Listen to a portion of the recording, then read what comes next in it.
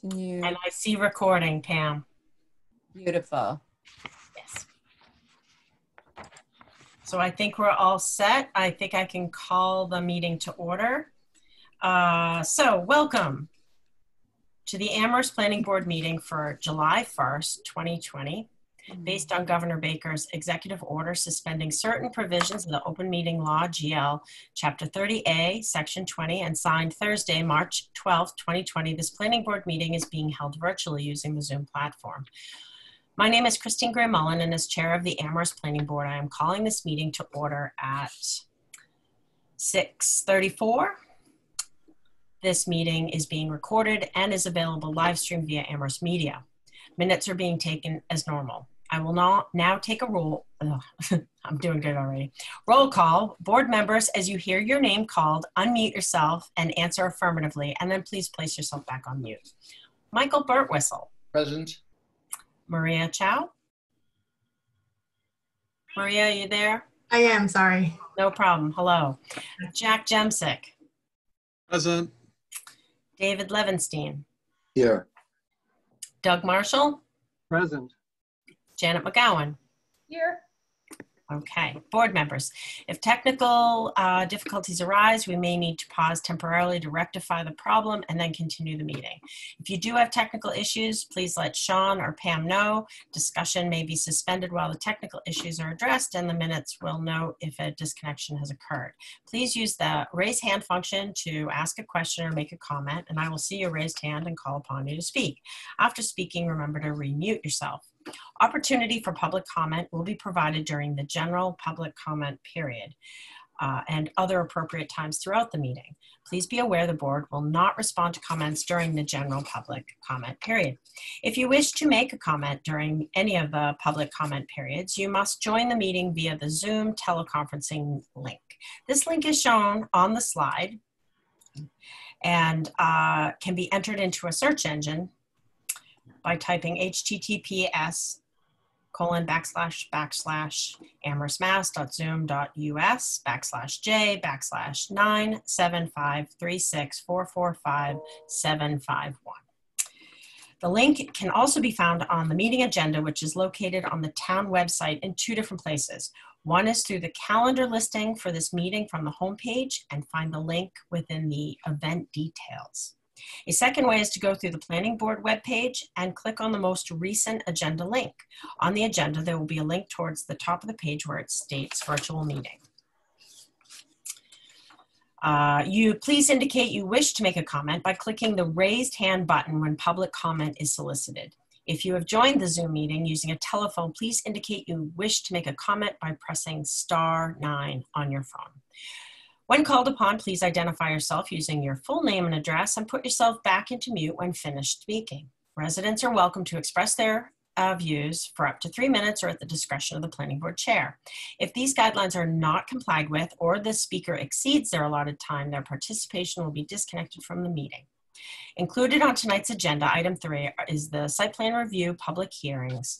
Uh, scheduled to continue from June 3rd board meeting will be the common school paving application, followed by Amherst Media's SPR application to construct a new home office building.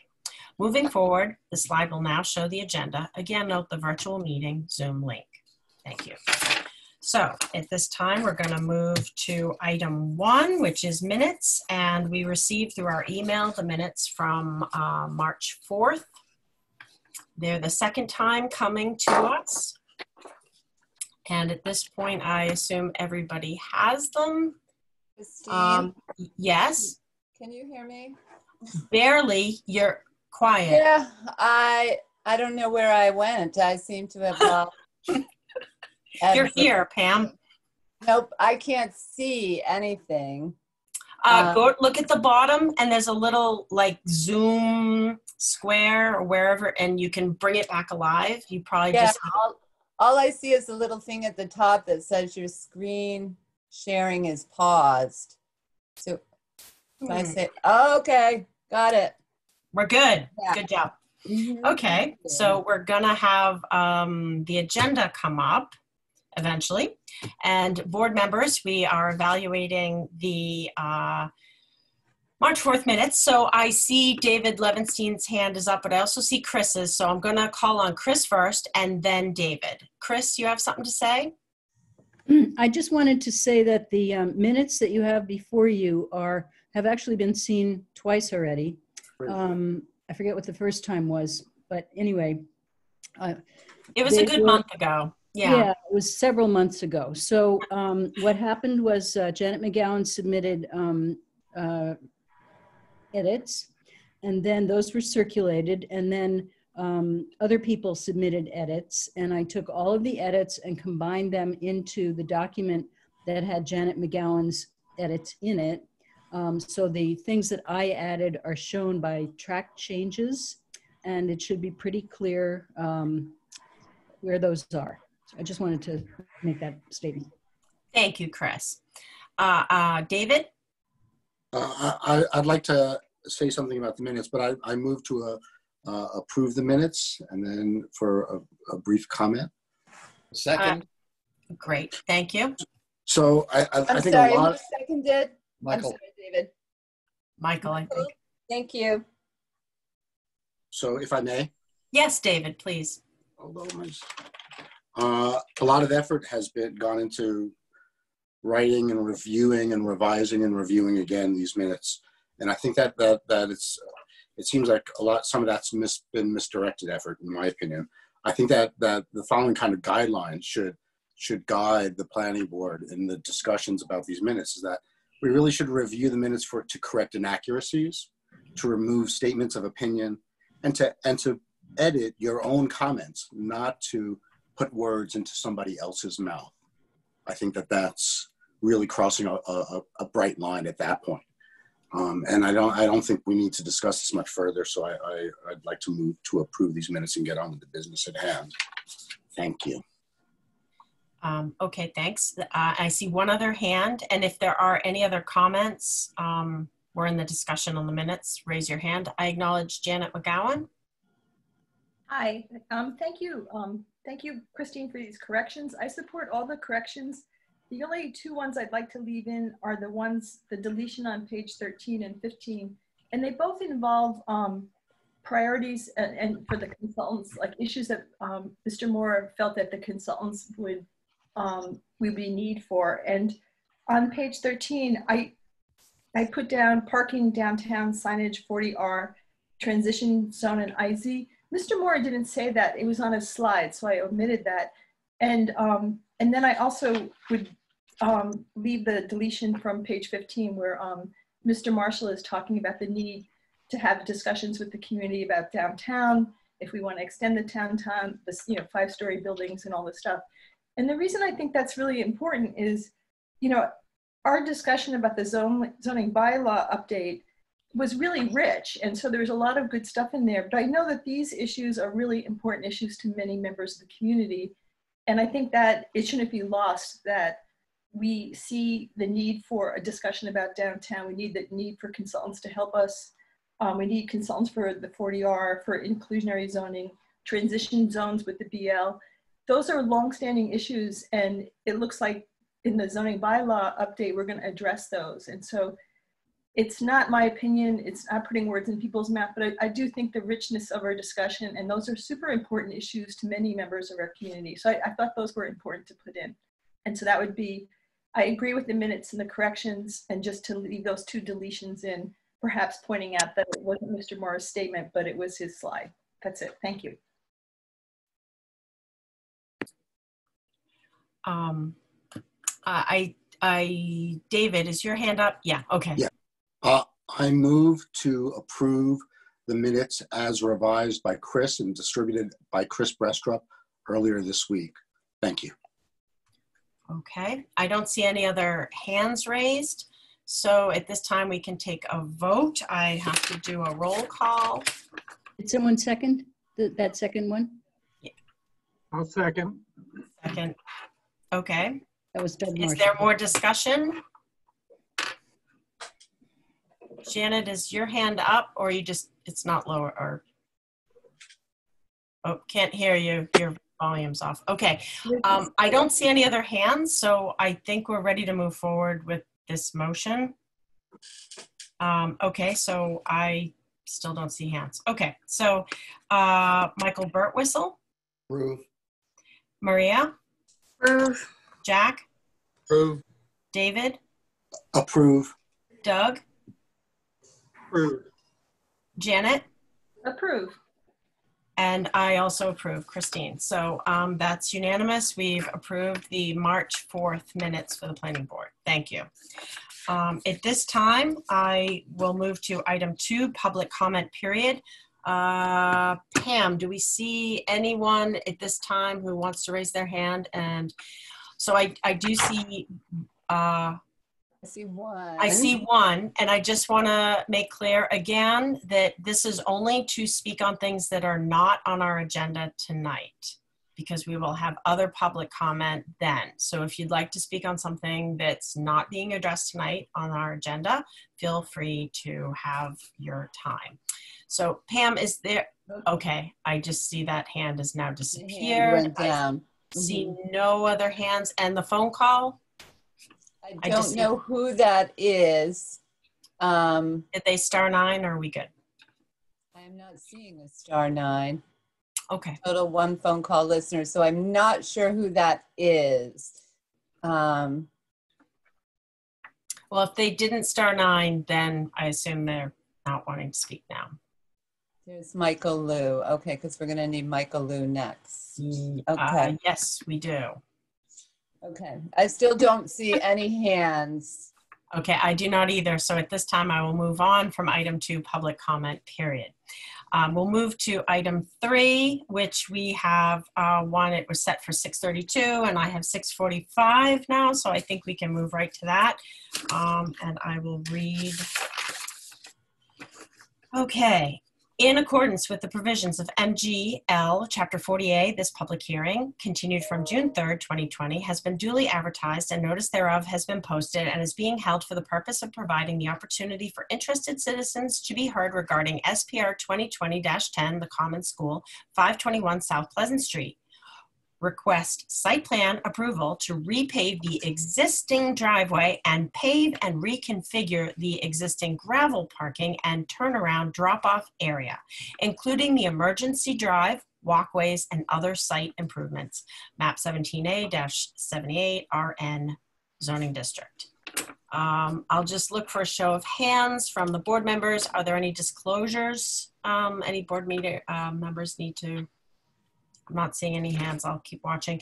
Um, and the next we'll move to, um, we have Michael Liu, who has come back uh, again. Welcome. I see you're there. Can we hear? Uh,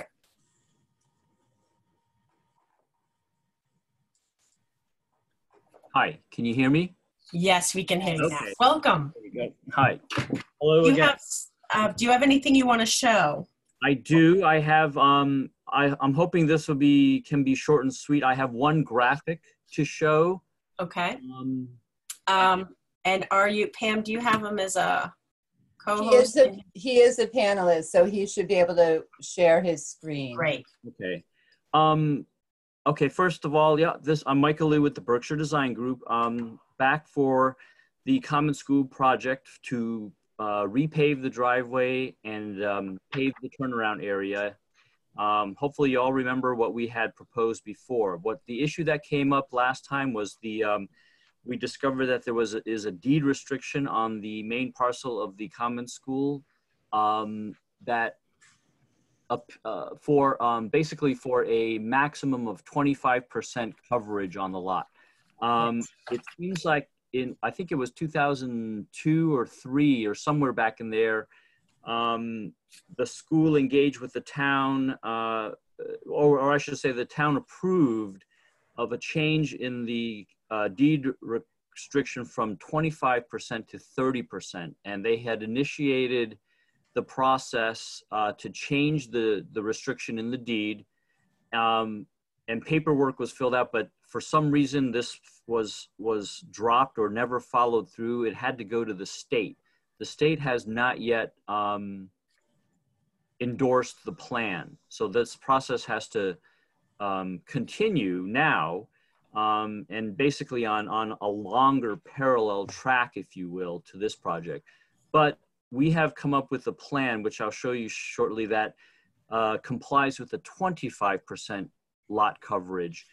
Um, because that's technically what we need to, um, you know, to have to, to comply with current um, legal documents. Um, so if you will, let me share, let's see. Um, okay, I've, I've put up a, a plan graphic. Um, can you all see that? Yes. So basically a black and white plan with the uh, property highlighted in red. Um, and I'm gonna start, thi- so this plan brings the lot coverage to 24.9% on this little note. I have a, yeah, I have a, um, we had submitted an entire set of revised plans, you know, with the imperm, with the permeable paving basically. And that's the purple areas are shown um, where the permeable paving would be proposed. Um, we had come to an agreement with the town that the, uh, for the permeable paving, that 50% of this area could be counted as green space and the rest would be, this is the concrete um, open block system. So the rest of it would be basically imper, uh, impervious with the, with the concrete. Um, so with these areas and in the green, you'll see here, the, the elimination of these uh, six parking spaces along the driveway and retur- returning that to green space brings the, the lot coverage down to 24.9%. Um, and, and then, so that, that's the plan. And this, the proposal that the school would like the town to entertain is that the, the school is willing to do the, the, the 12, uh, 18 parking spaces here at the turnaround as permeable paving, the fire and emergency access drive here as permeable paving. And they would like to have a three-year window um, to do this permeable paving if it's necessary. Meaning that if they can execute the paperwork for the change in the deed restriction, then they won't have to do this drive, this really elongated driveway apron, which is in excess of 100 feet from the property line to the, to the, basically that first parking lot to the right. Um, Could you repeat that time? three year, a three a three year window or on a condition that if the basically if the deed restriction cannot be executed within three years then they will have to um, construct the re or basically i should say reconstruct this as permeable paving the proposal is to do that um, with with the condition of approval from the planning board that they, this be allowed to um, be repaved as you know asphalt but they would have to go back in and put in uh, permeable paving if they could not execute the paperwork in three years. And the reason that we're asking for three years is because I understand, I've been told that the, um, by Kevin uh, Campbell, the school's consultant, that there is going to be a change in leadership at the school. So there's just going to be a transition period for the, the administration and board there and that this would just give them a little extra time so that this you know didn't wouldn't fall through the cracks um, and if they had to do it in a shorter period or um, what david ziomek had suggested in an email uh, with communication today is that a two, that be a two-year um, window to get it done uh, the school's asking for a little bit more leeway in, in upping that one more year to three years they had initially through a five-year time period to Dave Ziomek. Um, and Dave came back with a two year. So I guess we're trying to negotiate for, you know, the three year. Um, I don't know. I don't think Kevin is on the meeting tonight. Um, I, I don't, I didn't see him um, shown there, but um, I expected that he would be joining the meeting. I don't know if he's. Kevin Campbell is there. I Oh, think, okay. um, can you move him over, Pam? Do you might be him? able to provide more information on that um, transition period if you're interested. Um, but basically, this plan satisfies the current legal requirements for the lot at less than 25%. We're at 24.9. Um, but you know, if they can execute the paperwork, then obviously this the the coverage will go up a little bit with the driveway being asphalt. But the school still willing to do the permeable paving up around the at the parking spaces and the fire lane. Um, the fire lane or that emergency access is something that's going to be hopefully rarely used Um, so it makes sense to do that as permeable and keep it in, in a green, if you will, a quote unquote green condition. And the parking spaces, um, I think that the school realizes that that's a that's a further you know um, method of having some green infrastructure there, which is an, an advantageous and, and uh, positive thing for the site in terms of drainage, green space, you know, open space, etc. Um, does Mr. Campbell want to add anything to this about the time period being requested?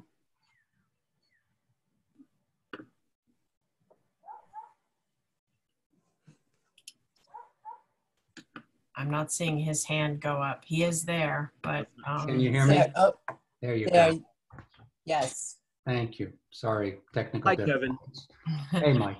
Um, I I only wanted to, to share a little bit of the, just a teeny bit more about the logic for why three years actually matters versus, versus two years, which, first of all, we- really appreciate that the town will even consider uh, an extension at all. Um, But real quickly, I had responded very late in the day to Dave to say, uh, the Common School has been in an interim leadership position for the last two years, and it has just set up a transitional leadership team that uh, will carry it through the next two years while they eventually move to a more permanent um, leadership situation again. Uh, so that just two years puts us on the cusp, from my perspective, of them them at that right at that moment shifting into this rather again transitional I don't want to say unstable, but but un, uncertain moment. And one more year would put it on the plate of a new head of school, um, new leadership, and uh, something that that that would guarantee its its success if necessary. The second thing, and maybe more uh, near and dear to my heart, is we're undergoing a million dollar or so renovation right now of uh, the school's classrooms. And uh, the school's been raising this money over many, many years, and we are spending every single penny of it. And um, the apron at the front is roughly going to cost us somewhere in the neighborhood of six thousand dollars or so, and deferring it, it deferring it is significant. Um, and what I'm just looking for is a chance for the school to um, sort of recover from the renovation project to stabilize and to have enough time to start raising uh, funds again, should it have to, uh, you know, we not get the amendment and it have to do the apron. So um, I know none of those are, are good reasons from a zoning perspective or a planning perspective, but from an operational perspective, uh, they would go a long way, uh, an extra year for the school. Thank you. Thank you. Um, Michael, do you have anything else to add, or can I open it up to um, first Ms. Brestrup and then the planning board members? I think that's, um, it, we talked about other aspects of the project, um, last time, the, the rain garden being added and so forth and, and, a- um, improved ADA access, safety with the fire access lane that the fire department has always wanted. Um, so yeah, I think at this, you know, I think we're ready to open it up and listen to any comments, uh, questions from the board. Okay, thank you. I'm going to recognize Chris Brestrup first. And then I see Jack and David. Uh, Chris, are you there? I'm not Yes. here. I am Yeah. here, and I wanted to say that the plan, um, even um, with, even without this request from tonight, uh, meets the zoning requirements, because the zoning requirements allow up to 30% um, of the lot to be covered uh, with impervious material. So it's really the deed restriction that we're talking about tonight. I just wanted to clarify that. Thank you. That helps. Um, Jack? Yes, I was just wondering, the, the, the, the project is uh, originally accommodating a repaving effort. Uh, Is that correct, Mike? Yes, yep. So what are you repaving, the entire drive? Yes, if you were in, it's present with, the if you recall, the paving ends right about here, right now, at the end where these parking spaces are. So we're, we want to repave this drive and then pave this, what is currently a gravel parking, uh, gravel turnaround and gravel parking spaces. Mhm. So that's going to better define where cars are are parked uh, formally, so that you know one car doesn't take up two spaces, et cetera, on the gravel, and then the gravel moves around every year with maintenance and plowing and so forth. Um, so that's kind of impervious area on the site has actually kind of expanded over the years, I think, unfortunately. Yeah. Um, so this is going to better define, you know, what's vehicle versus what's green or pedestrian. So, yeah, so my question is, uh, would you continue with the repavement in the areas that are, uh, that could turn to the, you know, permeable pavers there, or would you not do those areas uh, with the risk that they, you might have to pull up the, you know, Right. work that was So- complete? So if I, and Kevin, if you're there, correct me if I'm wrong, but the school's uh, willing to commit to putting permeable pavers in these purple areas here, the parking spaces and the fire lane. And right. deferring this area, to- you know, given that three-year time limit to try to execute that, um, the, the change in the deed restriction, you know, with the state. Um, This would be if this if they can do this this construction season this would all be asphalt in the in the uh, front part of the driveway but if for some reason they can't execute it then yeah they're going to have to bite the bullet and and cut this pavement out and install the permeable paving. Um, but they've made a commitment to do it here up at the um, turnaround and with the realization that that's a betterment to the project overall. The, the dilemma is that the apron portion, as we're calling it, at the front of the drive is, is the most decayed portion of the asphalt. It's the worst section of all. It's completely potholed. So we, we have no choice but to improve it in the meantime. Um, right, and just looking at you know what other areas could possibly accommodate it, that it it just didn't make sense to do permeable anywhere else. No. And unfortunately, with the driveway there, you know, it requires that long of a distance from the property line, basically almost to the to the opening of the uh, that first parking lot on the right. You know, to be permeable to get that coverage percentage down below 25 percent. Now, hopefully, we don't have to, you know, we can, the paperwork can be executed and, and everything's going to be fine and dandy and well under the 30% that zoning allows, plus the deed restriction would be modified or amended to 30%.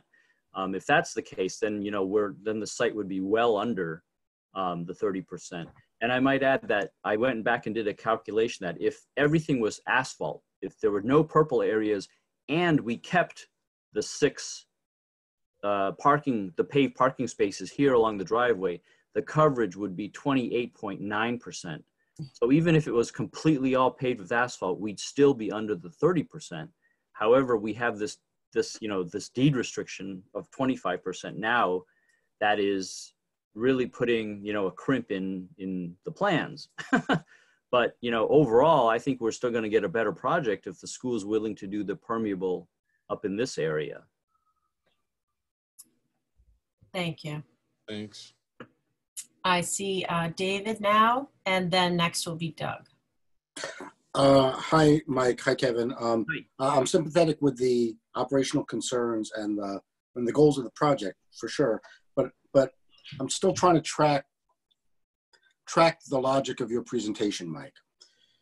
And here, I think, is my question. So Okay. you're saying that, as proposed, with the permeable pavers and the the change in the to the to the taking out some pavement and putting in some grass and green space there um, it'll fall it'll be under 25% of what would be impervious surface of the lot of the total lot 20, 20, 25% of the lot that's outlined in red.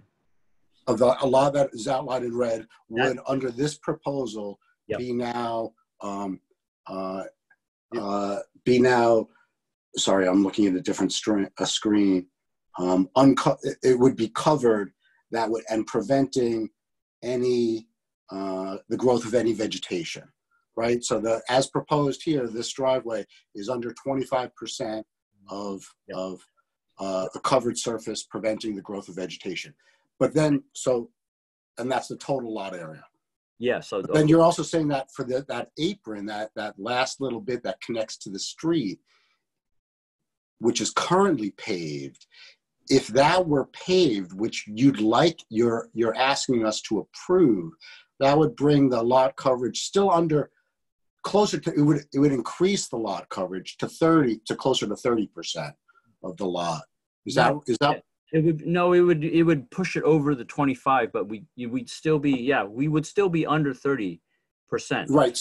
So as proposed, your proposal is to actually not reduce the impervious surface, but is to increase the impervious surface. However, a portion of that will be permeable pavers. Is that right? no. Go ahead, Kevin, if you have a comment. No, a portion of that is, sure, the, the parking spaces and the, the area for the fire truck access are per, are permeable pavers. And that allows you to do the calculation of either 24.9 or somewhat more than 25, but less than 30. Yes. Is, am I tracking that? Am I following what the presentation is? What the proposal is? Yes, I think, so basically this plan that you see on the screen puts the red area, which is described in the deed, in compliance with the deed restriction of 25%. If, however, the zoning allows 30%, and Yes. if the deed can be amended within three years, then we can, we don't have, we're, we don't have to do the apron, quote unquote, out front at the beginning of the driveway. But you're correct. If we, if that area is paved, it will push the coverage of the red area over 25% now, if they build it. Do you have that number, Michael? You know, I don't, I'm sorry. I don't- I don't- 26.2. 20, okay, 26. Right. But, but, and, 26 and, and you want to do that paving now because it, operationally it makes no sense. right? That's So you want us, you, that's part of the pr- presentation tonight is to do that paving on the, on the apron, what we're calling, what I'm, we're calling the apron, the last little bits of the road. Yep. That, that's, that makes most sense to you. If we, if we don't approve the paving of that, then you, the more expensive option is to do the permeable pavers. But that's the less preferable option from your point of view. That's right. That's Is that exactly right? Exactly. that, uh, so the, the, here's my confusion. So thank you for, thank you for helping me follow, for walking me through that a little bit more easily for me. As I read, I'm reading, I'm now looking at the deed, okay? And the deed reads in part, so subject also to a conservation restrictions, and then it cites, cites the Mass General Law, in favor of the town of Amherst, granted it by the grantor herein, requiring that at least 75% of the surface area of said premises shall always be maintained uncovered by any structure or pavement and in a condition suitable for the growth of vegetation. So I, and that's where you get that 25% figure, 25, you know, Right. uh, I, Yep. I, I, I believe. Yes. However, I read the deed now, and and that seems to me to be referring to 75% of the whole lot needs to be needs to remain, remain open to vegetation, which to my mind would include the buildings. Whereas your and I don't know how that figures into your the driveway and parking lot calculation. we didn't talk about the buildings, but all the structures on the site, plus all the cur- current, cu- what's currently paved and gravel, because the town considers gravel as impervious, and the buildings, all together, um, I can't, I think the coverage on the lot currently is already at 20, I think it's 28.2 or 28.3%. You're Some- already in non-compliance. We're already in right. non-compliance with the deed restriction. So, so you're including in your calculation the, the amount of the, the, the area that the buildings Yes, and other structures yes, prevent the growth of vegetation on this lot. correct. Okay, That's thank good. you very much. I'm sorry I'm so slow Oh, to, no, uh, on the uptake here, but thank I you very much. I didn't mention it earlier. I might have, we might have talked about that um, at the last meeting. I don't quite remember, but yeah, it, uh, I'm glad we can clarify that. So if what we heard from Mr. um, Campbell is if you do what you're proposing here, it'll be at 26.2 with the hope that within you're asking for three years that the deed would be adjusted to to allow a higher amount and you could just leave it the way it is. But if that is not possible, then at that time you'll go into the apron area and turn it to impervious. Exactly. Okay, so that's what they're proposing. I'm gonna go, Doug is next, and then I see Janet McGowan. So Doug? Thank you. Uh, my first question I, is for maybe for Chris Brestrup. Um, what is the duration of a planning board approval typically? Oh, do you want me to answer that, um, Christine? Yeah. Oh, yes, he's directing it to you, so go for it. a plan, the duration of a planning board approval is really um, into the future. Um, There's no, you know, cutoff. Um, What we, what we normally say is a site plan review approval is um, good for three years, or excuse me, for two years. Um, But if you start doing the work that is described uh, within the application, and you continually work on it, then it um, can last longer than that. But um, I think what you're asking is, would the site plan review um, approval allow um, a three-year duration to complete the work described? And I think if it's specifically spelled out in the conditions, it would allow that. But you're saying that if work starts within two years, we wouldn't even need to put it as a condition because as long as the work keeps moving along, nobody's going to object. I think you would need to put it as a condition because it's um, deviating from what uh, the applicant actually wants to do. The applicant actually wants to pave that um, right-hand portion of the driveway. Um, And you are allowing him to um, explore whether or not he has to, in fact, um, create it as uh, an, as a pervious area. And if he does not have to create it as a pervious area, then he'll just leave the pavement there. So you're allowing him, you know, three years to kind of figure that out. Okay, thank you. Uh, So my second question is for Mr. Campbell. Um, You cited the two years of interim leadership as a reason for the extension, say, from two years that Mr. Ziomek was proposing to what you are requesting. Um, I assume during the next two years, this interim leadership team would be actively working on resolving this question with the state and that you wouldn't just wait two years for the new leader to arrive and have dump it on his or her plate. Oh, on, on the, I mean, on the contrary, we, you know, it's in our best interest to make this go away as quickly as possible. Okay, thank you. So yes, thank you. All right, and then you also uh, said that a couple of years in the future, it might be a hardship for the school to have to come back and spend $6,000 to put in the remaining permeable pavers if you were unsuccessful with the state. Uh, Would you be willing to put up a bond now to ensure that the money is available to do that? Um, I didn't say it would be a hardship in the future. I said it would be a hardship now. And it might be a hardship, you know, i- up- up- I, I simply wanted to ensure that it didn't become a hardship and it didn't become um, an, an issue of sorts. And um, I, I'd, I'd hate to have to overcomplicate this with, with a bond, but um, I, I, I'm not sure how to, you know, Well, I guess the question, the, uh, sort of behind my question is, say, three years goes by and you've not been successful with the state, how do we compel you to complete the work? In, you know, as, as shown I I guess that's for you to tell, you to tell me.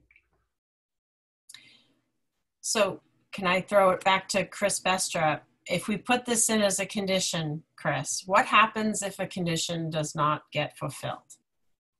Um, Then someone can complain and the building commissioner will um, issue an enforcement order. And he can, um, he can slap a fee of, I think it's $300 a day for someone who's out of compliance with um, their it. approval. So, um, so that could be a remedy. No further questions. That's a good incentive.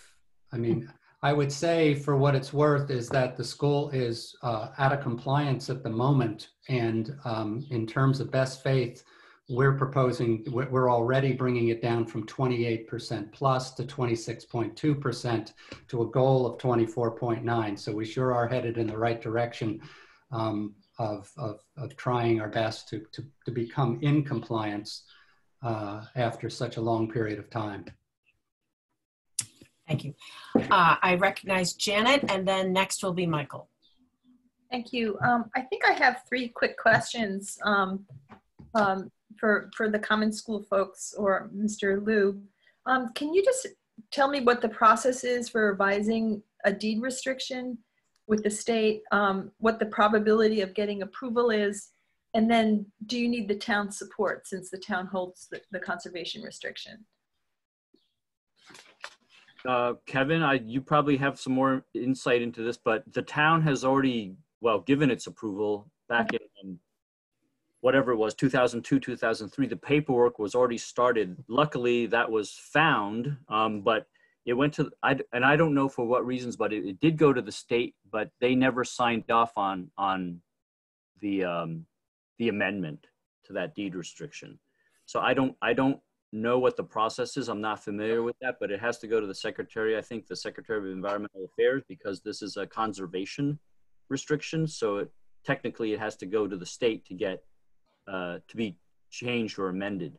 And for whatever reason, that process was just not completed. There, we have, we have, I, Kevin, correct me if I'm wrong, but I think we have some signed paperwork from the town already um, that um, you know that shows that this process was initiated. I just don't know the history, you know, from back then of why it was kind of put aside. Do you, do you have any idea of whether it's likely just to be approved or not? Because part of me is just, you know, I'm feeling very flexible about your request, but I'm wondering if it's just easier to spend the six thousand dollars now and just move on. But I mean, is it likely to be approved? Does anyone know? I, we can't, I mean, we can't, we're going, we're, we're, the little bit we know as we've um, done our research here, and we've been working as closely as possible with Dave Ziomek on this, um, is uh, we're, we're proceeding based on a couple of things. One is the existence of, of um, evidence of the town's support for this uh, and, and recorded and um, and then conversations with Dave as part of this proposal. Perhaps the one thing we're, we're leaving out is that the proposal um, puts forth that that that the school would submit application with the town's support. Um, so that is what we're we're hoping and assuming will happen and continue to happen. And three, it's um, while we don't know the outcome, all of the previous documentation, which was significant between the school and the state, but ended up never being signed. I mean, one letter after the other, back and forth, back and forth in 2002. All of it led to the belief that this was going to be signed. Um, I'm not a lawyer, but the the state on the state's end, the state's position was why do you need an amendment to do this? That was, the, if you read the text of all the letters, they said over and over again, why do you need an amendment to do this? We think this, he, they didn't say it's a matter of right. They did not see this as, as um, that maybe we were, somebody was overcomplicating this at the time.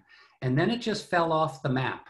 Nobody at the common school remembers from back then why it just ended, but it did. Um, so that's a long way of saying um, we we have a fair amount of belief that this is worth pursuing and that and that it wouldn't take a long period of time to get an answer one way or another. Okay, that's all I wanted to know. Thank you. Thank you. Chris Brestrup. If I see your hand up. Yeah, I wanted to let everyone know that I did speak with Dave Ziomek today, and he confirmed the fact that the town is in support of this application to the state. He also had mentioned to me previously that um, he believes that the person who was supposed to sign the document, whatever the document is, um, either moved his office or left his office, and that's why it was never signed. There wasn't any objection on the part of the state. It's just that they never followed through on their end. So that's just what I wanted to share with the um, with the planning board. Thank you. I recognize Michael Birtwistle. Uh, thank you. Um, in, in talking and talking through the question of a 25% coverage and a 30% coverage, uh, which is apparently what the zoning requirement uh, is for 30 for a 30%. Um, and this since this falls well below the 30%, uh, why are we concerned with the deed? If, if as a planning board, our responsibility for site plan review is to make sure the zoning bylaw is, is uh, upheld, uh, why are we even concerned with this deed restriction? That seems to be a, a, matter between other parties. And it seems to me we should simply approve the project as it's proposed because it meets the 30% requirement. Hmm. Chris, do you have an, um, any? like I'm what? Not really sure what to, I, I don't really know what to say to that. Um, you know, that's kind of my, that was my feeling uh, about a month ago. And since then, um, you know, there has been a lot of conversation, so I, I don't really know exactly what to say to that. Was legal counsel asked? No. But I guess what I would say at this point is why don't you just approve what is being proposed and hope that um, the school can uh, manage to to revise the deed restriction. And if they can't, then the plan that's in front of you now is what will be built. Okay. Michael, do you have anything else? No, he's good. So I don't, uh, so I don't see any uh, new hands going up. I see um, two uh, members going uh, um, coming about again. I'm going to answer those and then we're going to open it up to public comment. Um, so Janet, and then I see David. Um, I was just going to move, so move Christine's um, idea, but I, I think we should listen to the public first. Yeah. Um, David, and then I see Jack. I'm responding to uh, Chris Brestrup's um, suggestion. The thing that, that I'm sort of wrestling with, whether I should be or not, I don't know, but um, is that is that the proposal asks the planning board to approve something that we know to be violating the deed.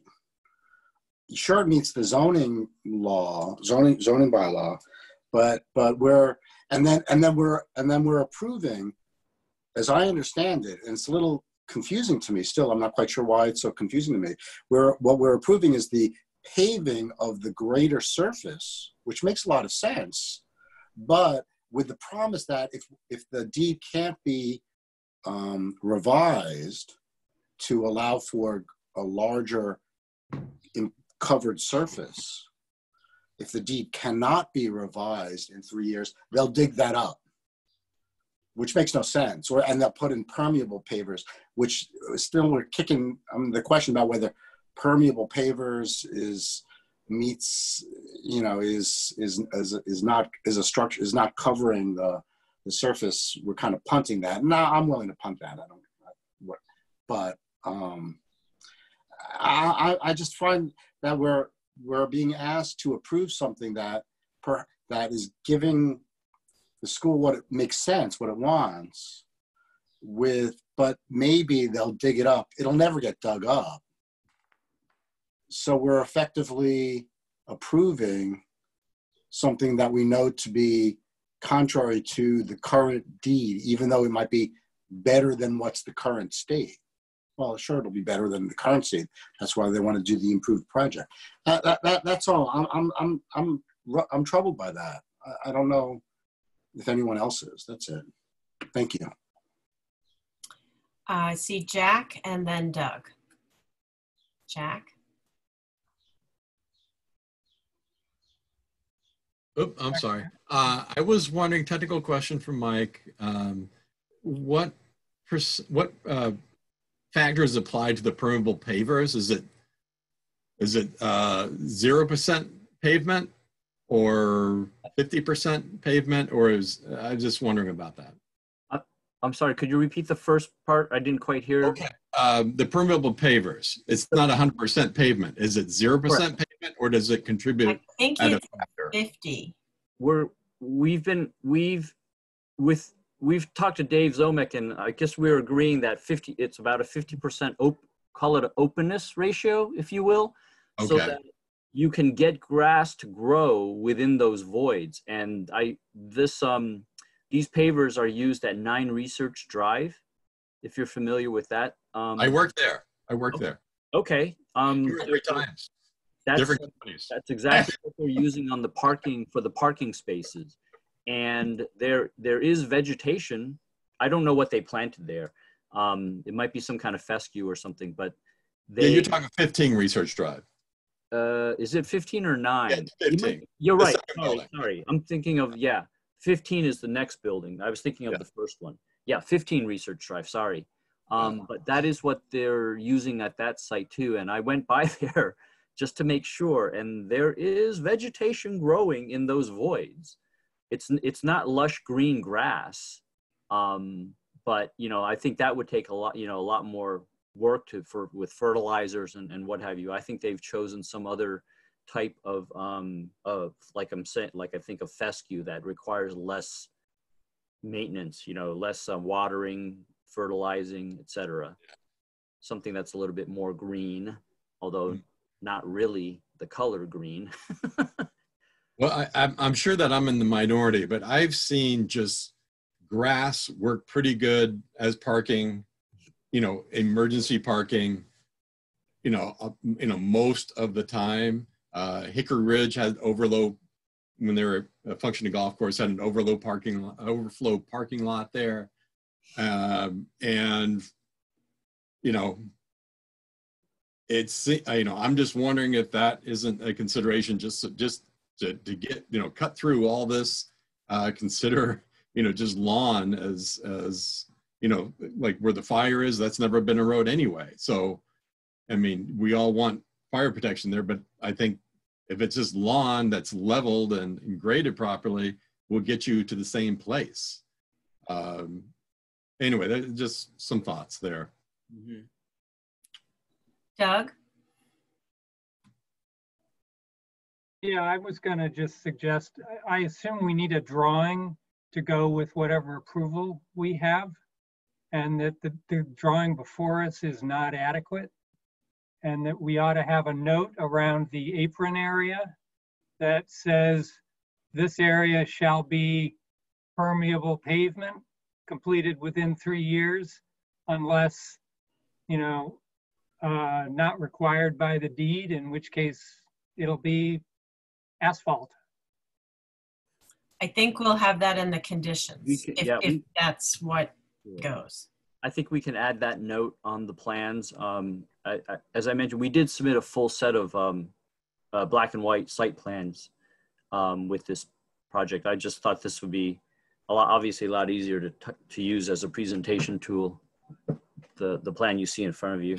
I'm, ju- I'm just saying that I think somehow we need, I- think it's, it would be useful, and maybe I'm the only one, but I think it would be useful to have some plan of graphic, a graphic depiction of the alternate reality that might be the final result.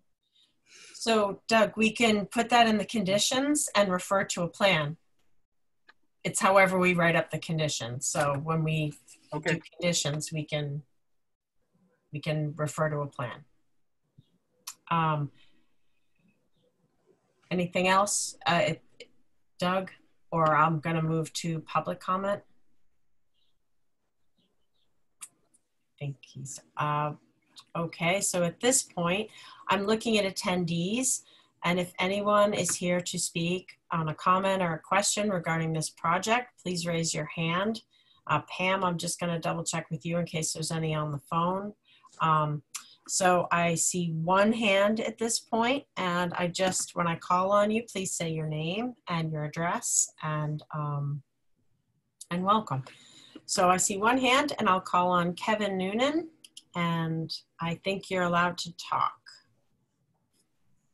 If you, Can you hear me? Yes, I Thank can. you. Welcome. I appreciate it. Thank you.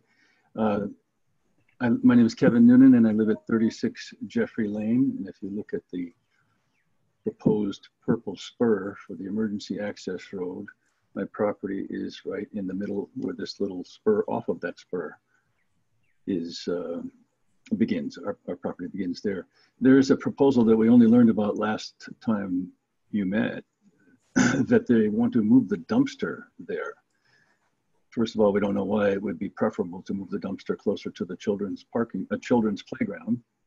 But our other concern, mine and the, my neighbors on either side of me, is that it's going to bring rodents and, and we've had bear in the neighborhood. It's going to attract more wildlife to that spot. There's going to be odor. There's really no reason to put the dumpster there rather than where it is. I think that the justification that Mr. Liu used last time was that, that they had to give up one parking spot. But the if you note the, the first parking uh, lot on the right, just after that area uh, of the apron that you were referring to, almost never gets used. And when it when there is an event, it's rarely full. Plus the old Hitchcock, Hitchcock Center, there's parking spaces in front of that that are rarely used. So it just seems to us to be an imprudent idea and we're also concerned about what might be stored around the dumpster. Um, currently, where the dumpster is now, they store um, the, the, material to treat the, the asphalt, the existing asphalt, uh, for snow uh, during the cold weather.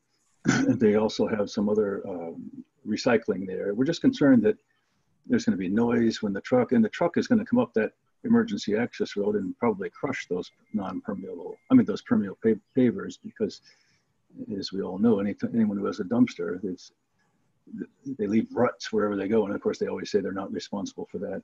So we, we appreciate that the, we appreciate the common schools as a neighbor. We've, I've lived there for 30 years. Uh, this is not an NIMBY situation. We want them to stay. We really value what they do. We're a little disappointed that they didn't communicate with us because uh, we had been asking for the last month to talk with someone. Um, but there's, in our minds, no need to put a dumpster right at the edge of our property uh, when it can stay where it is or be moved down to where the, if you notice just beyond that apron you referred to, there's a barn. And there's no reason the dumpster couldn't be put there if they need, if they need the space. So, uh, you know, we're just concerned. And then recently there was somebody had discharged either paint or something in that area. So we're worried that this is going to become an industrial area. Uh, and, you know, there's, I think Mr. Liu referred to, there's nothing but roots there. Well, the previous administrator of the common school, not, not the current one, on the guise of, uh, under the guise of uh, safety, felt that the trees needed to come down because they might be diseased. And when they came down, there was really no evidence that they were but nothing has been replanted. And so that's why there's nothing but roots and the ground has eroded there. So, um, you know, I know that Mr. Liu was referring to this as an improvement over what's there, and that, that would be true now, but it, it would it would appear that someone should have replaced the trees that that had been cut down before. There was also a tree at the at the beginning of the of the uh, driveway, which um, was removed, I think, because it blocked the sight of the drivers, and there was nothing wrong with that tree either. So there's about 18 trees that are now missing, and are affecting the watershed, in our opinion. Um, so anyway, our, our primary concern is that please don't put the dumpster right on our property line when it when you have other options. And we're asking the committee to please ask them to amend this this proposal so that the dumpster does not go there. Thank you. Thank you. Um, At this time, I see no other hands. Um, So I'll come back to board members. Um, I just have one question. Um, So we're looking at a property in the red line. Does the dumpster need to stay on the property for that, or could it go on to the other properties? Just wondering. I I don't know if I can provide a, a full answer for that, but where the dumpsters currently sit, as you know, is right here. Uh, on uh, it would be on your left side as you get to the end of the paved drive, um, right in this area. Um, if we were to put the dumpster dumpsters back there, we would you know we would lose at least one space, which is not the end of the world. Um, but it is it has been troublesome and an inconvenience to get refuse and recyclables and so forth out to that location because they have to come from the buildings and somehow you know uh, get get the items down across the gravel drive etc um, to this location uh, the reason we put it here uh, off of the emergency road is that um, since there is a quote unquote, you know, semi-paved drive there, it made sense to allow the dumpster truck to use that as well um, and pick up the refuse and recyclables uh, here. It's a much easier path or much easier um, task to get the refuse and recyclables from the buildings down this walk and over to the dumpsters rather than having to you know cross over the gravel area. And, and in this case if it was back here they you know they'd still have to you know whatever cross over the um the paved the pavement. Um there there might be a couple or one or two other areas to consider. I i guess i'd have to um i'd have to have a discussion with kevin at a minimum about about those locations but um um I, you know, Kevin, do you have any thoughts about that? Do we do? Are we? Can we make a commitment that we can not put the dumpster location here up against or closer to the property, uh, to, to the neighbor's property? Um, do we need time to look at that, or? I think when we need time to look at it, I don't want to. I can't make a commitment, especially if we're going to jeopardize. I don't approval in any way because then that would that would completely jeopardize our time frame. But um, Mr. Noonan, if it would be of any, um, I mean, well, two things. One, um, not being somebody who works directly at the school, but nevertheless, I apologize that you've been trying to speak to somebody over there and nobody's gotten back to you. But two, one of the parts of the plan that doesn't show up on here is that the, the dumpster area, unlike as it is now, would be enclosed all right, there would be a, a you know a fence enclosure around it, especially on the back side of the property, um, so that and it would it would be it would be enclosed on the front as well. So uh, bears would not be able to get in there, but also you would not be able to see the dumpsters uh, from the from the rear of the property. So that's that's one thought. Um, the other thought is is we we we surely would look at alternative options. Yeah, I, I don't think we'd want to move it further away. Suggesting the barn, the barn location, which if I'm assuming this is the structure Mr. Noonan was referring to, I mean, that's like, you know, double the distance of where, what they're doing now to haul, um, you know, whatever carts or whatever down the road. I think they need to get some carts and, or something. Yeah, that'd be impossible for the students to empty trash or recycling or anything. Yeah. And there is a hill. That's just um, too far away, I think. Um, I'm gonna recognize um, Christine Brestrup and then go back to the board members. I see Maria has her hand up. I just wanted one quick question. Where the dumpsters per, um, proposed right now and the red line, I was at the site visit, but I can't remember what kind of fence or is there a fence? What what runs along those properties? Current Oh, it's wood Yeah. right now. I mean, there is screening. Uh, uh, there is vegetation, but you you know you can see through the trees to to the neighbors. Um, Okay. Some of the neighbors have more vegetation than others along the backs of their lots. Um, But there's not a fence. Uh, there there is no there's no. I think there's one neighbor that has fence right. See that symbol right there. Okay. This So neighbor it's has the neighbors that put up fences. The school does not have a fence on that property line. correct. Okay, thank you. We are, we are proposing some evergreen screening around the back of that dumpster location as well. That's good to know. That's what those little circles are. They're plantings. Yes. Thank you. So I'm going to recognize Chris Brestrup and then I see Maria's hand. Chris? So I wanted to suggest that you could um, create a, a condition that would deal with this. You could say that um, you would approve the plan as it is shown in this um, in this drawing, um, and then have uh, the applicant come back to you um, prior to actually paving the um, parking lot and the driveway to show where the dumpster might be relocated. And if it's not possible to relocate it, they could make that statement at that time, have them come back to you at a public meeting. And perhaps at that same meeting, they could um, come back to you with a revised plan showing the note that Mr. Marshall talked about um, putting on that area down at the apron of the driveway about, um, you know, stating exactly what was going to occur there and when. So that's just a thought. D- um, Does that sound reasonable, Mr. Lou, Mr. Campbell? I think Yeah. so, yeah. Yes. It'll give us a little bit of time to discuss, you know, what we can do with the dumpster.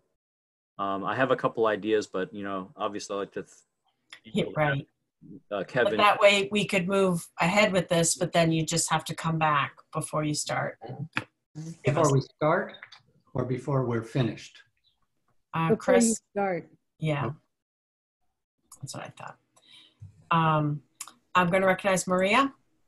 Well, Um, no, I yeah, I, I just lowered my hand. Um, I wanted to mention it's not shown on this drawing you're looking at, but on one of the drawings, it looks like the dumpster is actually about four feet lower than the adjacent property. So not only will it have trees, and right. fencing they're talking about, it's actually sunken down quite a bit. So I'm pretty comfortable with the location because of the access for the trucks, the proximity to the students and staff being able to um, get to the, the dumpster and, you know, wherever it's located along that um, north property, it's going to be next to an adjacent property, you know, a neighbor. And so, you know, because the school sounds like they're being good neighbors, I assume that they're going to, you know, take the proper precautions a good neighbor would with their um, dumpster. And also, I just wanted to go ahead and move that we approve the plan with the conditions that Ms. Brestrup just mentioned about um, possibly locating the dumpster, although um, I'm actually fine with it as is, but it sounds like there was um, discussion leading to having that as a condition, as well as the condition uh, Mr. Marshall mentioned about uh, noting the permeable permeable paving possibly coming if the uh, deed restriction is not revised in the three-year time period. So I think that was a motion. I hope And that would be also closing the public hearing. Um, is there a second to that? Sure, second. Okay, I hear Doug for a second. may I Um, say something? Yes, I Chris. I did, I did send you some possible conditions in an email today. They're pretty minor, but you might want to take a look at them before you actually vote. Uh, I was gonna go through those. I have them in front of me. Thank you, Chris, for that reminder. Um, I do want to go back to Mr. Liu. Um, Maria brought up a great point I had forgotten about that you had talked about. This is the last time you came to us about lowering that um, that hammerhead area, and how low would that go? So would that set the dumpster down? yes, it would. Um, the and the the reason why it's lowering, well, the approach to that area is pretty steep, and the fire department has said when they've tried to drive a truck there, sometimes they can't even get up that initial incline. So they required that the emergency drive be at a, a, 5% maximum slope. If we do that, it require, um, I believe that the, road is cut down approximately two feet lower than what, what the existing ground is. So there's going to be a, a an embankment, if you will, cut around that dumpster area to be able to, you know, have it cut into the hillside, so to speak. So it will be lower um, in grade than what than than the elevation at the property line. And I didn't check it, but I appreciate your looking at that, Maria. If it's about four feet, um, I'm, I guess you know that that's we'll take that um, bit of information uh, and, and and run with it. so we have about a four four foot grade difference from where the dumpster is to the property line. So would there be a retaining wall No. on that L that's It's- not it's- on the drawing, but we'd be losing some of the uh, we probably have to thin out some of the trees right at the face or you know at, right at the tree line uh, but we are again we're trying to add the evergreens in there um, to have a, a more solid screen uh, visually to the neighbor for the neighbors um, if, if it's to remain in that location so I, I can't remember exactly. I know there is a hill and you're cutting into it. So we're saying somewhere between two and four feet, you'd be cutting into that, putting a retaining wall, and then putting evergreen on top of that. There- there's no re- there's no retaining wall we're just There isn't. a cut bank embankment um, So how many feet? Two or four? Because wouldn't four have an erosion? No, not necessarily. You know, we, we can still do a two to one slope there. And that's easily managed, you know, with vegetation. Okay, that's true. If you plant things, that will help hold it. Um, okay, uh, Chris, your hand is up. Do you have any comments on this right now? No, sorry. Okay, I'll lower that. Um, so at this point, I'm going to ask, are there any other comments from the board? Um, if not, I'm going to go through the conditions. I, we did receive them today, um, late in the day, um, but there, uh, there's four of them.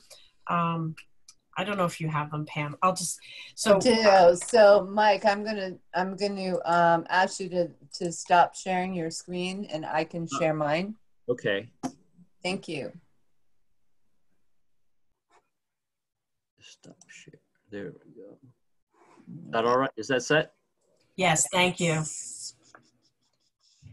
So the first one was the driveway and parking area shall be built uh, substantially in accordance with the plans submitted to the planning board on whatever date that is. Um, and that's standard. Okay, so the second one, the driveway and parking shall be managed, uh, management plan um, and approved on, with the exception that the six parking spaces along the driveway will be returned to grass, which I think the new plans we have show that they're back to grass. Yes. Uh, the, the third one, landscaping, um, planting plan, continually, that looks pretty standard. And the third, fourth one, okay, applicant shall work with the town to seek relief.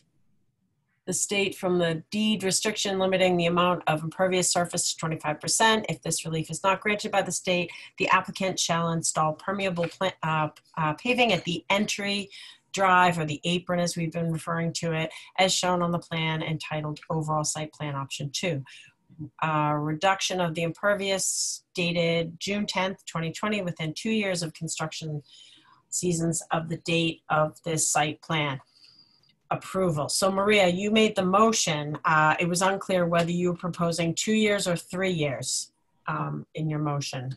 Sorry, I can match the conditions, what it says written within. Well, these are draft, so we can change these conditions to whatever we want.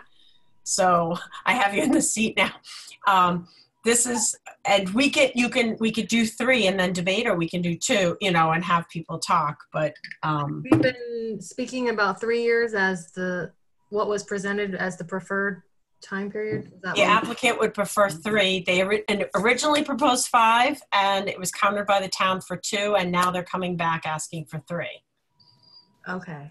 Uh, I feel like our discussion had it as three. Um, please correct me if I'm not speaking correctly.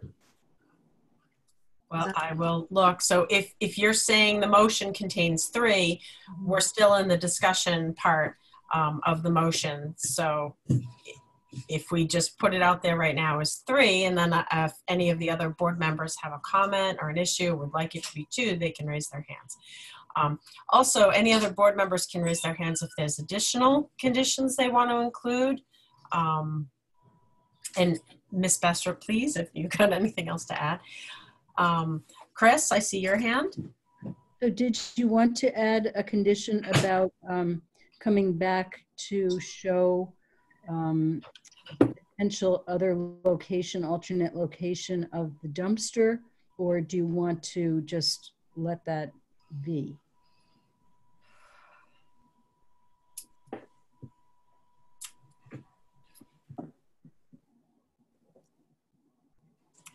Maria.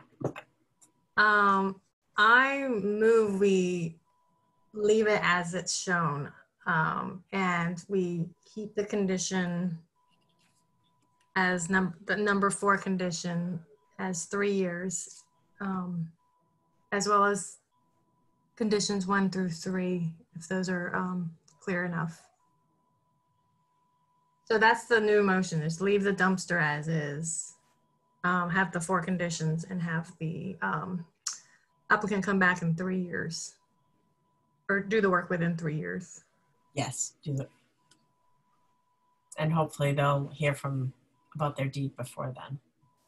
Okay, uh, Chris, your hand is up. Is Um, Do you want to make a finding that this um, proposal meets the relevant requirements of the section 11.24 of the zoning bylaw? And you're talking about all sections in that? I can't remember what that part is, or is that the uh, 30%? That section is the section that we normally go through on a big project. We'll go through it um, line by line and say whether it does or does not meet that particular criteria. It's the list of, um, of site plan review criteria. And normally on a smaller project or a more simple project, you just make a blanket statement that it meets the require, the relevant requirements rather than going through those items step by step. Because you've gone through them and you Yep. know. Okay. Yes, then of course include it. Um, I'm seeing no other hands. So at this time, um, we have a motion on the table. We have conditions and a finding. Um, and we'll take a vote. I do see Doug's hand just came up. Yeah, I thought I'd second Maria's motion. Great, thank you. All right, I see no other hands. Um, Chris, I'm going to put your hand down. I don't think. Yep. Okay, so at this time, I will do a roll call for the motion. Um, lost my list, though I know Michael's on it first. Michael, Yes. uh, Maria, Approve. David, Approve. Jack, Approve. um, Janet, Approve? and myself approve. Did I forget anyone? You forgot Yeah. Doug. Doug, Approve. thank you. So that's unanimous. We have seven. So I thank our applicants for coming. Thank you very much. Thank you all. All right. Thank you. I, I can, I know you all worked really hard.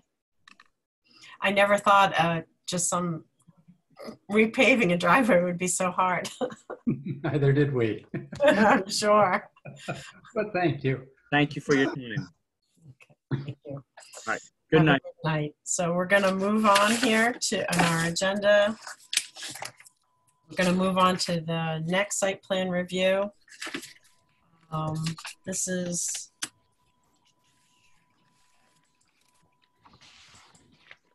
well, it is now 7:51 and in accordance with the provisions of MGL Chapter 48, this public hearing has been duly advertised and notice thereof has been posted and is being held for the purpose of providing the opportunity for interested citizens to be heard regarding SPR 2020-11, Amherst Community Television, DBA Amherst Media, corner of Gray Street and Main Street, request site plan review, approval to construct a new building and associated site improvements for Amherst Media a 501c3 educational institution under section 3.330.0 of the zoning bylaw, BN zoning district, map 14B, parcels 250 and 251. So first I'll just ask, uh, are there any board disclosures? Raise your hand if anyone wants to make a disclosure statement.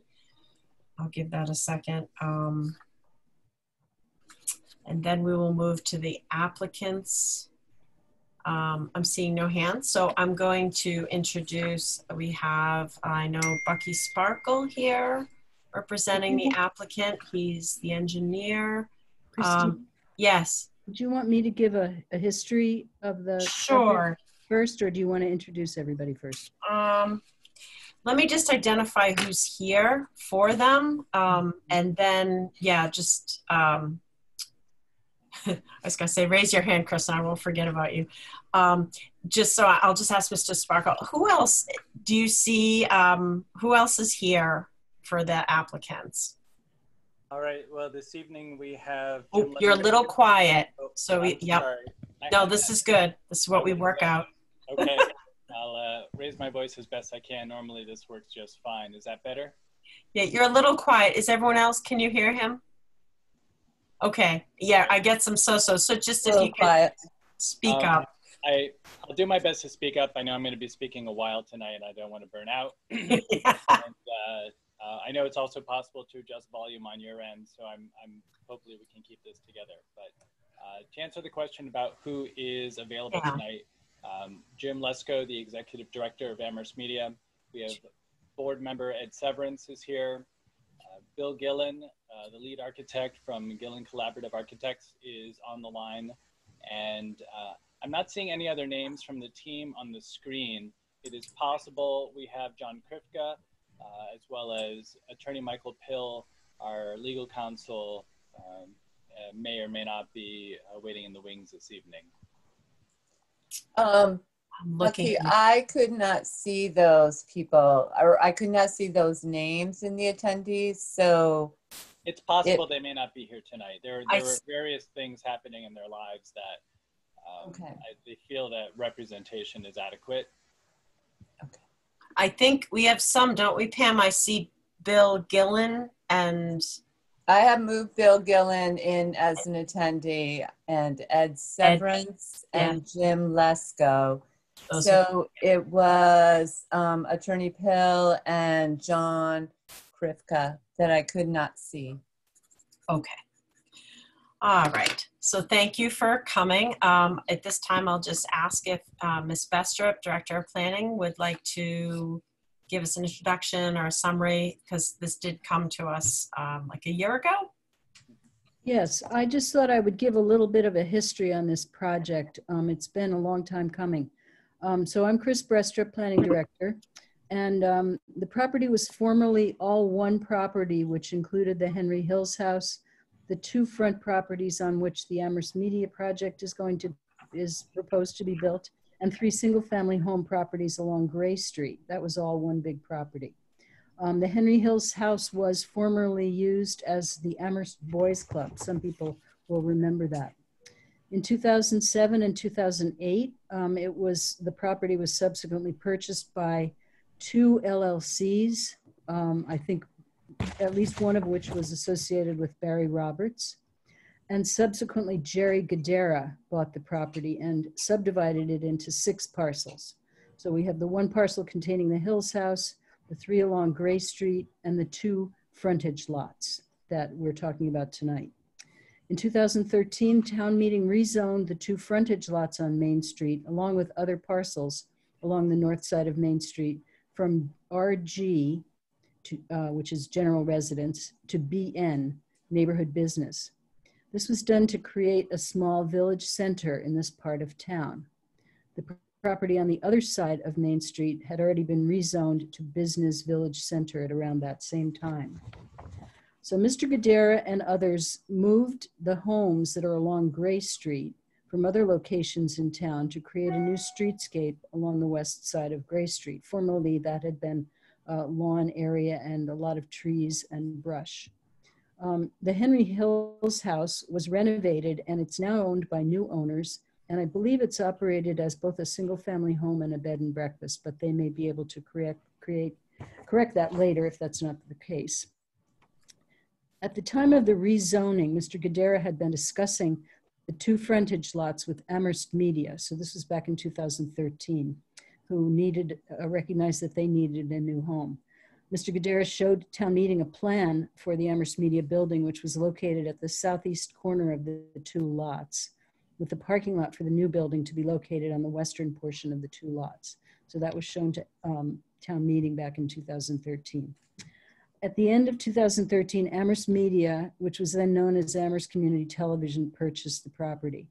And they've been working on developing the property as their new home since that time.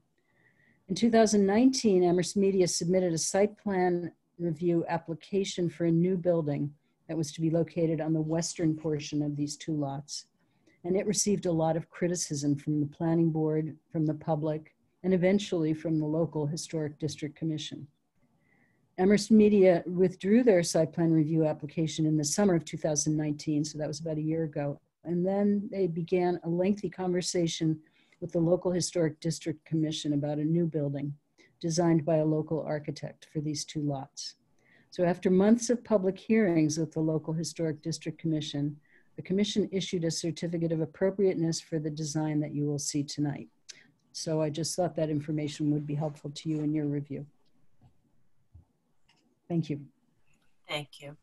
That was helpful. Um, so at this point, I'll turn it over to uh, Mr. Sparkle, who is going to um, give us a presentation. Is there anything you'd like to share on your screen? Christine, can I just interrupt one Yeah, second before we begin do. that? Did you ask for the board disclosures? I think I did. Okay. Were there any? I'm sorry, I missed No, that. there weren't. No. They, there weren't. And um, so we'll have the uh, applicant's presentation and then we'll get into the site visit and stuff. Okay, thanks. Bucky, you should be all set to share your screen as a panelist.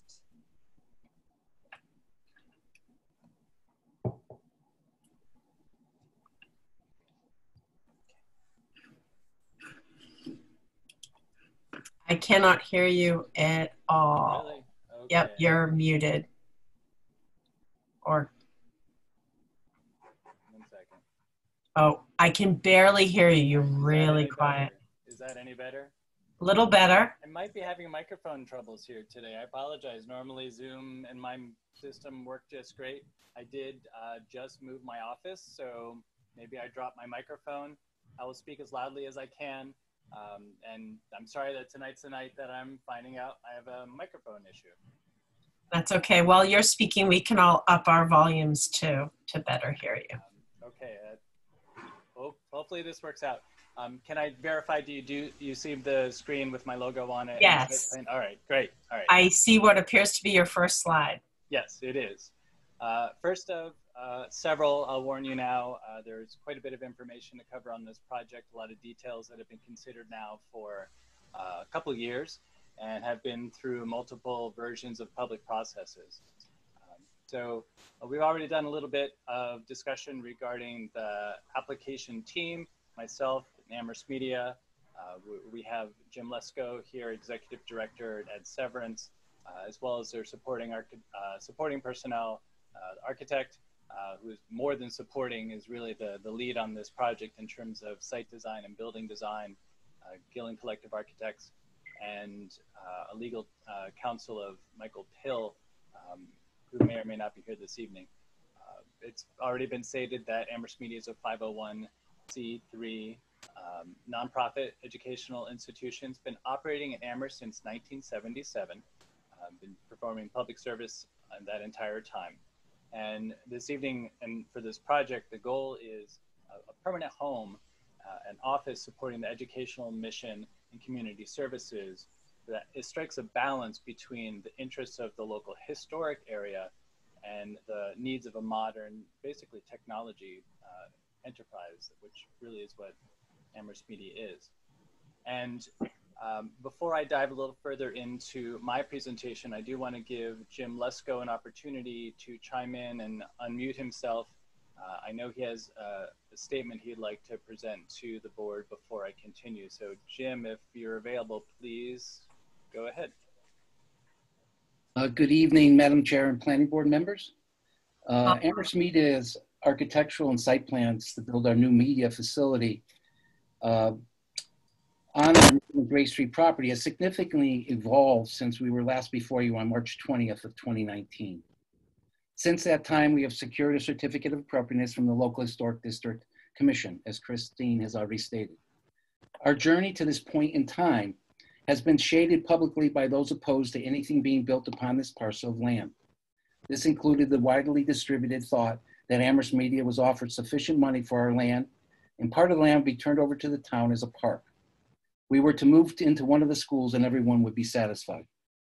To quickly clarify, the amount offered for our land was 25% less than the property's assessed value. The town expressed concern and doubt regarding the allocation of funds to maintain the donated uh, parkland. And finally, the preliminary discussions with the school department raised some limited possibility that would require an addition to be built to the attached high school. Regardless of being told in editorials that we should accept this offer if we really cared about the Amherst community, or else we should expect no financial support for our capital campaign. It is obvious Amherst Media did not agree with either part of that argument. Now we are in the midst of a COVID 19 pandemic, and the town's financial picture is very precarious, and the schools are trying to reorganize their classrooms and general facility space to accommodate the new state safety reopening mandate. The proposals would not have been made everyone, not have made everyone, especially Amherst media, satisfied. We are here to offer an opportunity to the residents of Amherst to witness the construction of a new independent media center, a center propped up on the shoulders of those residents and students, staff and board members, and most importantly, viewers who for the past 44 years created, captured, and watched the political, educational, cultural history of this community. It is within this building we see the publicly called for expansion of civic dialogue and interaction for all people the Amherst area and beyond to have the opportunity to be heard. That has always been our mission and will continue to be so. While the site plan you have tonight is not the same plan submitted by us last March, this plan does, however, reflect the advice this body gave us.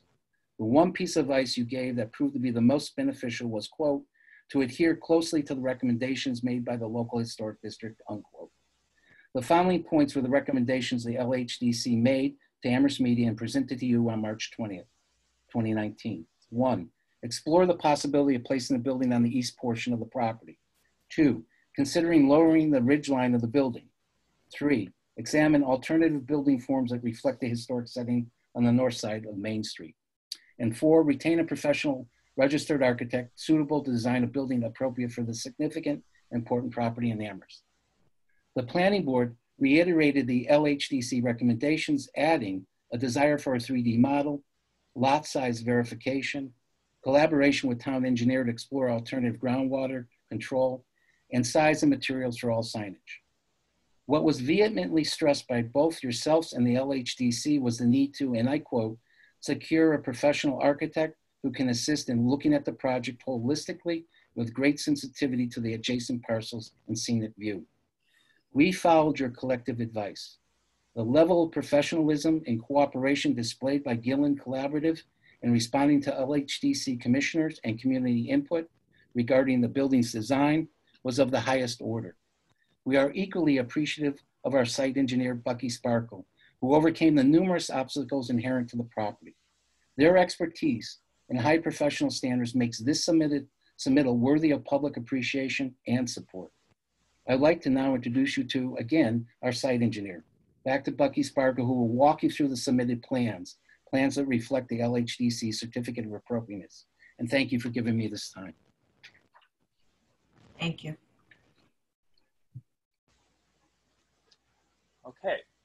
Um, it's formal presentation time. So uh, in terms of an outline, uh, I'll get to the formal application request. We'll do a little more background. Some of this has been covered, so I can move quickly, a little about the Historic District Commission process. And we'll talk about the site plan, architecture, content of the application. There are a couple of waivers that we are looking for regarding um, parking and traffic, and then we'll wrap it all up here tonight. Um, the formal request is that we are seeking site plan review approval under Amherst bylaws section 3.330, nonprofit educational institution. We are requesting waivers from bylaws 7.004, 0.103, 11.22, I can't see it because there's stuff on my screen that has everybody's face on it. Um, you can probably read it and I can't. That's funny. Oh, wait. Uh, 11.221, I figured out my technology. And 11.2436, uh, plus the Planning Board Rules and Regulations, Article 2, Section 3B, Additional Information Item 6. Um, the last three of those have to deal with traffic studies, impact statements. The first two of those have to do with, with parking. Um, so I'll get into those details a little bit later. Uh, we talked about some of the background. I'll move quickly. Uh, the lot was created by the previous owner of what is now the Henry Hills House. Uh, the zoning was changed in 2013. Amherst Media purchased it in 2013 after the zoning change. Um, there was a comment that the previous developer, Gadara, uh, presented a plan uh, that was Amherst Media's proposal or something along those lines. I, I want to be clear that that's not true. That plan was not Amherst Media's plan. That was a concoction of that owner and developer. In fact, if you look at the little tiny text uh, on the side of that plan, it says something like SSC building. Uh, it was not for Amherst Media. And that proposal was on the Gray Street side, a three and a half story building. Um, so if people were happy with that back in the day, uh, we're proposing something much, much smaller. Um, uh, but I think that's just a minor misconception. Uh, we did apply previously 2019 and brought in Gillen Collaborative Architects, uh, who then spent uh, several meetings going through the process of redesigning the site with the Historic District Commission. And we, earlier this year, did receive the certificate of appropriateness. Um, Jim already talked about these. He's doing my job. Uh, says uh, we need to. Uh, the board said, "Hey, get a get a more qualified architect." Uh, we brought in Gillen, Gillen Collaborative, uh, who, if you're not aware, is an architect. Bill Gillen himself helped write the rules for the historic district, the rules and regulations. has been involved in many historic property projects in the town of Amherst. I don't think his offices are directly across the street from this um, project. He has a vested interest in maintaining a beautiful view of uh, Henry Hills uh, property. And I don't think he could get a, a more perfect match uh, for this project on this site in this town than Gillen Collaborative. So I think it was a, a very lucky stroke that we were able to obtain them.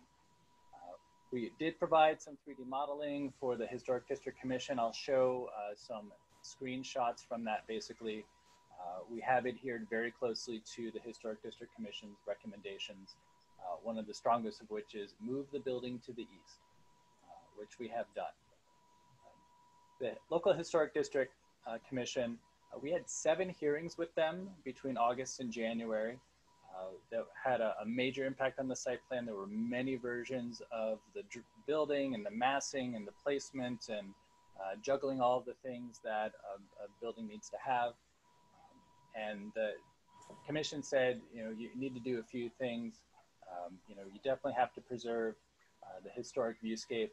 Um, so that, that was the, the primary thing. And we've done several things to change the building a little bit so that um, it fits both the residential character of the buildings on Gray Street because this is transitional property. We have residential zoning and res residential homes uh, on one side of the lot. The other side is business, and there are businesses to the east and to the south. So we wanted to have a facade that sort of reflected that and still be uh, the character of historic buildings. Um, in order to put the building on the east side, the low part of the site, we had to move the stormwater management uh, system or portion of it, just the infiltration, uh, to the uphill portion of the site. So I have made water go uphill for this project. And uh, other things that the district commission said was uh, we don't want any anything to block the view. So we can't have any tall landscape features on the west side. So we don't have any trees or similar plantings that would obfuscate the view. And the commission did write a letter of support in addition to the certificate of appropriateness. That letter was to the planning board. And I'll just quote one sentence saying the commission approved the plans because the placement on the property makes the building consistent with the historic character of the district. You'll find wording like that multiple times in, in the letter of support. Uh, so we think we've done a really good job meeting the commission's requirements, which were heavily based upon not just the commissioner's opinions, but a great degree of public input. Um, briefly, uh, the lot itself, there was a question the lot size. It's 24,010 square feet, according to our surveyor, so just over a half an acre. Uh, it's currently vacant. It slopes to the southeast. Uh, the parcel IDs have been stated for the record. It is zoned neighborhood business historic district. Uh, I also want to point out if you were to go to the master plan and look at the economic development Hmm. growth of existing businesses, including creation of downtown business and mixed use. Bucky, uh, you're cutting in and out. Oh and- no. Yeah. Hey, Yeah. I have a suggestion. Jack, you have something to ask? What, what, why, maybe he should just call in with his phone and just use the audio on his phone. Is that possible and still share Yeah. my screen? Yes, you, you stay where you are Yeah. and add, Yeah. add another All right. login. Let me use more technology here to get around my technology. Um, I And think you I, sounded okay, but just it just started to start cutting up. And okay. it does will- sound If you like a were moving a wire, Yeah. So you Do- have a mic issue somewhere a shorten a wire. I, I guess he I will- he do. will- He will guess need to mute his Zoom microphone. Yes. I will do that once I successfully. Gets us call- through. Thank you, call Doug. So, We can tell right. everyone who are the Zoom experts now. I thought I had this down. All right, so give me a second while I guess I talk to a computer and input the ID. Um, can I just verify while I'm waiting? It says 313 626 6799. Pam, can you confirm the number I'm to dial? that number should work. Yes. Okay, it is ringing. And then she'll bring you on. You'll have to, s- And to then see star you're number. going to say star nine. Mhm. Oh, it tells me to, let me try it again. 313 626 313 Done. 626 6799. I'm somewhere between laughing and crying right now. Nope, keep breathing. It'll be fine.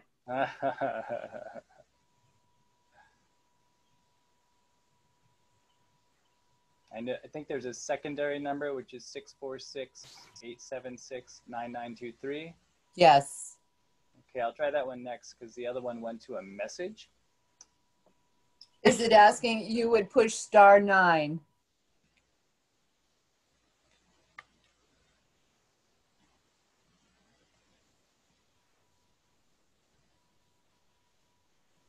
It says no one is available to answer the call. So I'll try the 646 number. Um, 646 876. His, his Nine- voice is coming through pretty well now. It's I working now? know. Okay, well, I'll just leave that number on on my screen. Yes. And, So uh, if uh, we'll let you know if it starts Okay. to get weird again, and we'll Yeah, try the other Please, number. I'm, and I, I do apologize. I, I have no idea why the tech is leaving letting me down tonight. Don't worry. These, that's Murphy's law. That's what happens. Uh, of course. Mhm. Uh, I have at least a Zoom meeting a week. and This is the first time I've had this problem. So, all right, I'll, I'll keep going here. Um, uh, I had been speaking a bit um, uh, about the master plan and the village center and just emphasizing that the type of development for this land is, is very much in line with what the master plan and the village center ideas are. So let's start looking at a couple of plans then. This is the existing site right now. The darker green is the property. Lighter green is uh, residences around. Gray Street is to the east. Main Street is to the south. Uh, it's presently open. Uh, the original site plan showed uh, a retaining wall on the northern property at 14 Gray Street, some uh, fencing, shed, a little bit of pavement, landscaping. That was all moved about two weeks ago. So uh, this existing condition plan is a little out of date and as much as there's now even less on the property. So it's a blank slate with a couple of stumps. Uh, you can also see on this plan where we did soils testing, which isn't particularly important at this point, but it could be later. Looking at the proposed site plan, uh, the, the simplified version of it here. So the, the building in yellow and the parking area in gray you, we have a retaining wall on the northern side, and I'm going to zoom in a little bit just so we can see some of the detail here. I think that makes it bigger for everyone. Uh, so you can see the retaining wall that will be a fieldstone retaining wall and more of a, um, a Goshen stone style. It's designed to match the existing retaining wall that belongs to 14 Gray Street. Um, we have um, an emergency egress only on the east side, which is why it doesn't have a continued sidewalk. The main entrance from the parking lot is on the northern side of the building in this area. And then we have a pedestrian entrance for, for Main Street uh, that will have the sort of front entrance um, through here. Uh, the parking lot is uh, effectively sunken and well hidden by the building to the south, and you will see there's landscaping and other features. We can get into that. And uh, briefly going through the dimensional regulations, uh, uh, we have nearly twice the lot area we need. We have more than twice the frontage that we need. Uh, we have the setback that we need, and this, I'll take a pause a moment. There had been a point raised that. Uh, Bucky, it happened again. again, okay. Um, is it better now?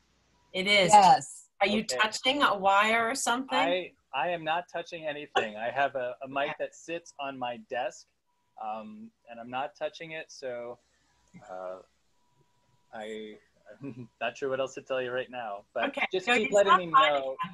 Don't, don't lean back and look up. Right. As long as you stay leaning forward. Is there a wire running on the floor?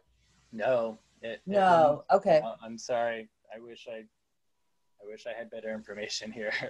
Just Okay. please let me know when I go out. Um, uh, but the, the setback issue I think is important to bring up at this point, and that is because part of the bylaw indicates that for an educational use or a religious use, uh, that the setback would normally be doubled for most zoning uh, districts. Uh, we had uh, some confusion around this, and the building commissioner, Rob Morra, wrote a letter this afternoon that clarified that section 6.6 does not apply to this application, um, and that the setbacks as shown are appropriate for the project. So we have what we need, and um, that may come up later in the meeting, but the commissioner has determined that we're okay. You've cut out, Bucky. Okay. Um, Now I'll you're just- back in. I'm back. Weird. Great. Thanks for letting me know. We'll um, we'll just have to manage this, I guess. Um, Elbows on the table. Lean forward. so, all right, I'll get I'll get as close as I can here. Maybe that'll make a difference. But um, so building coverage, we're just over half of what's allowed. Uh, lot coverage, we're about. You know what, Bucky? You're gone again. Okay, let me Try the phone number. Try the other one. let me let me try. Pam's ready. Okay.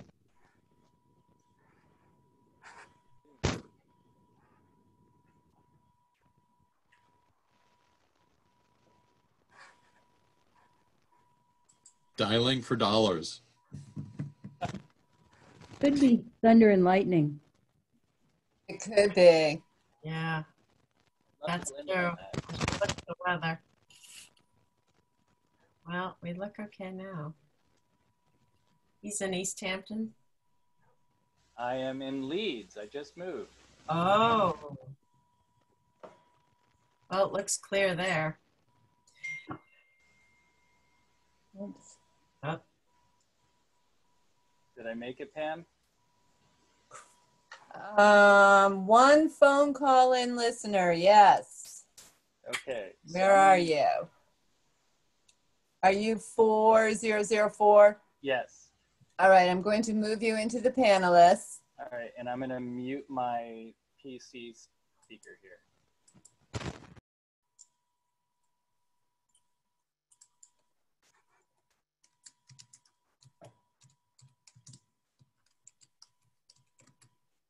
Okay.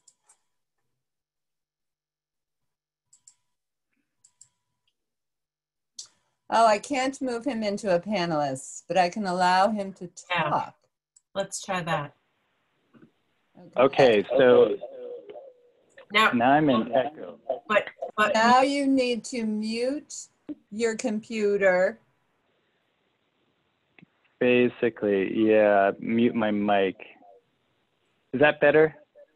Yes. Yes. Oh, okay. Because I do need to hear everybody else talk, but then my phone picks up that same sound. Um, so the next question is, am I able to manipulate? So do you see the site plan now?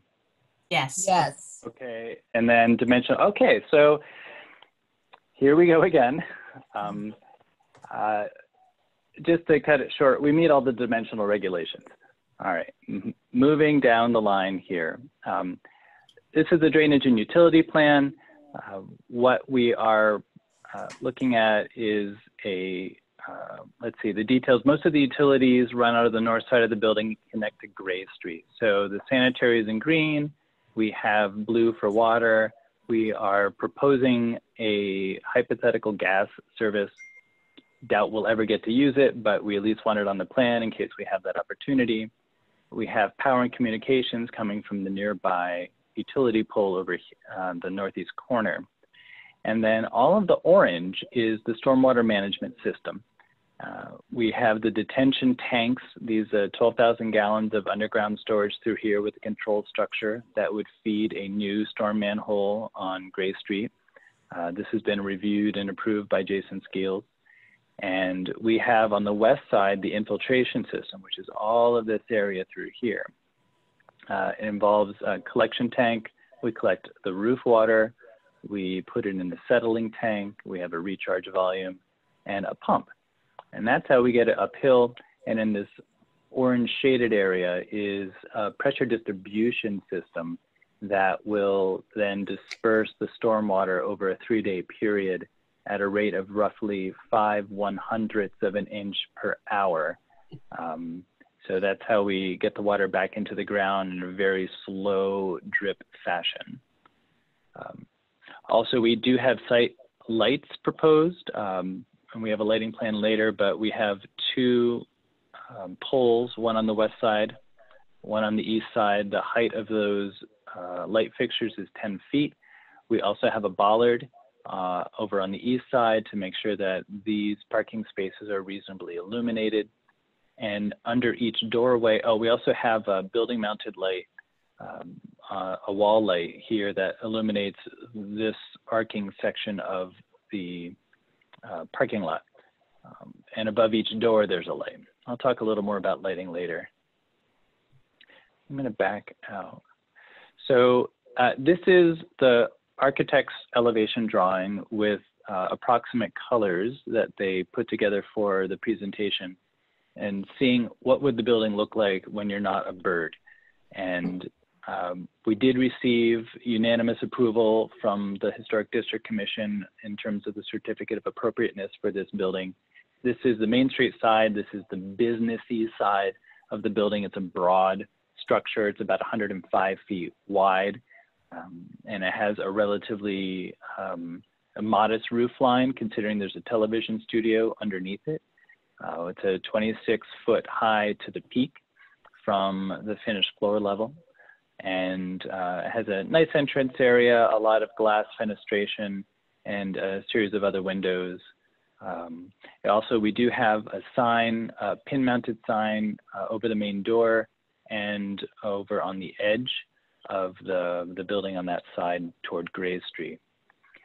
Um, it's a Greek revival style, and it definitely blends the residential and commercial character of the neighborhoods. Uh, going back in time just a little bit, uh, hopefully I won't give anybody uh, tremors here. This was what we were originally proposing. Uh, came from a different designer who was not uh, an architect familiar with historic district principles. Uh, it met Amherst Media's internal needs very well, but uh, we, we definitely understand why the community thought that maybe this wasn't the most appropriate building. Um, so the outline of the new building has been transposed in that orangish color, and you can see that it's, it's a lower structure. Uh, it's a, a, more elegant structure in almost every regard. Um, if we do want to get into details of the architecture and elevations, I'm, I'm happy to do so. The only one I really want to point out at this point is the Gray Street view and vista. So this is uh, the east end of the building along Gray Street, and this structure has is the part that is to blend much more with the residential feel of Gray Street. Uh, so the peak of the roof, while it is 26 feet high, it is also um, not, it is lower than the building just up the street. Um, and um, the width of the building is about 55 feet, which is less than the width of some of the buildings abutting it. So in terms of scale and mass, it is a more diminutive structure and has a much more residential feel. The entrance is more like a, an old time, you know, classic New England front porch entrance. Uh, even though this is not uh, actually an entrance, I will say this is just an emergency exit, but from an aesthetic standpoint, uh, it's a residential look and feel. Um, looking a little bit on the inside, I might have to drag this. Um, just to give a sense that there, there is a television studio and a control room and another small studio. So that takes up a good third of the inside of the building. There are several offices uh, for various tasks. Uh, we have a conference room, break room, you know, it's, it's a business, lobby and entrance, as well as a computer center. Um, that, and this is part of the educational aspect of this um, business here. Um, and looking at some of the views, this is part of the 3D modeling uh, that we are able to provide to the local historic district commission. And uh, there, there could be a lot of information that we can go through. Uh, so I'm going to try and minimize where I, I bring attention. So I'm going to look at the bird's eye view for a moment. And so uh, Main Street and Gray Street are here. This is the property in the slight pink coloration, and this is the dimensional model of the building itself relative to all of the other buildings. So all of these buildings are to scale and were developed by a UMass architecture student on our behalf and to give a sense of where things are relative to everything else. Um, you can see that the building height just to the east are fairly significant and uh, quite in line with is being proposed on Gray Street. Uh, the building across the street at 401 Main Street is actually a story to maybe a story and a half taller than this building. So the large, when you're coming down, up and down Main Street, you'll notice that 401 Main Street will be the, the largest, bulkiest, tallest structure. Uh, in the rear here, we have the Amherst Women's Club and the Henry Hills house at 38 Gray Street. Um, and from this aerial, I want to point out that if uh, one, there's a talk about viewscape. So we, the, the old building was way over here on the west side. It was located relatively in front of the Henry Hills building. So we've moved it to the east uh, as far as we can place it, and the setbacks have been fine-tuned by the Historic District Commission. They wanted to match Main Street and Gray Street and what was in the neighborhood, so that's what we've got. And as far as taking, if you were to be walking or driving up Main Street, um, the objects that prevent a clear view of what was, this was all once open lawn. Um, we now have, you know, beautiful homes here and trees. So it is impossible to see the Henry Hills building until you are roughly here. If you were driving westward or walking westward, you wouldn't be able to see that building until you got pretty much to the end of the proposed Amherst Media building. So the, the building as we're showing it is making very little impact on the viewscape and uh, the primary open and dead on view of that uh, gorgeous architectural feature uh, is fully unobstructed by our proposal. Um, and if we want to get into some of the other details of what you can see from where, we certainly can. Um, but I do want to keep moving this presentation along. Um, looking a little bit at the landscaping, zoom in a bit again. What we are proposing um, are a couple of larger trees on the east side. We have a disease-resistant elm, uh, a white oak tree, uh, various perennials and shrubbery around the building. Um, and the smaller trees here are more diminutive, like uh, there's a magnolia, there's a, weeping katsura, and a serviceberry that will provide uh, a lot of color and uh, as well as some um, food for wildlife. And importantly, on the west side, we have a bank of, they look like boxwoods. That's what is stuck in my head. Uh, and, oh, what did I do there? Sorry. Um, trying to get the name of that particular tree is, it's called a Steed's Japanese holly. Uh, it is a broadleaf evergreen tree. If you know what a boxwood looks like, um, that it's very similar. It looks nothing like an arborvitae, and we're, we're glad that's the case. Arborvitaes are not, um, they're, they're not my favorite and definitely not the architect's favorite. This was a landscape plan. It does have my title block, but the landscape layout was designed by hand by uh, Taylor Davis Landscaping. So they're really the brain trust behind this. I can answer rudimentary questions on it. Um, but I'd have to go back to the landscaper if we get into, you know, what one species needs versus another. Uh, I was just the drops person on this particular plan. Moving on to the lighting plan, uh, we I talked briefly about it. First, I'll zoom back into the uh, site itself. We do have a photometric plan of foot candles. That's what all the chaotic numbers and crosses are all over the paved areas. Um, so we, we had a lot of conversation with the light designer here, who is, by the way, um, oh, now the name is escaping me, but is the same light designer that has designed virtually every light that the town of Amherst has installed in the last decade. Uh, all the downtown lights, the historic lights, they're very familiar with Amherst and the preferences of the municipality as well as uh, many projects in town. Um, so they're, they were a really good source for this particular project. Um, and we're trying to balance, uh, you know, historic areas, usually there isn't a lot of bright light. So we were really trying to minimize and get down to just what was needed to provide safety um, and make sure that we're not, you know, crossing lot lines with any illumination. Um, so we've been pretty successful in that. We have uh, just a little bit of light on the sidewalk, which will help if there are pedestrians when vehicles are coming and going. Uh, we've got a nice gradient in this green area, sort of the sweet spot of light attenuation.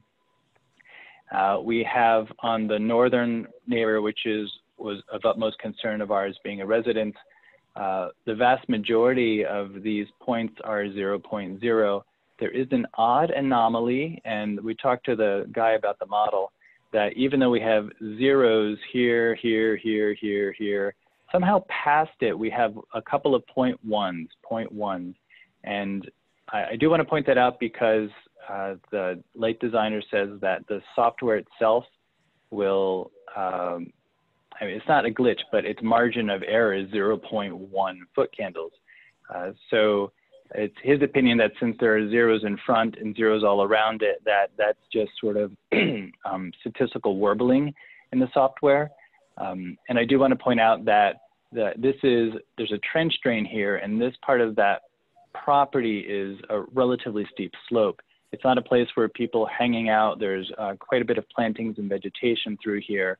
So even if somehow the software was right and it went from dark to light again, from zero to 0.1, uh, there are plantings that really the light would never get there anyway, and it's nowhere near the building. Uh, so that was a lot to say that I think we're good at the lot lines. Uh, there are uh, three lights that we do want to keep on for safety around the clock at night, and those are the three lights over the doors. All the lights in the parking lot will be on photometric sensors and timers, and they are designed to turn off at 9.30 p.m. Amherst Media closes at 6, but you know, sometimes people stay over late at work, so we wanted to make sure that um, people were able to get in and out safely and have a dark parking lot uh, at a reasonable hour adjacent to a um, residential neighborhood. So even all of these values out here and in the street, uh, they would all blank out at zero at 9.30 p.m. Uh, and take a moment to look at the signs a little bit. Need to back up here. So um, the, the way the information was presented to me, it comes in two sorts. So we have what are pin mounted signs, and I pointed these out on the facade of the building above the door and uh, on the east side, uh, several feet off the ground. These are um, attached to the building with pins. They're only four inch highlighters, so they're fairly diminutive and just adequate to be able to read from the street, um, but definitely not distance. Uh, a more ornamental sign is proposed on the site. Oh, I should point out where that is. So let me go back to here. So uh, on the north side of the driveway entrance is the ornamental sign. So this would be a sign that would have a stone facade such that it will reflect the stone walls along the back of the retaining wall and the neighbor stone wall. So going back to that image, you can see the hand-drawn sketches here from the architect where uh, it's it's you know an elegant and fairly stately sign with uh, the Amherst Media logo and a stone facade that would match the Goshen stone. At the top, it has a, a slate cap. If you look in the cross section, has a two foot wide slate cap, a little hood for a LED light that would just uh, just like the face of the sign. It's shielded on three sides so you would have to be directly under the sign to uh, get any light bleed off from that. Um, the ends, it's, it's going to be on the ends and the north side, uh, all look like that stone wall that um, is pre-existing and we're going to match. Uh, looking um, into getting away from some of the visuals and getting into the application content, um, we, we do have to talk about a management plan. So quickly, uh, there isn't going to be a dumpster on this site. It's just going to be barrels that are hauled off to the side when it's time for pickup. Uh, professionals are going to handle landscape and snow. Uh, the operating hours are, I think, 10 a.m. that I mentioned that are 10 a.m. to 6 p.m. Monday through Friday. And that's important to remember when we get into the traffic and school, uh, school scenario discussions. As far as employees, there are three full-time employees plus interns of a varying number, um, and they're in a usually a part-time state.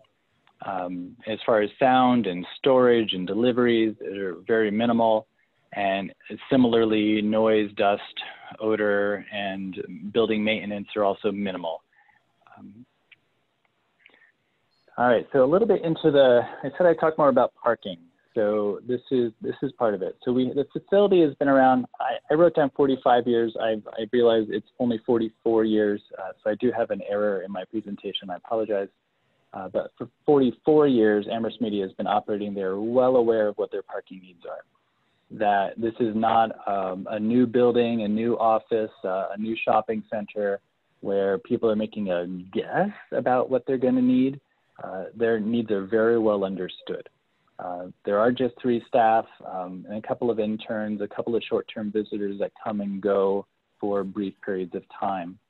Uh, after reviewing their use and photos from the blessing of satellites or curse there of satellites, uh, the, I've never seen more than four cars in the parking lot.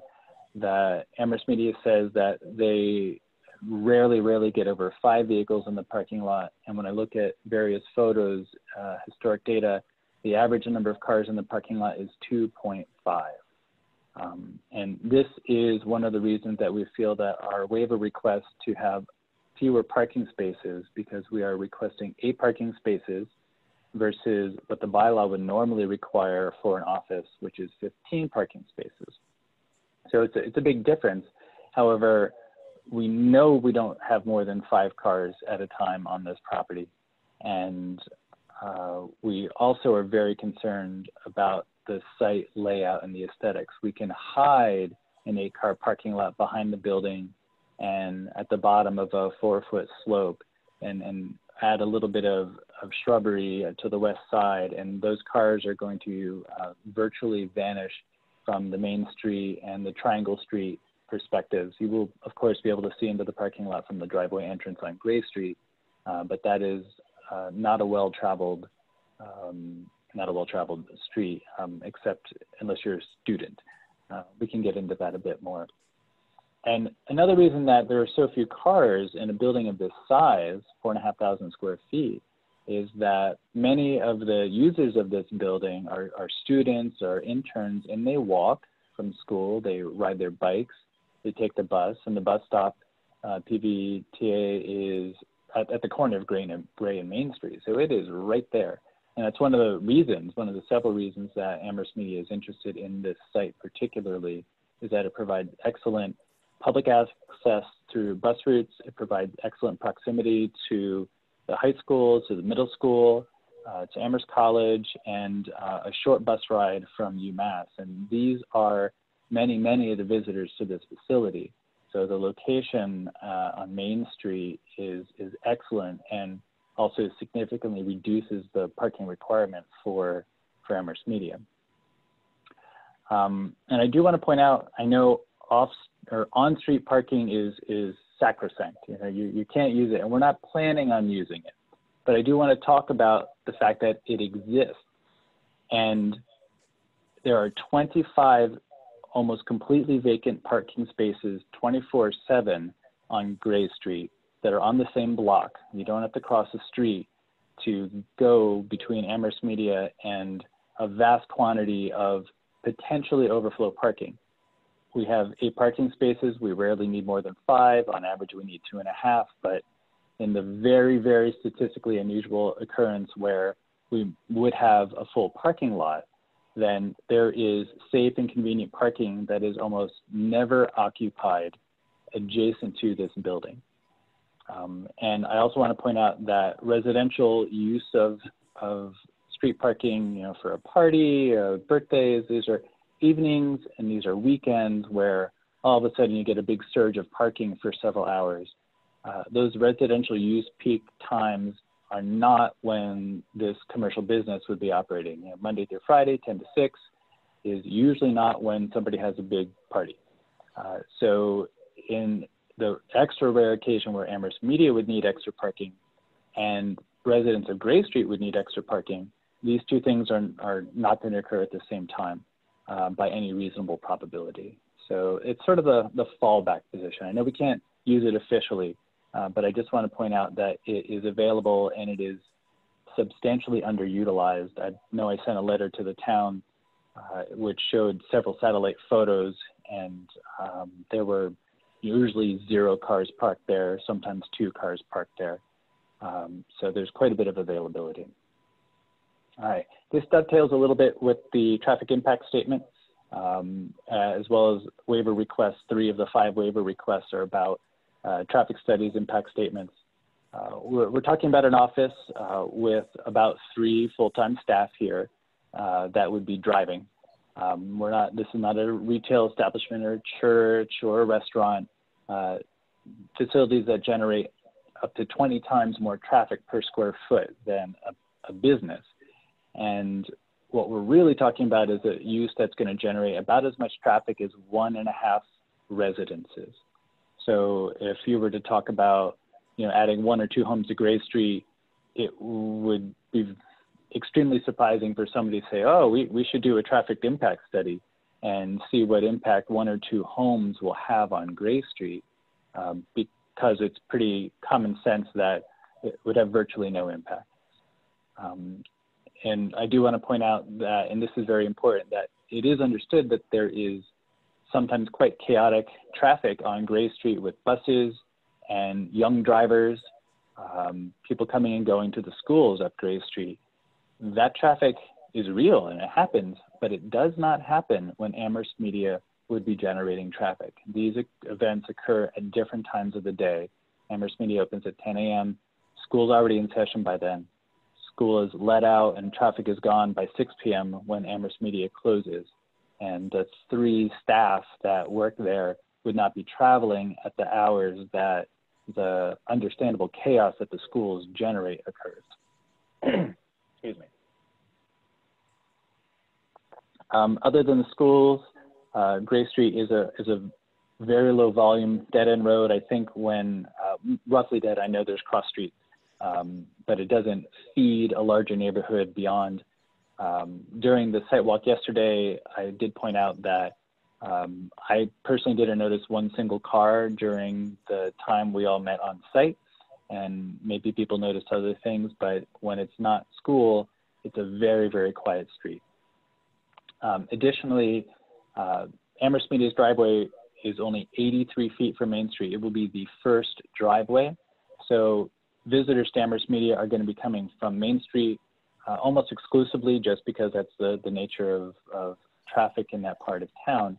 So the vehicles that would be traveling to Amherst Media would not go in front of a, a single other driveway. They don't drive down anybody's in front of anybody's house. Uh, so the impact on Gray Street is is very very small.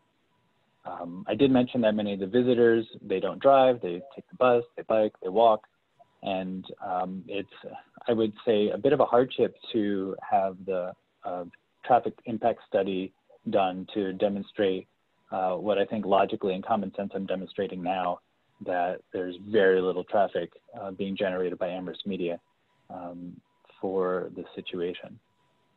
Um, moving on to comments, we received two letters uh, from Berkshire Design Group, BDG.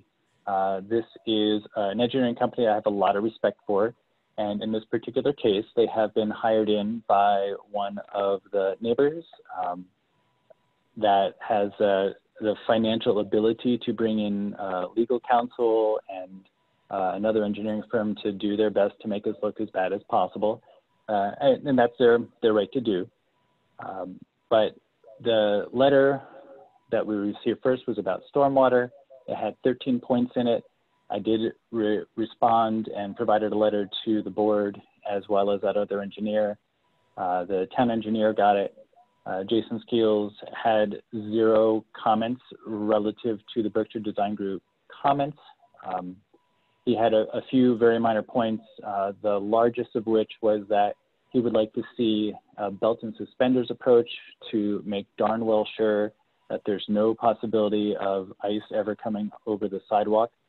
Uh, so he would like us to add a, a bit of a, a cutoff drain, a curtain drain uh, on part of the property just uphill the sidewalk, which uh, we're, we're going to add to um, the plan, just as, as Jason recommended. Um, Berkshire Design Group also provided a letter with 17 points regarding the site plan, um, the vast majority of which were very minor, and I, and I talked about those in a letter, and I'm happy to go into them, but I'm doing a lot of talking here. Uh, if you have questions, we'll do that. Uh, there was one point, uh, which I already touched upon, that Berkshire Design Group brought up, and that was section 6.6 of the zoning bylaw. And this is when my mic was cutting out, so maybe I didn't make my point, but um, 6.6 would say that an educational use or a religious use would have to have a double setback requirement. Uh, if you were to have a, a, large church or a research facility or a dorm, this makes an awful lot of sense. The building is proposed, while it does function and is you know chartered to be an educational uh, facility, it, its use is really an office, and it is a very small building relative to to a church or university building. So doubling the setbacks doesn't make sense. But more importantly, uh, and this is a quote from the building commissioner who released a letter this afternoon.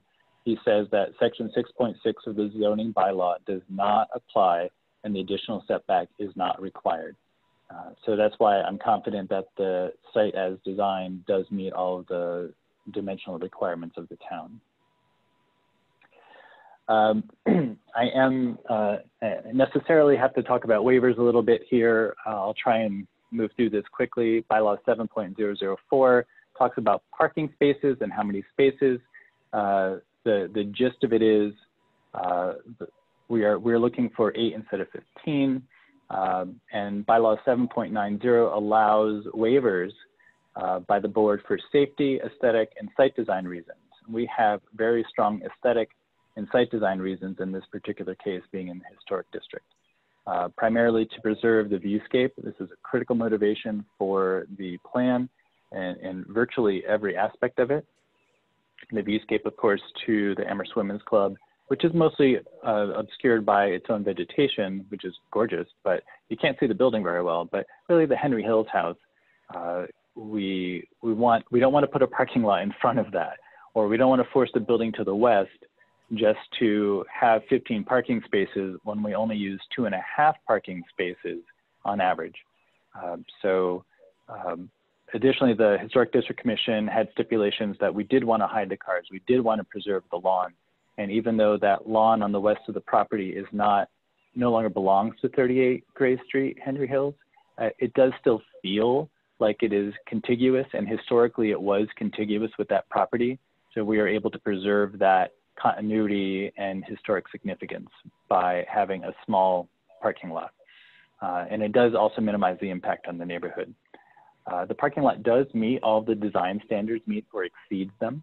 Um, and the spaces of the eight proposed spaces also exceeds the building needs. We have 44 years of parking and the average we have two and a half cars there and almost never more than five cars. So eight spaces um, are, even that's gonna be more than necessary almost every single day, uh, every hour of every day. So uh, we have confidence that the parking lot as proposed is more than adequate. Bylaw 7.103, um, this talks about, you, know, you can't normally by the bylaw park a car within eight feet of the building or drive a car within five feet of the building. And in a pre-submittal meeting with Mike Roy, the fire safety officer, fire safety officer uh, I think is his title at the fire department, um, he indicated that that rule is because there's concern about if a car catches fire, we do not want to ignite the building that it's next to. This is, makes an awful lot of sense. But he also said that, well, you can use fire retardant materials in the construction where you are less than eight feet from a parking space, where we are less than five feet from a parking space, and that takes care of the concern. So um, or this, this is what we're proposing. We're, we are using uh, intumescent paint and or fire engineered materials uh, within those areas of the construction just to ensure the, the protection of the building itself that is definitely in Amherst Media's interest as well. Going down the list, all of these, bylaw 11.221.2436 and the planning board rule and regulation um, dot, dot, dot, uh, item six talk about traffic study, traffic reports, traffic statements. Uh, and I've already spoken about this a fair amount. Uh, we are generating 12 to perhaps 20 trips per day. That is about the same as one and a half residences. Uh, peak hours only going to see two or three trips if you look at the, the numbers of it. Um, the access is off a low volume road, off of Gray Street, you know, so long as it's not during school hours, which we are not. And um, there's uh, the users of the building, unlike a lot of offices, uh, do use public transit and walk and bike quite regularly. So it diminishes the, the traffic trip generation. Look, this one says wrap up. So um, I do want to mention that you know the project does address all the bylaw requirements. Uh, we have followed the board's recommendations from 2019. We do have the support of the local historic district commission, uh, not just with the certificate of appropriateness, but with in, in an additional letter of support. Uh, and we have made significant improvements to the building and to the site uh, from its original, our original submittal more than a year ago, uh, and substantially diminish the neighborhood impact. And I would like to close with kind of a hypothetical, a, a what if. I, I, really believe that this project is going to succeed in the permitting process, but I do want to um, provide information to a small degree to the planning board, but in a larger sense to uh, the general public and the reality of what we're looking at, two viable buildable lots on Main Street. These are prime real estate in the historic district. And if Amherst Media is not successful, then what happens next? What if they're not successful and the project is denied? So the land is going to be sold. That is the logical next step. Uh, and because if Amherst Media's project, after going through the process it has, is not approvable, then really no local small business is going to be willing to step in and pick this up. So if in this business district somebody wants to buy the two lots that are there and use them as a single developable lot, uh, it's in all likelihood going to be some corporate entity. So they're going to have non-local interests. They're going to have deep pockets, and they're going to already know the history of these meetings and be ready to um, propose something that they think is going to work. And they're going to have the uh, wherewithal to to work that through the permitting process, uh, assuming they meet the regulations and appropriateness. Everybody has to do that.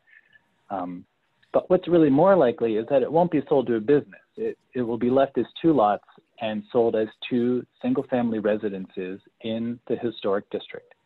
And in that case, um, many of the the dissenting perspectives that I've heard about this project, um, uh, the the concerns are made much worse uh, with two single family homes going up here for several reasons. One, you know, from a technical standpoint, uh, single family homes do not have to manage their stormwater.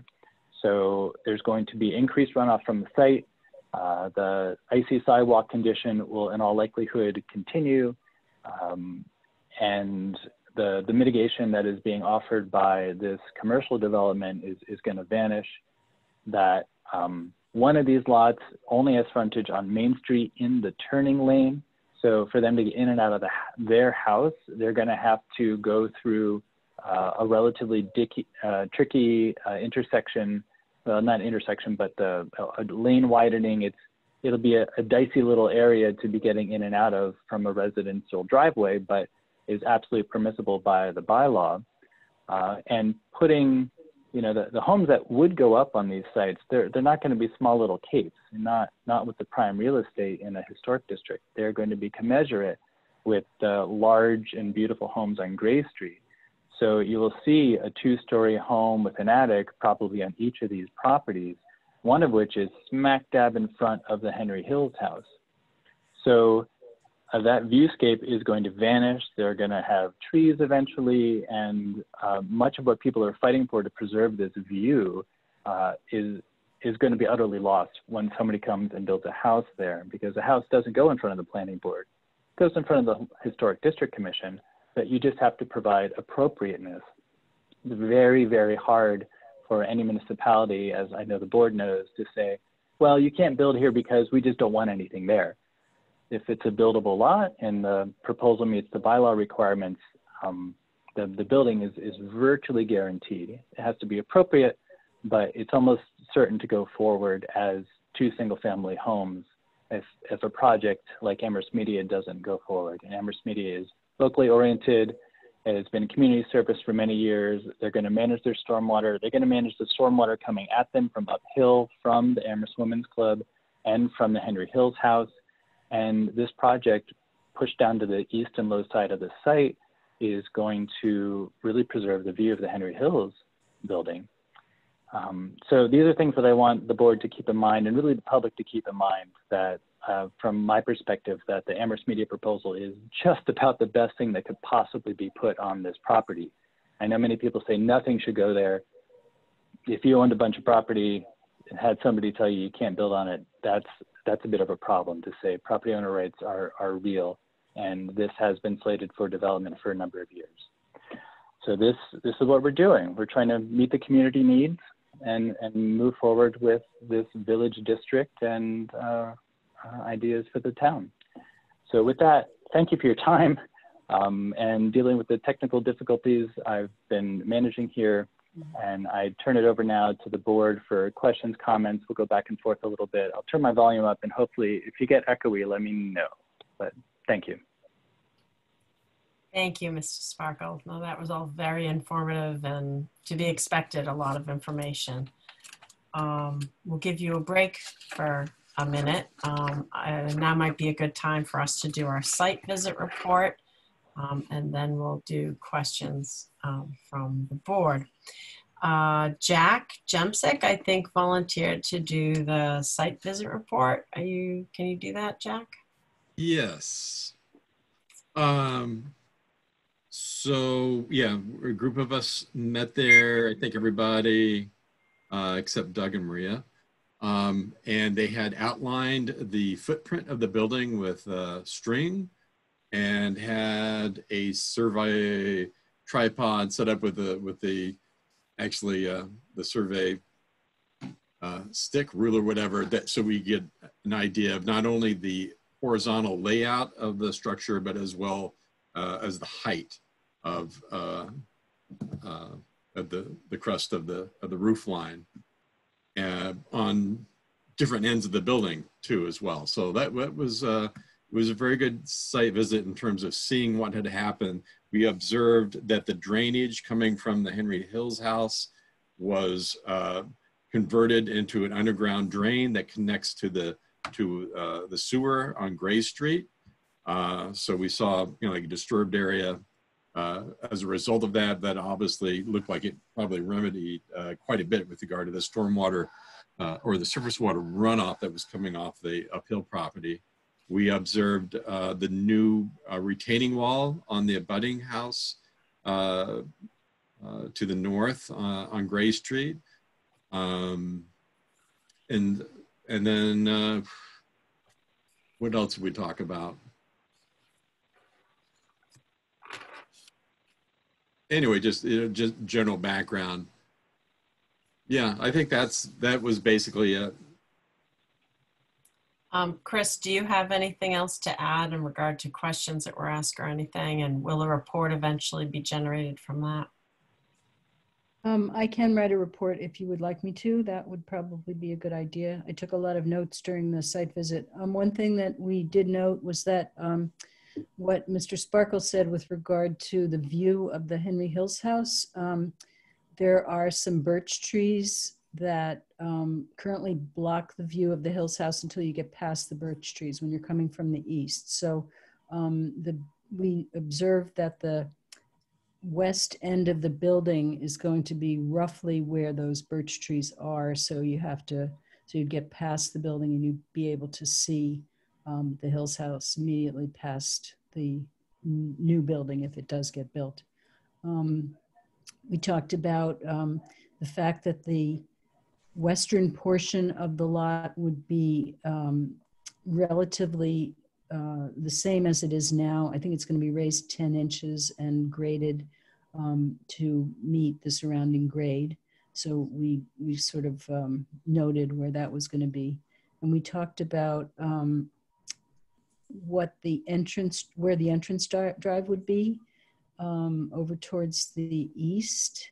And we also talked about the fact that the town, um, when it was constructing the turning lane onto Triangle Street, encroached onto um, the Amherst Media property and that the town is going to um, obtain an easement from Amherst Media because of that encroachment.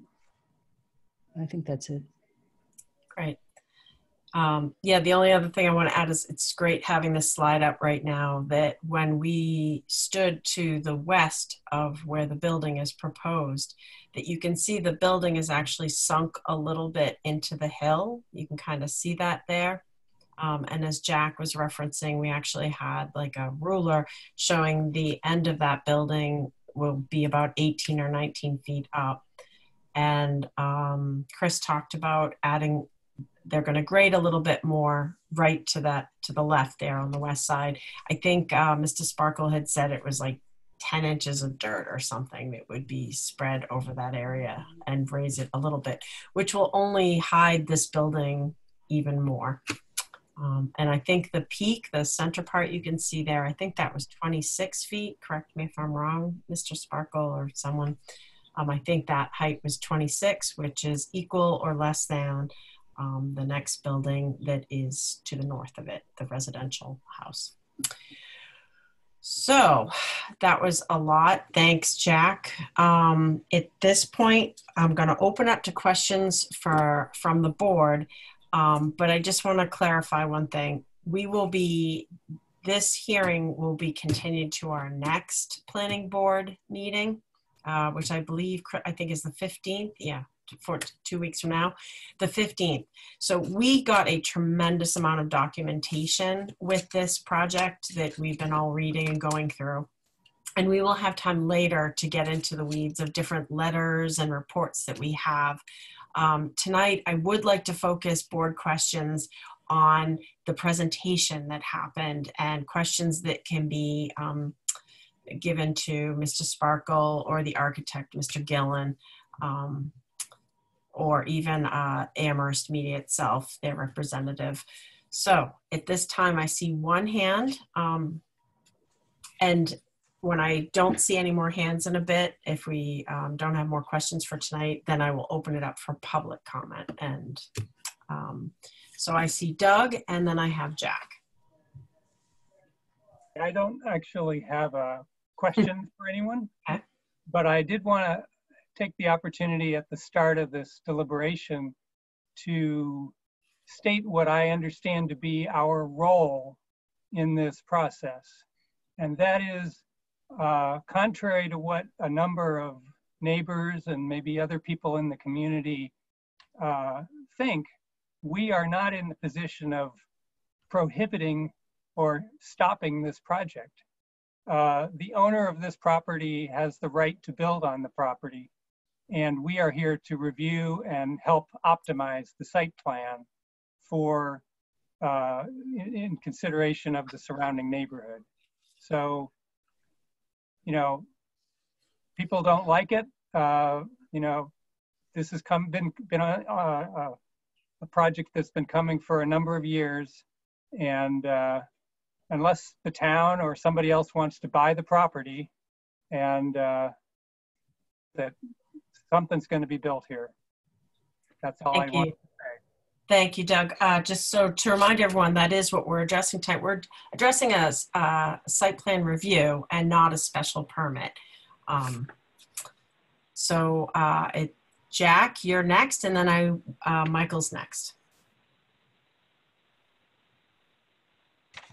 Um, yes, I, I was just looking at a PDF and uh, I lost it. Um, Do you but anyway, I, I thought that the presentation was excellent, uh, very thorough. Uh, this design, uh, just I don't want to say it's flawless, but it, it is so much improved and uh, and uh, quite impressive. And I know the stormwater was something you had to solve, so I'm glad that you you figured something out uh, in that regard. And and I guess I had okay. Here I have the diagram.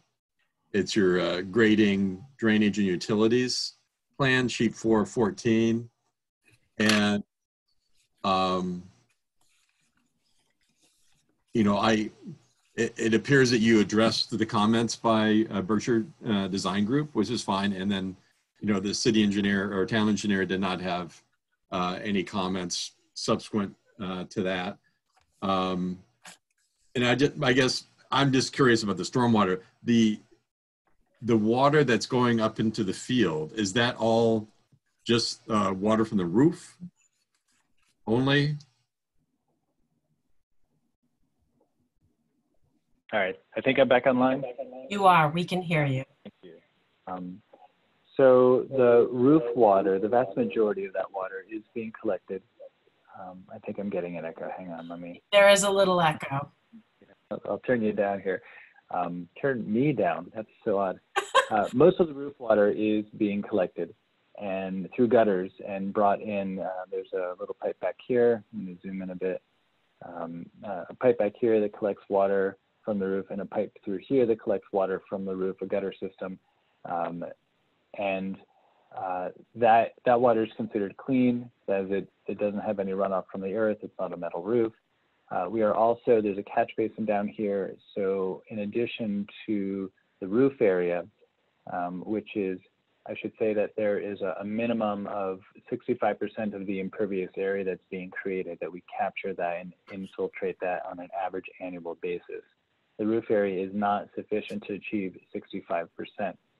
However, uh, if you were to look at the property, so you can see that there's a, a slope, you know, these contours that run this way. We have a slope coming at us from uh, the Amherst Women's Club and 38 Gray Street that brings in two and a half acres of water into our system that flows over the ground. And we're a half acre site.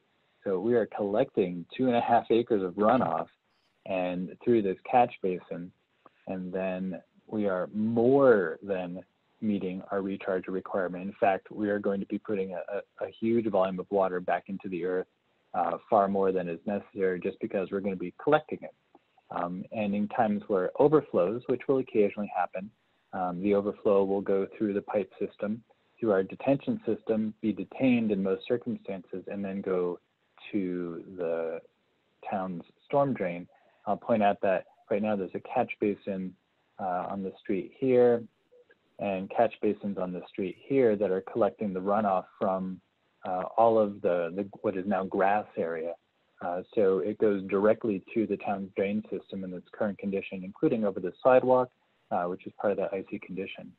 So we're, we're grabbing that water, we're putting it through a settling tank, we're grabbing a volume of it, we're pumping it into this, um, it's not really a drain field, um, it's, it's an irrigation system in some ways. It's a very specialized tubing with small emitters. Um, but we're going to be recharging with roof water as well as the currently unmitigated runoff from the 38 Main and the Amherst Women's Club. Great. Well, well, thank you. Uh, it looks like a very smart design. I'm glad you were able to engineer something where you were able to move the building to the east and make use of the uh, the freeboard above the water table over there on the on the west side for the infiltration that you needed to have. So nice job. I grew as an engineer on this particular design, so uh, it was good. Thank you for the compliment. Mm -hmm. Okay. Uh, next is Michael, and then Maria. Thank you. I echo every, what everyone's been saying. Uh, particularly uh, Doug's point that uh, we are here to uh, improve the project if we can and not to uh, to block it. I, I, I, would, I recall when I first moved to town and when I lived in the Dickinson house for not 10 years, uh, that the Hills House and the Women's Club both had huge lawns in front of them, and there were no buildings on the side of Gray Street up to the Women's Club, up, up to where the Boys and Girls Club was at that point. And that was a beautiful landscape. Um, and I wish that were still a beautiful landscape, uh, and it is not. Uh, I think uh, Mr. Gillen and Mr. Sparkle have put together an excellent solution to uh, the need for and the inevitability of a building on this site. Uh, much as I would hate, much as I hate to see a building on this site, uh, nonetheless, there's going to be one, and this is going to be a good one, I think. I do have one question relative to the studio usage and uh, its relationship to the amount of parking that's provided. Um, I don't know exactly what kind of studio production uh, activities are planned. Uh, I do know that uh, when you have studio production, you have a certain number of technical personnel involved and a certain number of on-camera people uh, I can't imagine many fewer than five or six people uh, involved in any kind of even modestly complex program. Uh, I'd, I'd like to hear uh, someone from Amherst Media speak to uh, what their uh, production schedule is in the building and how many people that generates and what kind of building usage it, it involves other than the three people who are staff people who work there on a regular basis. Jim, I hope you can address that question. Uh, I think I'll try. Can you hear me? Yes, we can. Yeah. Okay. Um, the question is kind of making me almost smile and it hurts is that during the pandemic, our studio's sitting there pretty much empty at the moment. Uh, but when we were up previous to the pandemic, uh, you usually have a host and two guests at the most, uh, with sometimes one uh, camera person and one person to two people in our control room. So with three staff members taking that, you're looking at just a minimum of three people coming in for a half an hour or an hour. Uh, we don't do big productions in the sense of like uh, plays or things like that. So it's a very small number of, few number of people, but also for a short period of time. I hope, does that answer your question? Uh, yes, thank you. Okay. Um, I recognize Maria. Um, thank you, Bucky, for that uh, marathon presentation. That was really great. Oh. um, I have to say, this is exactly what this site needed. It needed a really careful look by professionals to really examine what this site needed for this amenity of Amherst Media. And um, I just want to thank both Amherst Media and this design team, engineering team for their dedication to carefully examining this and responding to multiple boards and members of the public.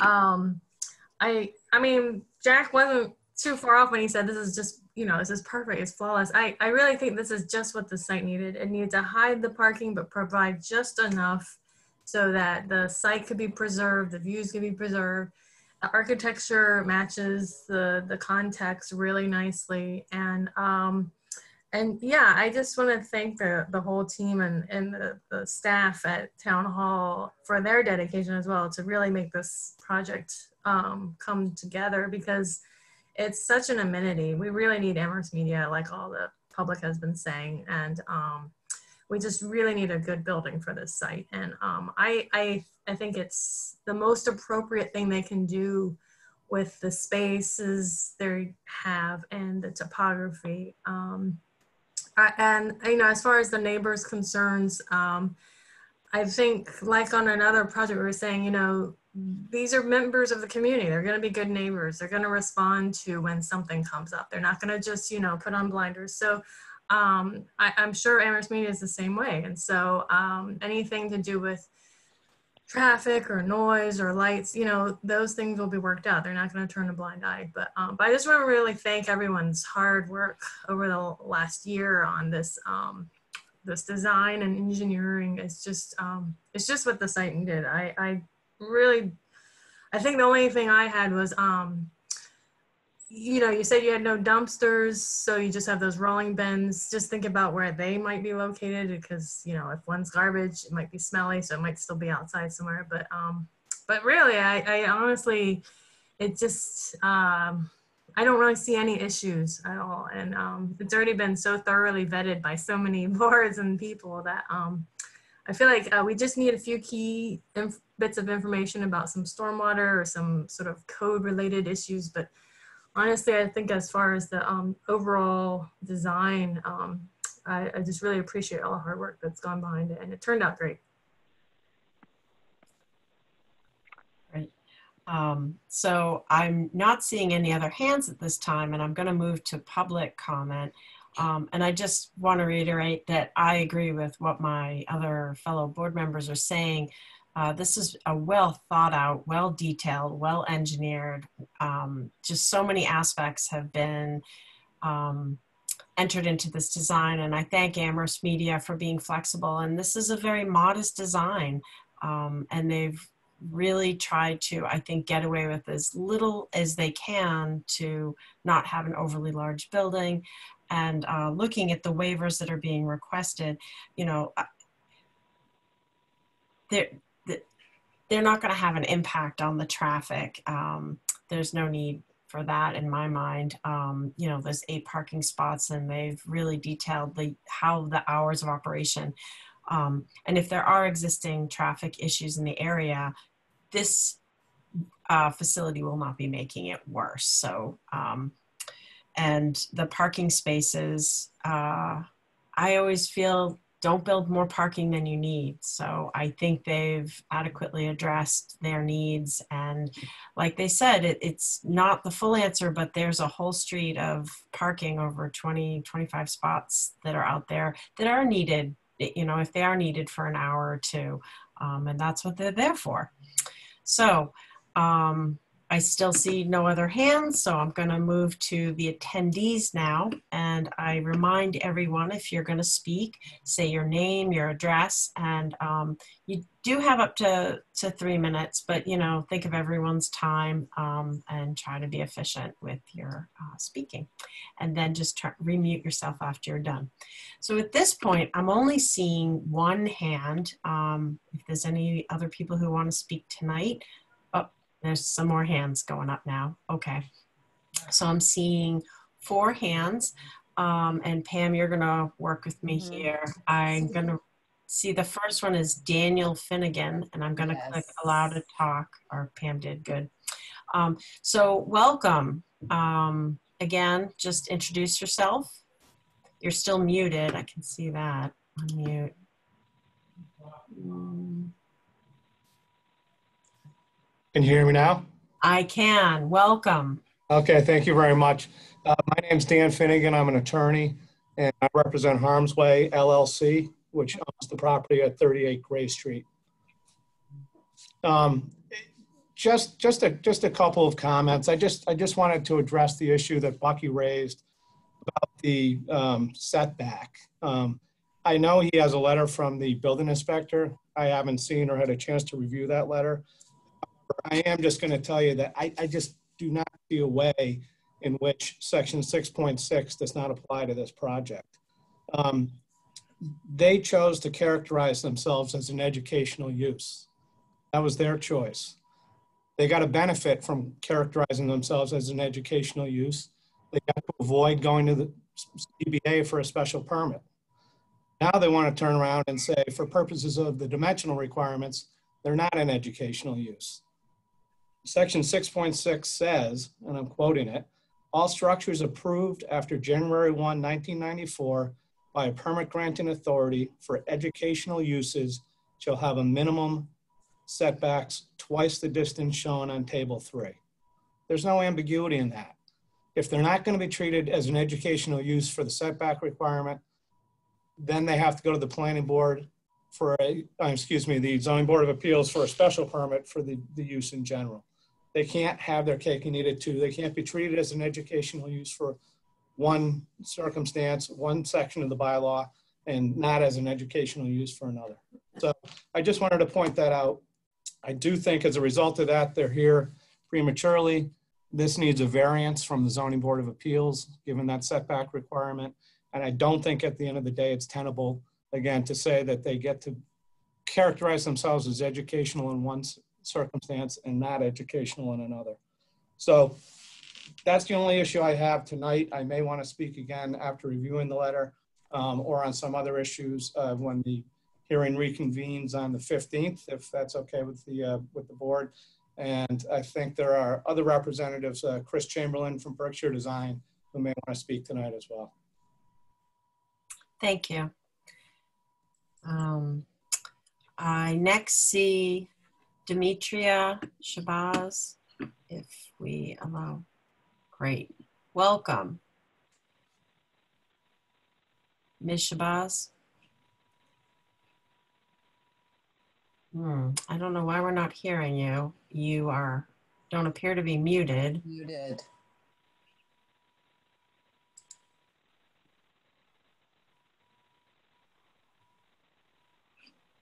Hmm. Ms. Shabazz, are you there?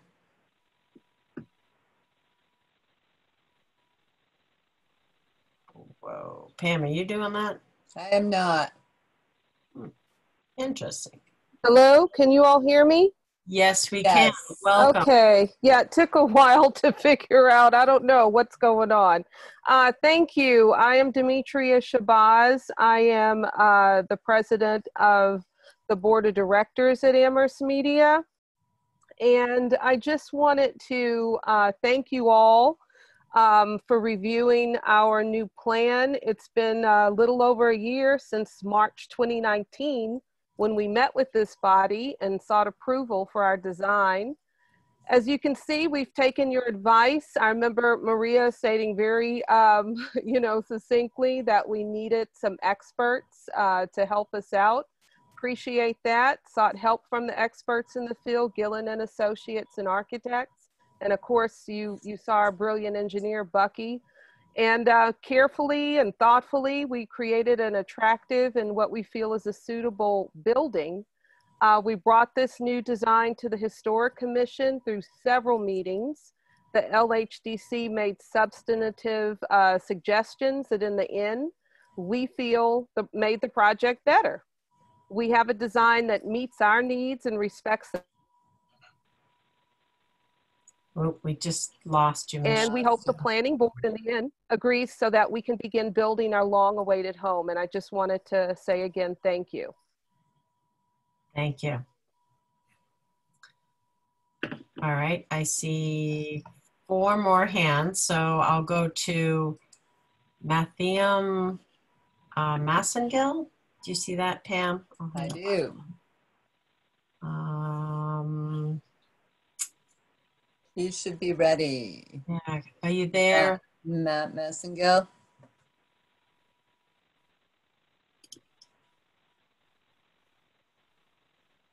He's muted. Yeah. Wow. How about now? Yes, we can hear you now. We can hear you. So um, I just had some since it's the first night, I just have some uh, just some general thoughts about um, some of the things that. Sir, can you introduce yourself and give your address first, and then? Yeah, my name's Attorney Matthew Massengill. I'm a, I live at 1277 Southeast Street. I also represent Harm's Way, uh, the owners of the Hill House. Okay, thank you. I wanted to clarify just a couple of points um, and a couple of concerns I have. Uh, first and foremost, uh, the owners of the Hill House, that's a single family residence. That's not a bed and breakfast. Okay. It is, uh, uh Robert and Tony um, are raising their, their small children at the house. Um, and, and they're good neighbors. They are not suing the town of Amherst nor are Robert and Tony suing the local historic district. Amherst Media is suing the local historic commission and the Pioneer Valley Planning Commission. All right. I want to make sure that people understand that we shouldn't just assume, because I heard it several times tonight, that the neighbors are well funded. Bucky has made it a point in letters and telling you tonight how Amherst, uh, that my clients have all this money and that they are just spending this money and hiring whomever they want to do whatever they want. My clients are good neighbors. They want um, they want a nice resolution of this property. They are not the issue. And this, when the board and member, and when Bucky turns this around and says that Amherst, uh, that Amherst Media is totally innocent, but the clients up the hill are causing problems. It's just unfounded. And just one last point: this this letter from Rob Morra, I don't I don't understand why this was not presented to the public. If Bucky got a letter from Rob Morra, the town should have either posted this letter or circulated the letter. They knew that we were around and we would like to see what he had to say. That's all I have for tonight. Thank you.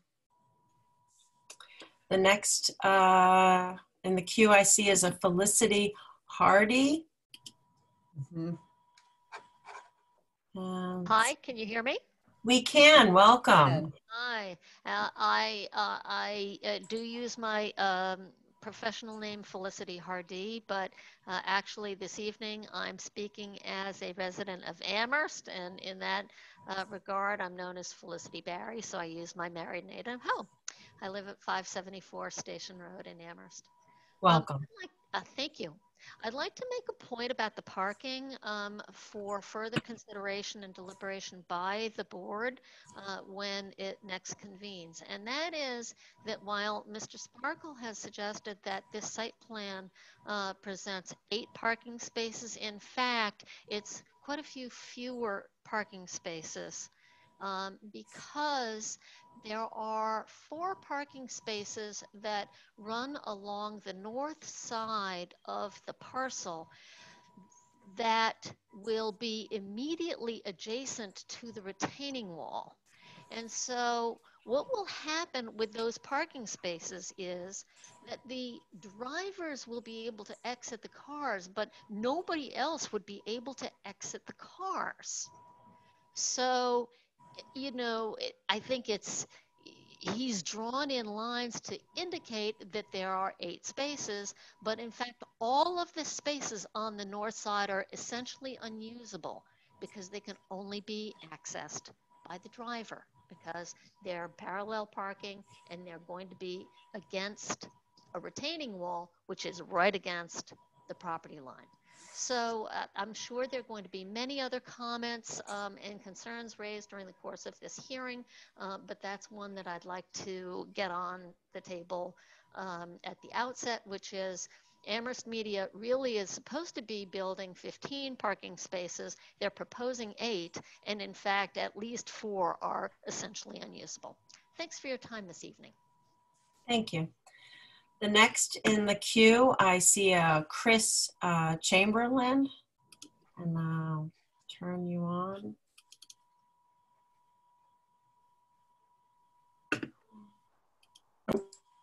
Oops. There we go. Are we, am I on now? You are. Chris. Love these, love these pandemic public hearings. Um, Doing the so best I- you can. Welcome.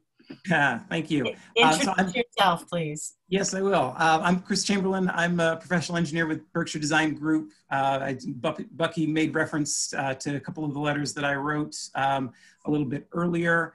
Um, you know, I am uh, was brought on um, by some of the budding property owners to do an engineering review of plans, um, and uh, despite working for um, folks who, who, as it's known, are, are opposing the project. You know, as an engineer, I've got a professional obligation toward objectivity, just like Bucky does, um, representing his applicants. Um, and so, in those letters, you know, sort of take the uh, the point of uh, just like we would for a peer review on behalf of the town, um, really just trying to make sure that the board has the perspective of what an engineer might see in some of the plans uh, and how they compare with good engineering practice and some of the bylaw standards.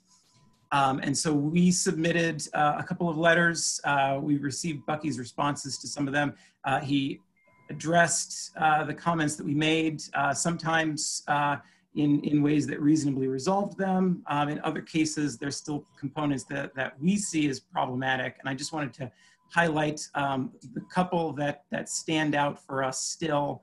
Um, the first one is the retaining wall uh, on the north side of the property. Um, you know, we've got concerns about the constructability of that wall as it's presented.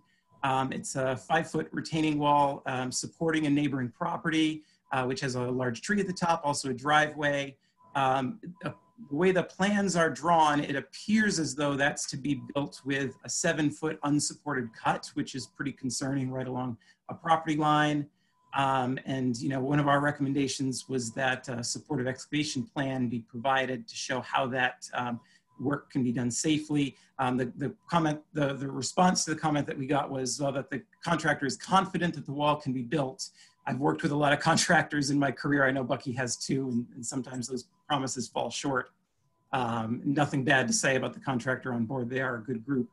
Um, and then regarding the design, um, you know, we'd be curious if uh, the submitted site plan is the only stamped plan of the wall that's going to be submitted.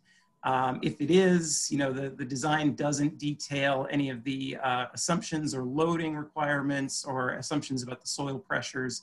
Um, the, the issue is if this wall were in the middle of the site, it's something that could be probably solved down the road. Um, but if this wall has to move at all as the result of design changes, uh, it impacts the parking lot, which is already um, tight and problematic, which is the, the second piece that, that I wanted to, to touch on. Um, you know, the bylaw requires that uh, parking lots have, quote, adequate access and maneuvering areas. Um, and we identified a number of concerns on, along those lines in our initial letter. Um, you know, the, among the responses that were given was that an 18 foot driveway is provided and that's what was required.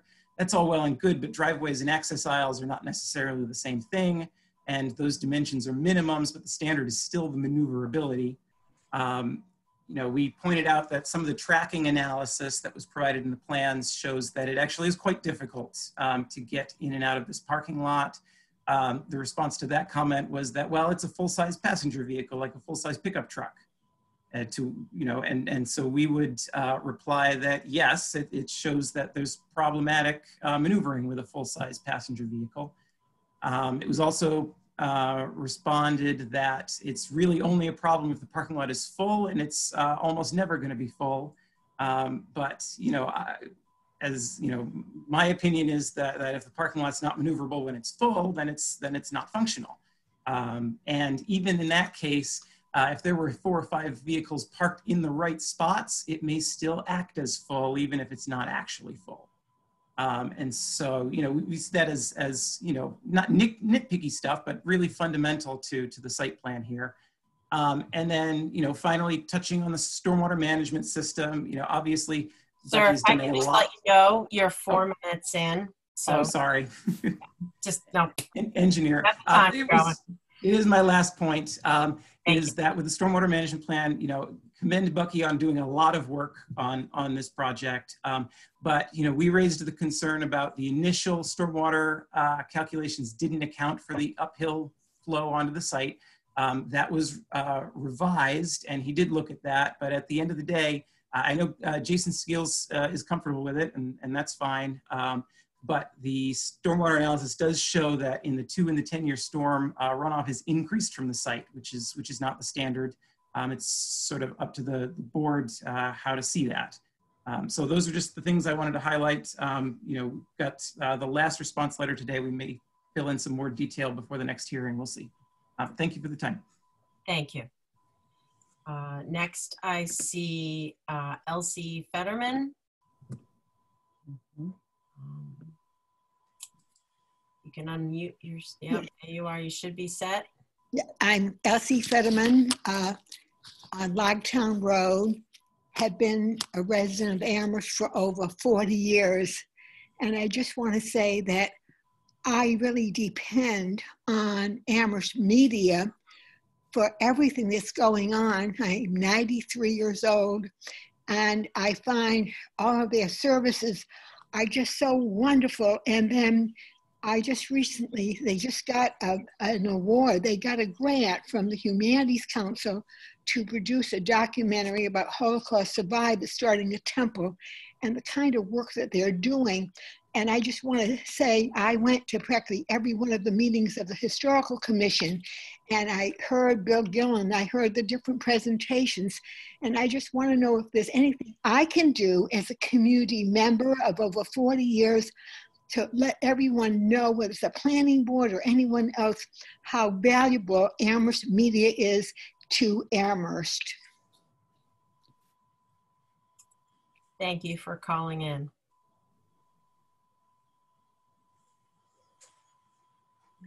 I see one last hand. Um, uh, Christopher Gadara. And this is the last hand I see in the public comment for tonight. Okay, are you there, Mr. Gadara? Yes, I am. Thank you. Can you hear me now? Yes, we can. Welcome. Okay. Thank you very much. Um, the one I just want to say one point, which is, um, uh, well, actually two. One is that um, uh, I, I, don't want to assume that everybody knows the um, the experience of Berkshire design with water flow and management they're the ones who corrected the problem that had been caused in the first place there. Um, I didn't say that uh, uh, the properties, two properties that abut this, I manage, my family owns, 14 Gray Street to the north and 446 Main Street to the east are both our properties.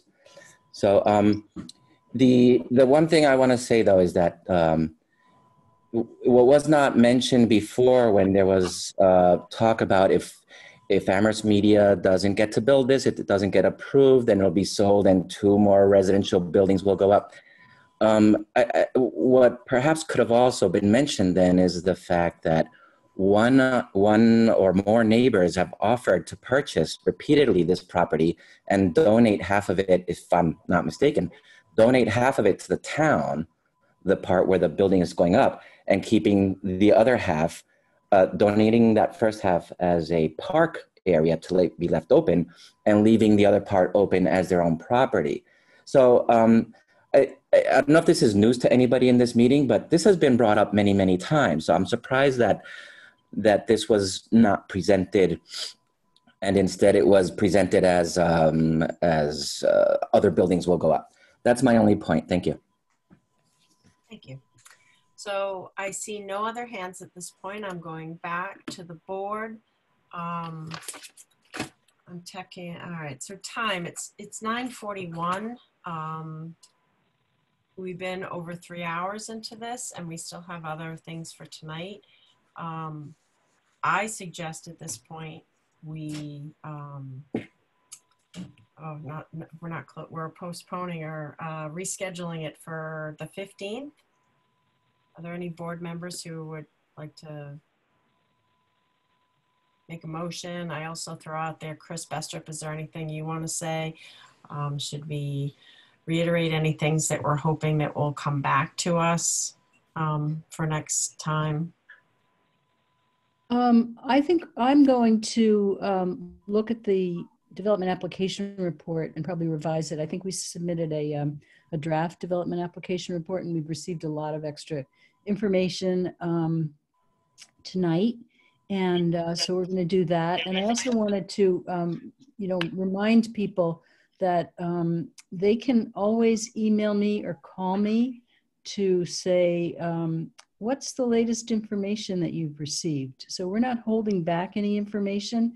We're not posting this information on the website um, like we do for some really big projects. But um, if anybody wants information, they can certainly um, email me and I'll be happy to send it to them. Okay. The only thing I could think of is um, maybe some more details, uh, Mr. Sparkle, on this retaining wall, just how high it is. We were hearing people say five feet, yet when we were at the site visit, I know parts sounded more like we're only two feet high. So maybe if we could have a drawing um, showing the elevations. Are you there, Mr. Sparkle? Yes, I, I do hear you, Christine, uh, that you're interested in perhaps an elevation view of the retaining wall. It's probably worth our going out there and reevaluating the grade as we know that there was a construction through there. And it seems to me that the elevation is actually now lower, which would lower the height of the retaining wall. Um, but that all just happened. So I can definitely bring that to the uh, next meeting I, I, expect, I think I can get uh, that information done and um, uh, at least uh, an elevation drawing done.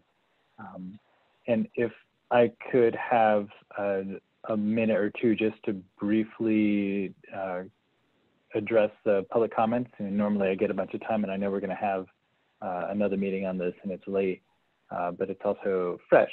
may, I, may I do that, Christine? Sure. All right, thank you. Um, just the things that caught my attention. Um, you know, uh, Daniel Finnegan, the attorney, uh, would like to see Rob Morra's letter. I'm happy to provide it.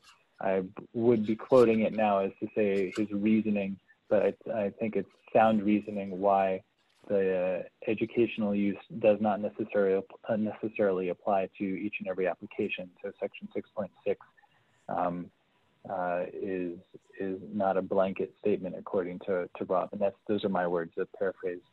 Um, I I, uh, we heard from Attorney Matt Massengill, the second attorney um, for this presumably not well-funded abutter, and they uh, talked about Amherst Media is causing problems and causing lawsuits.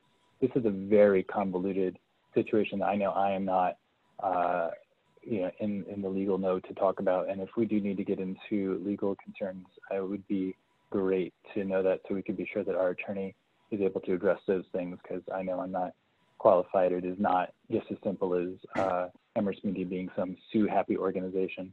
They are not a well funded organization. Um, and we heard from um, Felicity Hardy, who uh, is going by another name. I didn't jot that down. I apologize, Felicity. Uh, as a resident, of course, she was uh, previously the another, the third attorney representing Harm's Way, but tonight she's not speaking uh, as that, and did talk about parking spaces um, the, those parking spaces are a little extra wide and there is a green strip buffer between the pavement and the wall. So there is adequate space to get out. It is, uh, again, I talked at the same meeting, it's a, it's a tight parking lot, but it will work. Uh, and of course, most people in this country drive around with just one person in the car, and all those individuals would be uh, the drivers easy to get out. Um, uh, the matter of retaining wall constructability with Berkshire Design Group, I mean, we're talking about matters of opinion here, uh, technical opinion. Uh, we'll try and provide more information. Um, and we also talked about stormwater. We can get into that. Um, if we do allow, and we don't have to, we could just let the neighbor's water go around our site and just ice up the sidewalk. That we can do that. We don't want to do that. Um, so we are achieving uh, discharge rates during uh, very heavy storms, the two-year and the 10-year storms, of 106% and 102% of the ideal guideline for discharge. So smaller storms than that, which are most storms, uh, aren't, aren't going to have that problem. And um, one way to fix the problem is to just let that water run around our site, but it makes a lot more sense to put it underground, not have it go over the sidewalk, and put it back into the ground uh, through groundwater recharge. Uh, we heard about purchase offers. Uh, it's true, offers have been made. As Jim Lescault said earlier this evening, those offers were substantially undervalued, and that's just the cost of the land. It doesn't include the, the time and effort and multiple building designs, years of design development, professionals like myself that have been involved, uh, attorneys that have unnecessarily and unfortunately had to be involved, uh, as well as the fact that Amherst Media is uh, being evicted from their current place. And they don't have a lot of options now. They've been trying for years. I think I've looked at over two dozen locations. So uh, the, the amount of money that somebody could just come in and right away Amherst Media's investment and problems and the, the stakes that it would be facing and potentially ceasing to exist, there's no monetary offer anywhere near that um, that I am aware of, uh, as well as the fact that the town is not interested in owning a park here. So it, it's not really a, I mean, that's um, is a red herring, is that the word? Um, but uh, thank you for allowing me to address those few uh, public comments, which were almost exclusively from a representative of Harm's Way. And we'll come back next time with some more information on the retaining wall as far as height and elevation.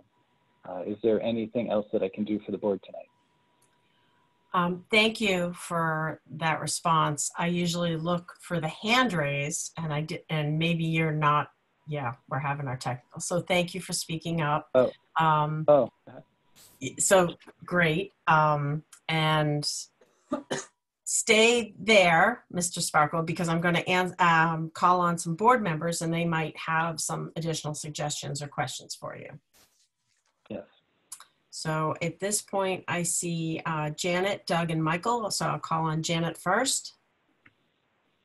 Hello. Um, so I just want to say at the beginning is that I see the planning board as enforcing the bylaws requirements and approving projects that meet them.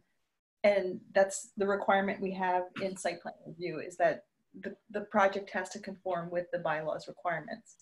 And so that's sort of my framing or understanding of, of what, what I'm doing here, what we're doing here.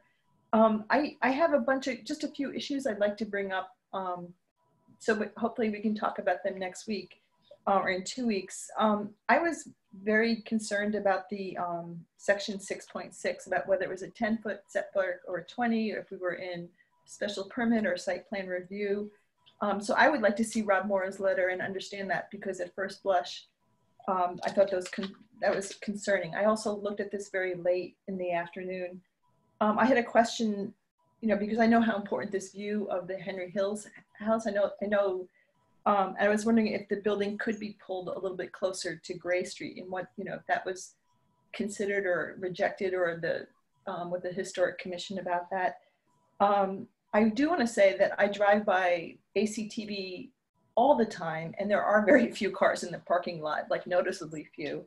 Um, the other thing I'm kind of concerned about, and I have really no way of dressing with my background, is the stormwater issues. And I understand Jason Skeels and saying, well, we don't usually model uphill watershed, you know, water, water coming off of uphill sites and not being concerned about that. And I appreciate the effort to try to take the water from those two lots. I also was driving around on Thursday by Hospital Hill because I was I was driving by and I thought, oh, this is you know a 40R project with form-based zoning. I think I'll take a look at it. And at the bottom of Hospital Hill on the west side, there were about 10 neighbors, all with umbrellas. And there was a huge pile of water at the bottom, like right in front of the last house. And it was such so deep that I didn't want to go through with my forester. And I thought nobody designed this project thinking this would happen. And it wasn't, I mean, I'm sure they had a cloud burst. I'm sure it was intense. Um, but I just, I don't, I can't address those stormwater issues, but I really, those are important to me that the project really hold together. So I'd like more information or more back and forth or um, some consideration for that. If there's serious questions, I don't have a way of resolving them, but I'm very interested in that. And um, so I think that's pretty much it for what I can see. Um, but I, I, do recognize that this property really has been in contention for a long time. You know, it, it came to us in town meeting to rezone. the historical commission wanted to buy it, but the price, they couldn't meet the price of the previous owner. And there's a lot of feeling on this, and I just want to acknowledge that. And I was completely dreading this project because I just had been, I voted against the rezoning in town meeting. I love that view. And I have to say that I am very impressed by what we're looking at. It's, it's, you know, it's, you know, being on the site and looking around and I could see the effort and time and thoughtfulness, uh, you know, and the seven hearings produce something, you know, so I appreciate the effort of the Historic Commission and ACTV and everybody. So thank you. Okay. Um, and now I recognize Doug and then there'll be Michael. Okay, I, uh, I wanted to say to Bucky that for the next meeting, I would like to have very detailed information about the tiebacks that are used to stabilize the retaining wall and uh, some clarity about the relationship of those tiebacks to the property line, since I assume you need to keep them on your side of the property line in order to uh, not run afoul of the neighbor who is clearly uh, not excited about the project. Um, secondly, it sounded like Christine was looking for a motion to continue the, the conversation to another meeting. Uh, am I right, Christine, that it was? Yes, the- you are. The July 15th meeting? Yes. Oh, that's going to be another fun one. Um, Aren't they all? Chris, Yeah. do we have a time that we can nail this to? Yeah, so, okay, I'll make a motion that we continue the hearing to uh, July 15th meeting. Um, And I'll end my comments there. Thank you. And if Chris, you can add a time, I What think time? that's going to be 6:35. We do not have any other public hearings scheduled for that night unless Pam um, corrects me about that. and if, uh, I'll take a Not shout. that I'm aware of, Chris. Okay. I'll take a shout out if someone wants to second that. Well, I was, I had my hand up. I was going to make the same motion, so I'll second it. Great, fantastic. Okay, so um, any, so uh, I'll put down Doug's hand and Michael's. So is there any discussion or problem with that? Any hands? I'm not seeing any. Okay, so um, Roll call. yep, I'm looking for my list again. Oh, jeez. Um, Michael? Uh, roll call if you, uh, I don't hear you, Michael. Whoops. Yes. Yes, great. Maria? Uh, yes. Approved. David? Yes. Jack? Yes. Doug? Yes. Janet? Yes. And myself. So I think that's unanimous. So thank you, um, everyone who came tonight. Um, and we will res- uh, continue this at 6:35 on the 15th of July. We'll be taking public comment again. And uh, again, as Ms. Brestrup said, people can always reach out to her, and I'm sure she'll be in contact with most of these people. Thank you, particularly to Mr. Sparkle. Um, you're welcome. I don't know if you can still hear me, but Yes, uh, I'll come we up can with a new microphone. New microphone next time, I promise. And are you still sharing your screen or? Um, I am, so I can stop that. Thank you. There we go. Hey, welcome back. Still there. All right. So um, thank you, and we'll see you in a couple of weeks. Yes, thank you very much. Good night. Good night. Thank you. All right. So the board, we'll move on to item uh, four, old business. Uh, Item A, master plan update and zoning bylaw rewrite, discussion about schedules and priorities. Um, Chris, would you like to speak on this first, or do you want me to speak, or?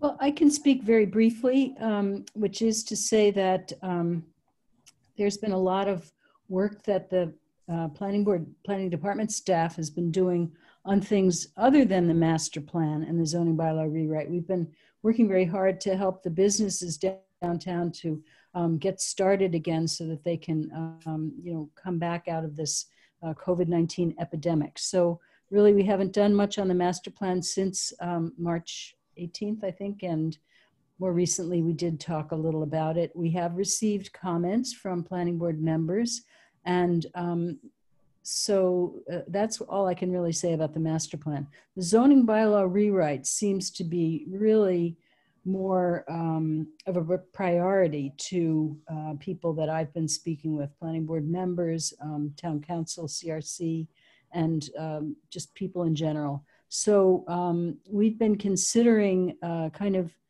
uh, putting the master plan potentially in a little bit of a holding pattern and um, moving on to the zoning bylaw, which I think, you know, in the end, everybody is really eager to um, make changes to the zoning bylaw, including myself and um, Rob Morra, the building commissioner. So that's all I really have to say about that. Um, so maybe Christine can uh, can carry on from here. Okay, thanks. Um, I'm sure as the other members have been giving this a lot of thought. Um, so if we zip back in time before COVID and last year, and we were trying to sort of um, sort ourselves out on our priorities and, and what we wanted to focus on, but yet we also got some direction from the town council and CRC, which was that town council's desire was to have a master plan update, which is needed to be done um, and was overdue, but they wanted an update so that they would feel more comfortable with adopting the current master plan. And with that adoption, then they were going to be willing to um, feel more confident in moving forward in bylaw changes.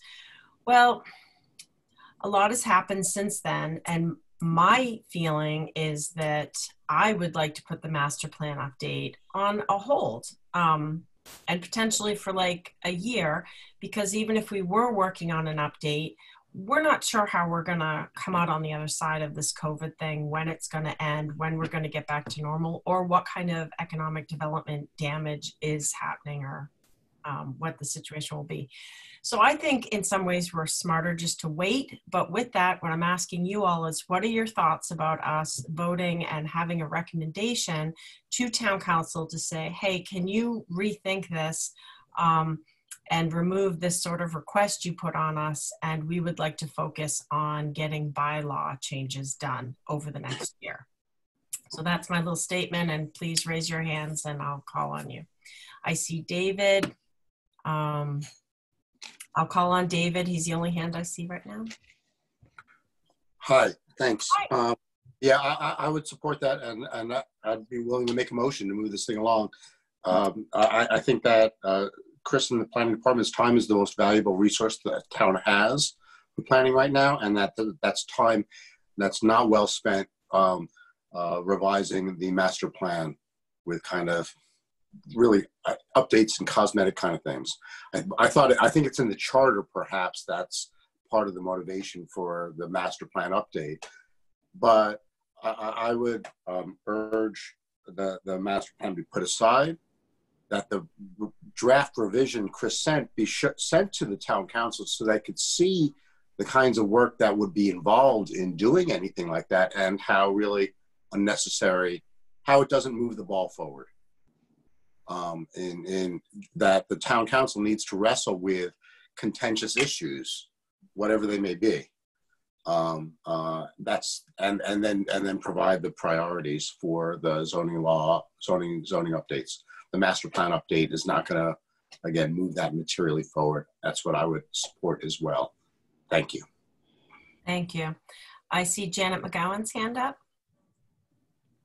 Um, so we have a master plan and we've approved it and it's in effect. And so um, what was interesting to me about reading for the master plan was how much was left to implement, like the section 10 implementation stuff. And so, you know, we went through that. I mean, we should be updating the master plan every three to five years and all that stuff. But we have a master plan that needs implementing. It's, you know, when you read that chapter, it's full of good ideas um, you know, looking at Christine's Brestrup's first draft, she didn't have that many revisions to the master plan, more kind of like, oh, what's next, next steps or implementation steps.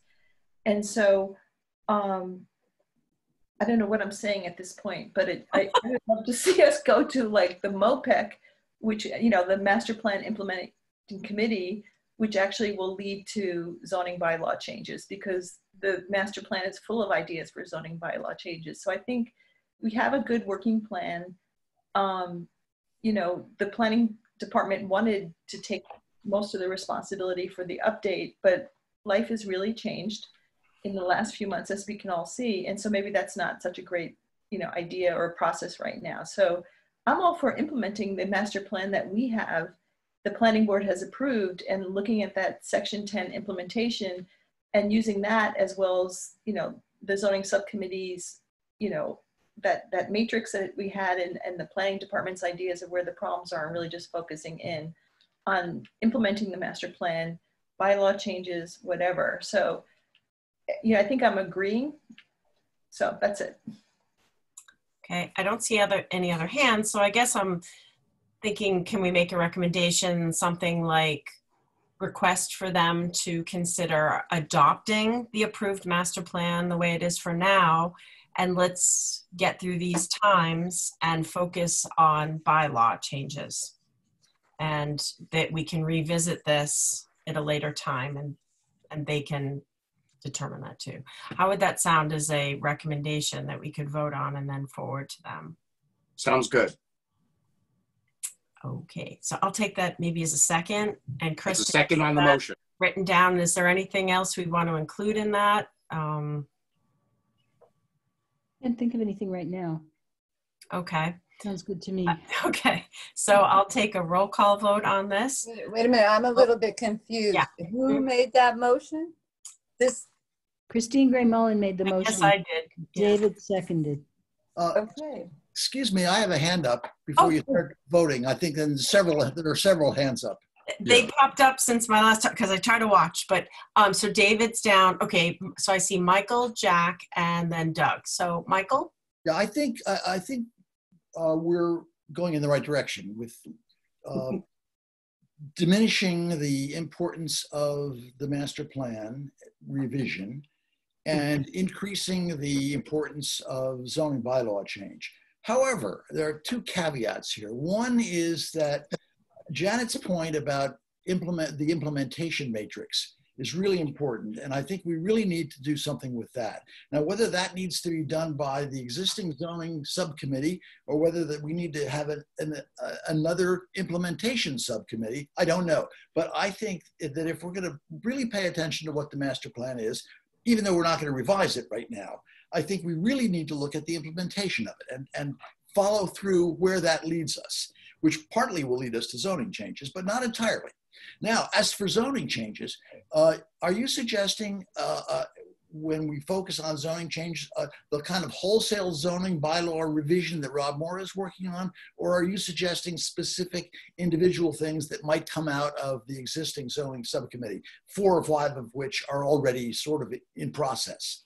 What do you, what do you mean by focusing on zoning changes? I think it could be from either or all or other sources. I think Rob Morra is trying to continue to do his recodification. Um, and I know CRC and town councilors are, they, they themselves are getting um, fired up to do some bylaw changes. And I think COVID situation is making us realize we really need to address some of this sooner than later. Um, we for zoning bylaw are mostly just a recommendation um, committee for that kind of thing. But um, I, I, think I'm just saying that we want to free up uh, Miss Brestrup and town resources. This affects them even more than us for them to be able to have the bandwidth to work on zoning. Um, and that we're willing to let go of some of our demands for what is in our purview, which is the master plan, and say, let's just wait a little while. Now, just to address your first part on chapter 10, the um, master plan um, MPIC implementation committee.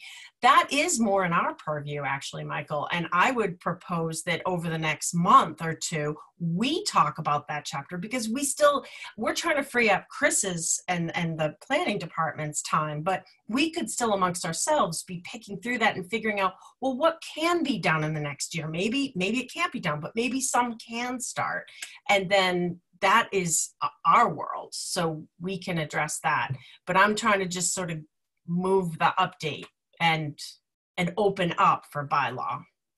Did that make sense? Yes, that- now I understand what you're really talking about. That's fine. Good.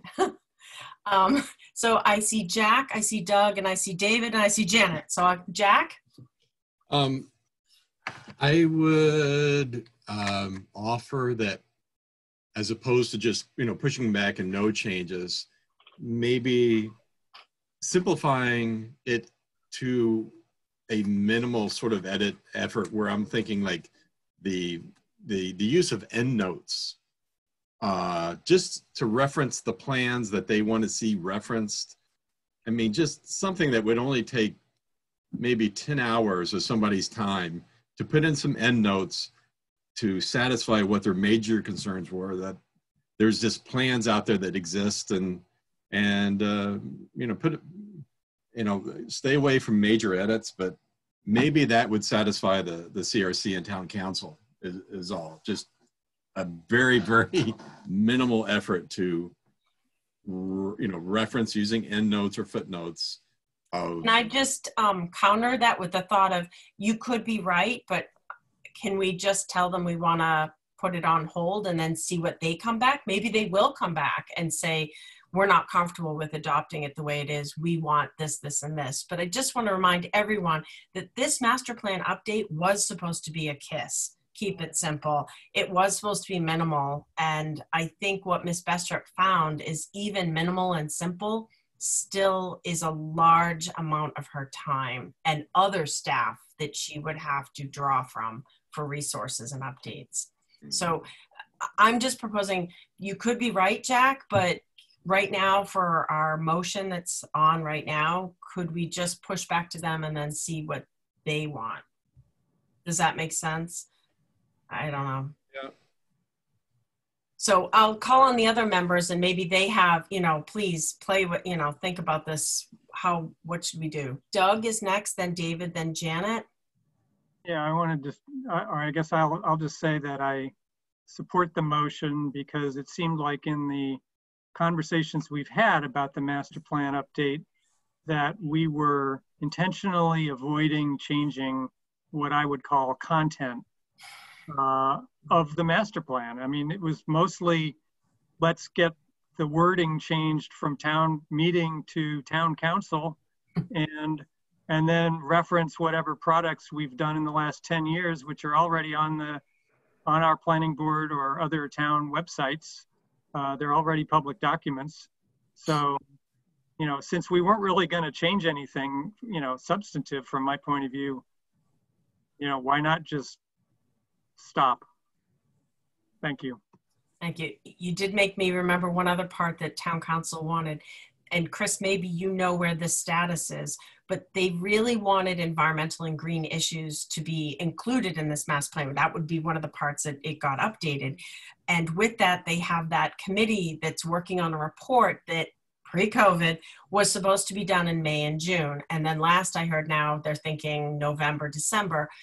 So you know that that's pushing this even longer too which as doug just said that would still be if they approve that report it's still a standalone report that is useful and there whether or not it's referenced in the current master plan but chris what group is that that could be that could be incorporated by reference once it's um, been finished.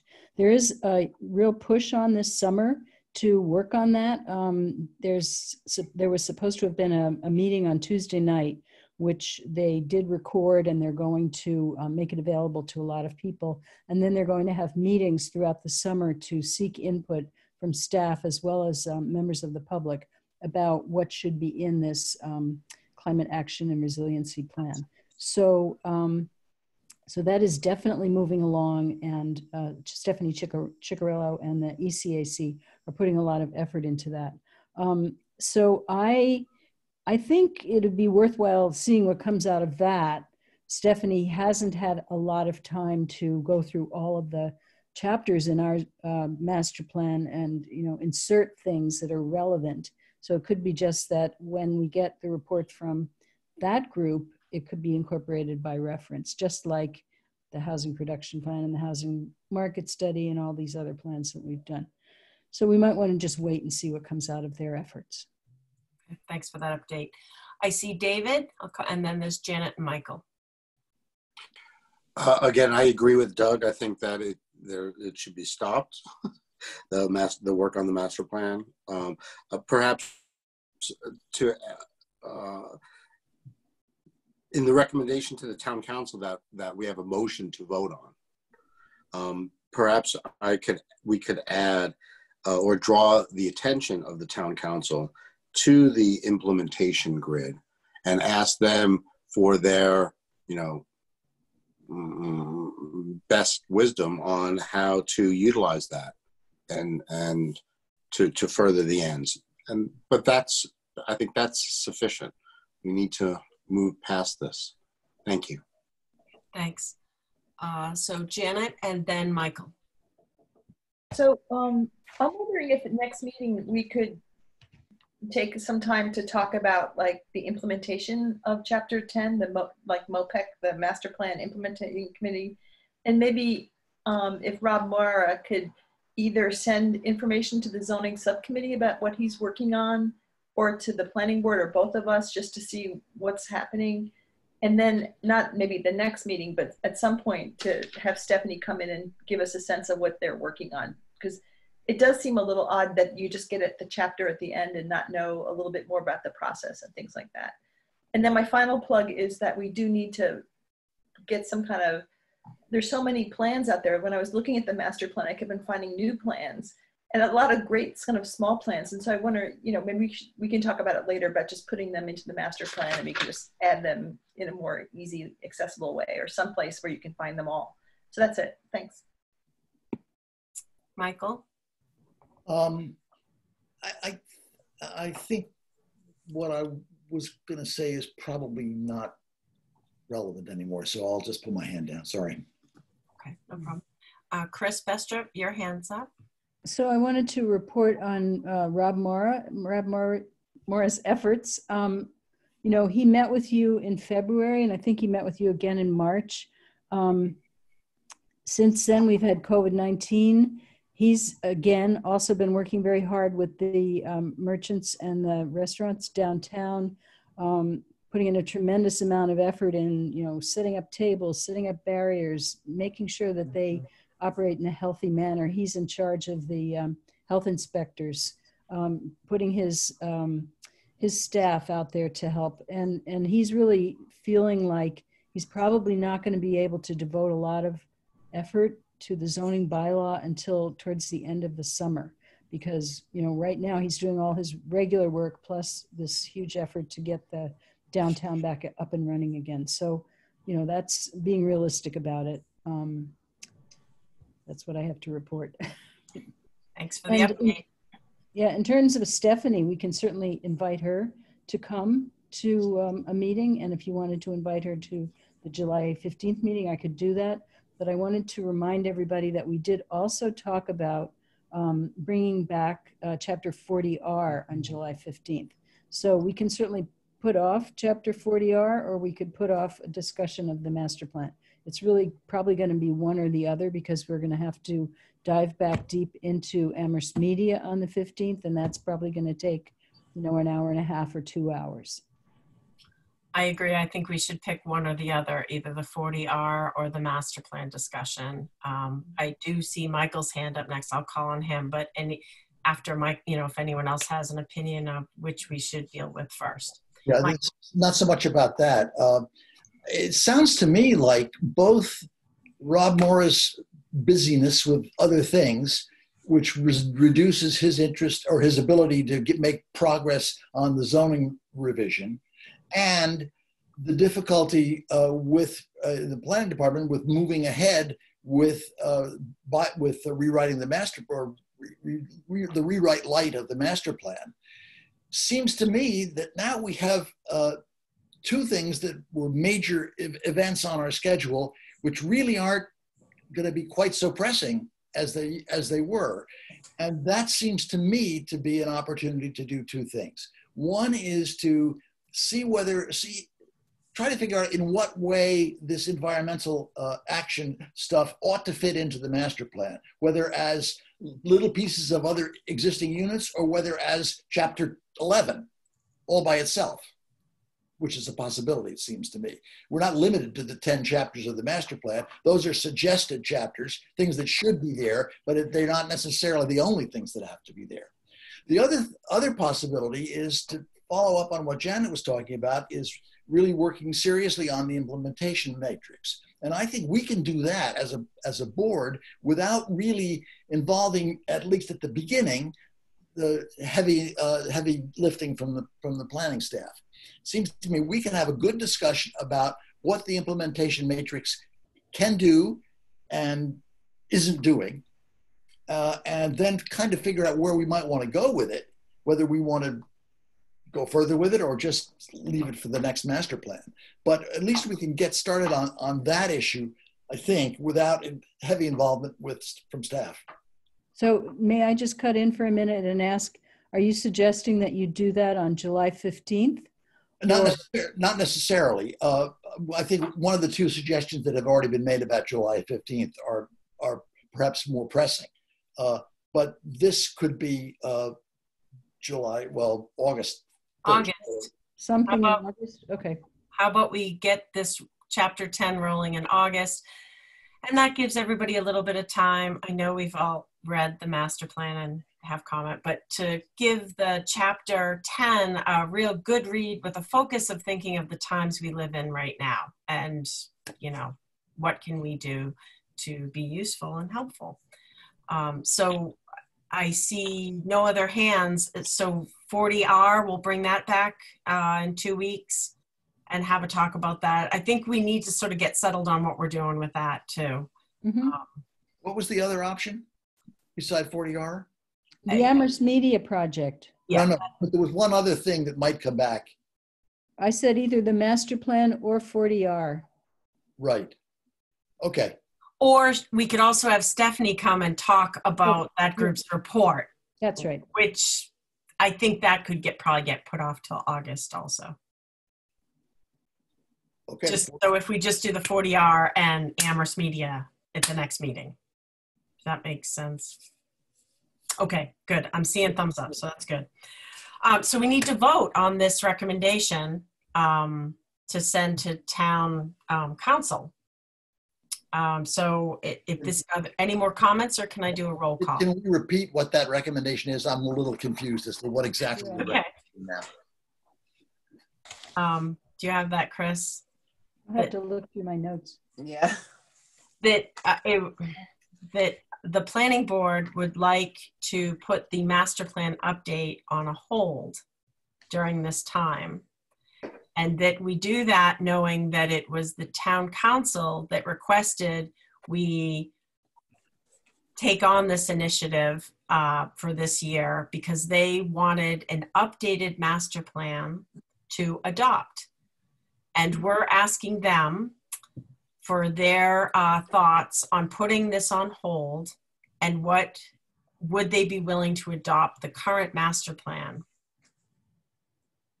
and then just see what they say and maybe they'll ask like jack was saying they'll still have some requests they know what the environmental and climate resiliency report that's going on that was part of what they were waiting on um, Okay, Christine, we have to make a motion out of this? yeah so All that- of that? no, no, no, no, up at, just up to the point where I said that we're asking for the, we're giving a recommendation that we put it on hold and that, um, that we, we are asking this knowing that they were the ones that asked us, asked, asked for us to take on this initiative last year as a priority because they wanted an updated master plan to adopt. So we also secondly asked them if they would be willing to adopt the current master plan in these times, or please advise us. Um, Pam and I can get together and put some wording together and uh, we'll send it to you and you can look at it. But the But I'll gist of second it, I think you've got the gist of it. Yep. Yeah. Yes. So if we run with that right now and we have a second, we've had discussion, I'll call on Jack and then I see Michael. Yeah, I was just wondering, in addition to the COVID and all that, um, pressing staff for time, w- is there not, um, are we looking at you know, budgetary problems when we, we don't, we don't have an economic director right now.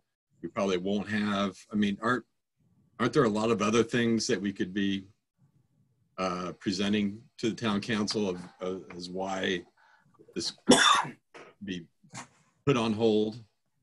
Well, I'll tell you one really good reason it's been put on hold for us, in addition to all the COVID stuff. We also have, um, I feel like we've got two big rabbits moving through the snake right now. We've got Amherst Media and we've got the Valley CDC project at 132 Northampton Road. And that is taking a tremendous amount of time of the planning department and has for the last month at least. Zoning Board of Appeals is holding public hearings on that right now. It's got a lot of public scrutiny. We want to make sure that the public hearing goes exactly right. So we have meetings with the chairperson of the ZBA and we have meetings internally and we're studying documents and it's just, um, it's a really huge thing that doesn't necessarily rise to the surface of getting in the Daily Hampshire Gazette, and we don't talk about it at the planning board very much. But in terms of time spent, um, it is a big time um, time consumer, and it's a very worthwhile time consumer. But that's just one of you know other things. We do have other things, but those two things, Amherst Media and the Valley CDC project, in addition to the COVID and the restaurants, is just like big. It's a big project. Wait, Chris, how did you describe that?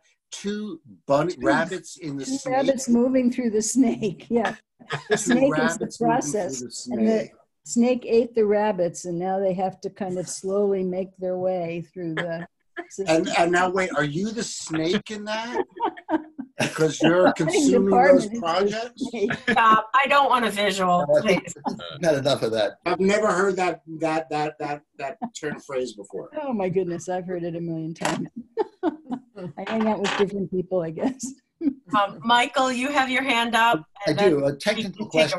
a. Is, is this a request or a letter or whatever this is going to the CRC or going to the council? To the council, because it came from the council that they wanted us to. So we're going to be, it's going to be a long time before we get an answer. Because the council's going to refer it to the CRC. And then the CRC is going to send it back to the council. And then we'll get an answer, and then, then we'll get an answer in two months at best. So let's send it to both. Let's send it to town council and CRC. So, but so effectively, we get what we want. Then uh, that is a pause. Things in limbo. But, So uh, then- Oh, but can't that's only, that'll be only a two or three month pause. What we're looking for is a longer pause than that, I think, David. But we're looking for a longer pause and yeah. Effective- we, we've got other get- stuff, to, we've got other stuff to work on, so. Yeah. All right, I see no other hands. I'm gonna take a roll call. Um, Michael, Yes. uh, David, Yes. Jack, Yes. Janet, Yes. Maria, Yes. and myself, yes. And Doug, you forgot about Doug. Doug, you know, the thing starts bouncing. Sorry, Doug. Always best for last. But not if you forget. Well, I was trying to go down the right. I probably should have just gone through the screens, but anyway, sorry. Yeah, and Doug? Aye. No? Yes? No? Yes. You can always just, you know. Um, so now with Doug, yes, that's seven. Yes, good. Thank you. If you could um, draft that up and just send it out to us so we see it before it goes to them. Okay. Um, Yep. Great. So if we move on to old business, I'm sad to say uh, we have B. There is a topic not recently, uh, reasonably anticipated in 48 hours. Chris? Yes, so this um, has to do with the Applebrook subdivision in South Amherst. And you'll probably remember that it was um, approved as a subdivision back in 2007. And then it came back to the planning board in uh, 2017 and 2018. It came back a couple of times. Um, the most recent, well, one of the most recent things you did was that you uh, released lots. You released all the lots except for um, lot four. And I think that was back in September of 2019.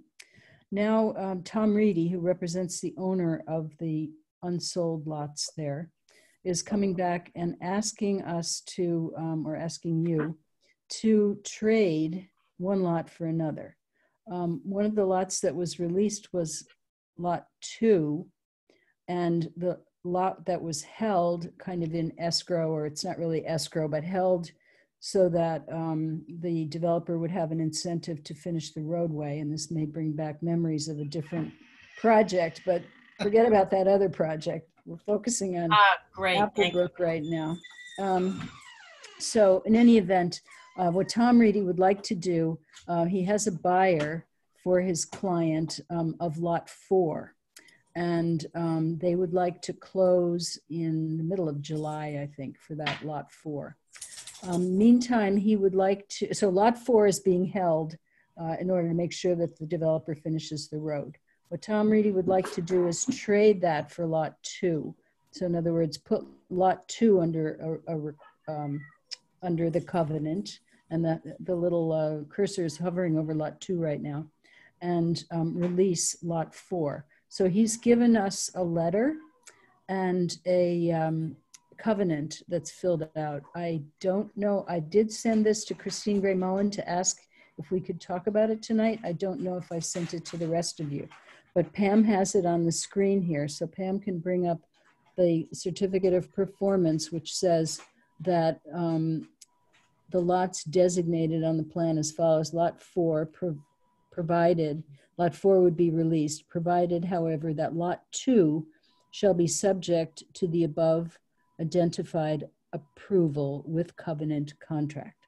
So what we would need to do is have you vote to trade um, the holding of lot four uh, and release lot four and instead hold lot two. And you'd need to vote that and then you'd need to come in and sign this document. Um, and I can make arrangements to have, to meet you and have you do that.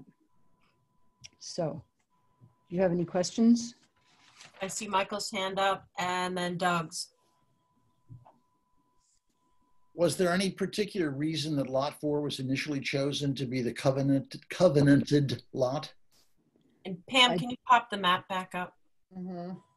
Yes. I did not hear any reason, and I don't remember Tom Reedy giving any reason when he came to talk to you. I think he, they probably didn't know which lots were going to go quick, more quickly than others, and they just chose lot four, maybe because it was at the end of the road. And I, I don't really know. I, I can only speculate. Okay. Doug and then David. Eh, Don't we want them to finish the road sooner rather than later? Sounds like we've now got an opportunity. What does that mean?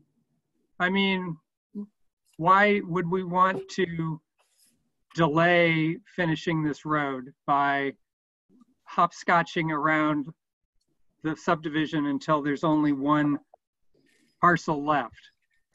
Well, one of the reasons that um, that we don't allow or we don't encourage a developer to completely finish the road before um, most of the houses are built, because what that means is that the road is going to get really beat up by um, by the construction of the houses. And I think there are at least two and maybe three houses that are um, under construction now in this subdivision, but um, you know there are several more that need to be built. So the town engineer is reluctant to say, okay, just go ahead and put the top coat on and finish all the curbs and do everything and and you know have the road be finished um, if there's still going to be a lot of activity on it. So we want to hold one lot um, to give the developer an incentive. He won't be able to sell that lot until it's released, and that will give him an incentive to um, to finish the road. Does that answer the question? Yeah, I, I, I get that, and that seems, that's a, that's a valid uh, chain of argument. But if that's the case, then why don't we just, why do we need to even name a, a lot at all? Why don't we just say the developer can't, has to not sell the last lot before finishing the road? That's a thought. Well, each lot is um, is recognized on the subdivision plan. I think it would be hard to um, keep track of that. um, this way, the developer has to come back and ask for a release of lot two once, um, once he considers the roadway to be done. And I'm not sure that there'd be an easy way to keep track of it otherwise. Okay. And to be frank, this is the way it's always been done. So this is the way I know how to do it. So, Okay, so this is not an uncommon occurrence. no. This is, okay, Holding one lot is not an uncommon occurrence. Trading one lot for another is an uncommon occurrence, but I've gone over this with Rob Morra, the building commissioner, who also develops property in Belchertown, and he didn't think there was any problem with this trade. okay. David and then Janet.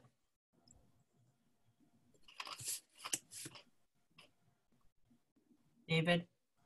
You're muted. I forgot. I forgot. I'm sorry. I'm sorry. I forgot. Can you hear me now? Thank you. Yes, we can hear you. Thank you. It was it was really a year ago at the end of a long meeting. We were presented with this is really this is a situation which evokes what's being asked here because it evokes what it involves now is is what's held um, in escrow to guarantee performance of the building of the road without you know and that that that that decision last year was just like now we want to get the meeting over with.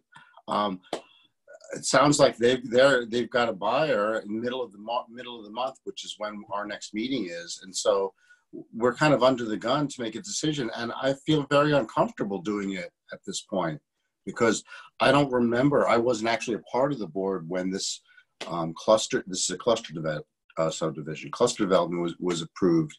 And um, it seems to have also a history of being moribund for a while like that amherst hills or whatever that other one's called.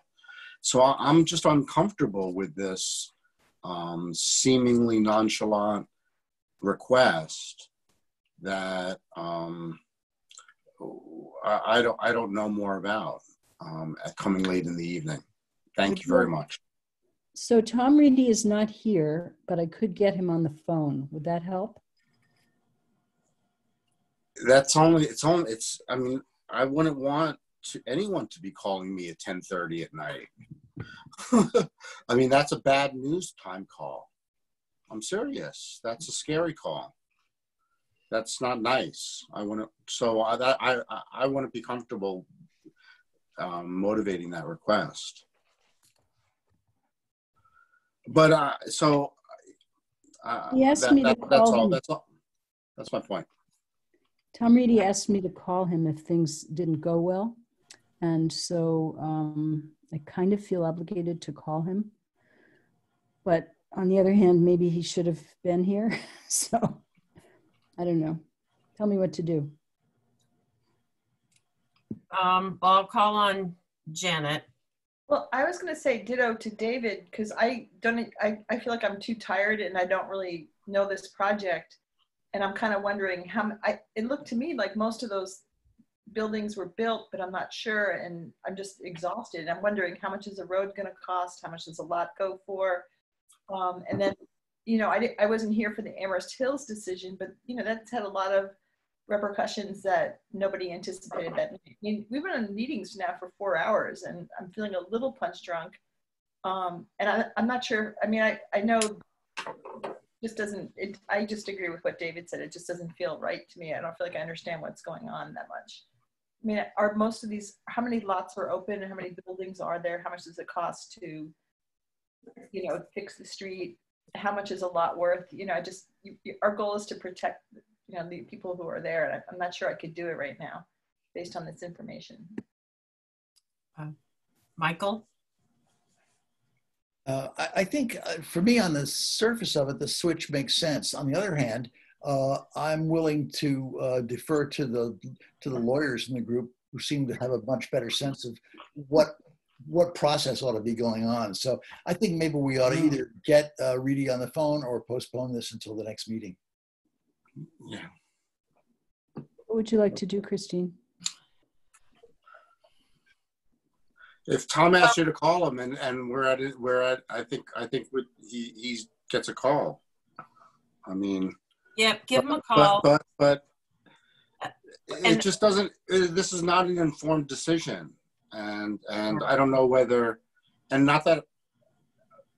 Mm, So I see a lot of hands. Uh, Chris, give him a call and just tell him it's not going well. And I just want to tell the board, um, I had been waiting to say my concern. I wanted to hear what you guys were thinking.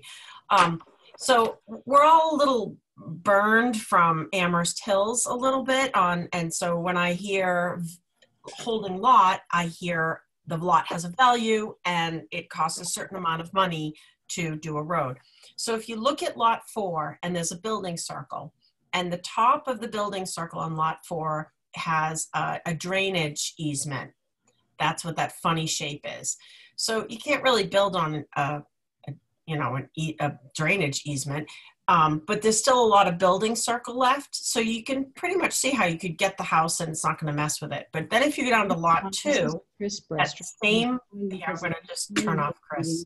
Talking about the Applebrook subdivision. Um, so if you go down and look at lot two, that funky shape there, that's also a drainage easement. But the one that, so I put some questions out to Chris right before the meeting. This all came through this afternoon, so it wasn't like there was a lot of time. I said, well, I've never, the drainage easement is in the middle of the building circle. So what does that mean? Hence, does value reduce on lot two compared to lot four? So is there less money with that lot knowing it's going to cost a certain amount to fix the road. Does that make sense to people? That was my concern. So I would like some answers on that. Um, Michael, I do see your hand up. I don't know if you have something to say or. Oh, and I can't hear you. Yep. I said that does make a lot of sense. Uh, and that's a good reason why lot four and lot two were, were chosen, I guess, as the original um, uh, lots uh, to be, or the lot four was chosen as the original lot because it's, it's, it is more buildable in that way.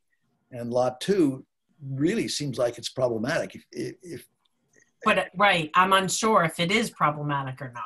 Well, yeah, but from the diagram, from the plan we're looking at, it, it appears to be problematic. Uh, so Chris, two things. First, did you get in touch with Mr. Reedy? And is, well, I can't, oh, we turned you off. Sorry, Chris. Hold on, where are you? Sorry, here I am. Great, there you So, are. Yes. yeah, He, I left a message for him. Okay. But I don't really want him to call me back now. He's gone to bed. You'll have Yes. to turn your phone off. Um, so I explained to them, and I don't know if you had gotten an answer. Um, I had talked about the two um, drainage easements. Lot four, it's on the edge of the building circle, and lot two, it kind of drives right into the middle of it. Can you build on a drainage easement, or what kind of complications does that impact on a design in a building circle? Um, You can't build on a drainage easement, but the drainage easement is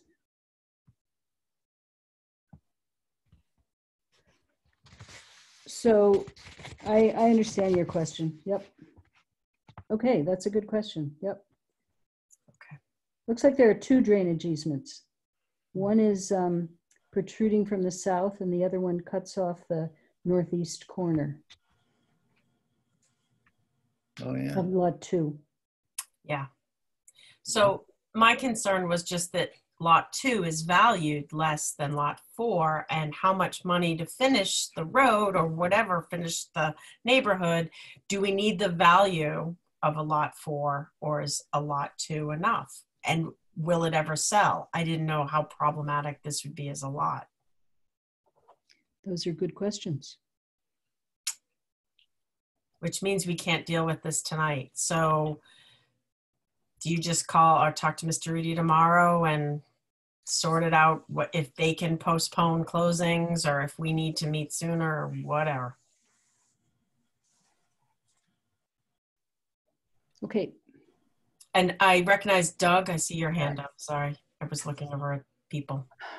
Well, um, first of all, you know, if we want to pick a lot that has more value, to make sure we're not going to end up short, you know, there are other circles on that plan that don't have any drainage easements in the buildable area.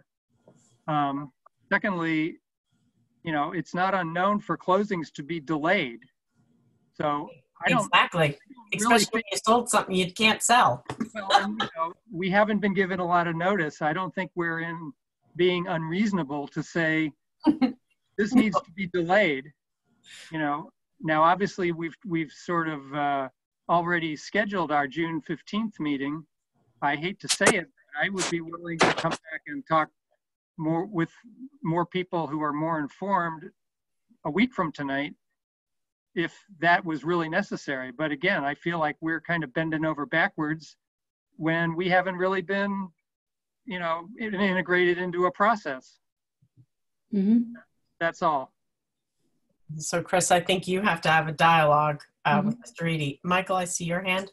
Yeah, I, I, uh, I don't think we should be coming back for a meeting next week. I think we should put this on our next reg- regularly scheduled meeting, uh, if, and make room for it if we, if we need to. And if, if there's a, an urgency, uh, that they are, that they're pressed, that they need to do it, uh, fine, but not, not under these, not under these circumstances. And we need a little more documentation.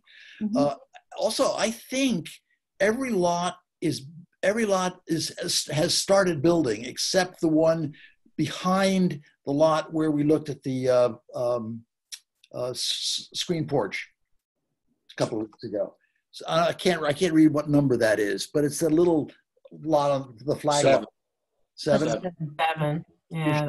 Which is probably more valuable than two, if that easement is is an issue.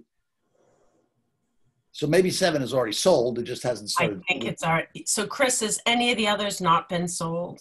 I do not know which ones have been sold, so we can't choose So we need to tonight. know that too. No. Yeah, which ones have been sold, which ones are built on, and which ones are still open.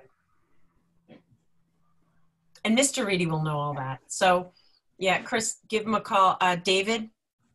Yeah, hi. One comment and then I'll make a motion to continue with this.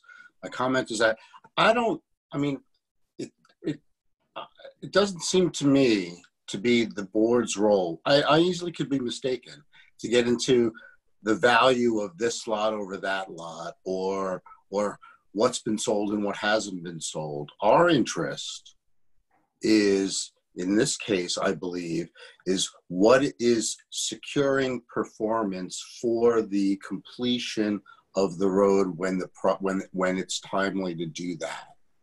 And and the the applicant, after many years, this is like a 15 year project, close to I think, isn't it, Chris?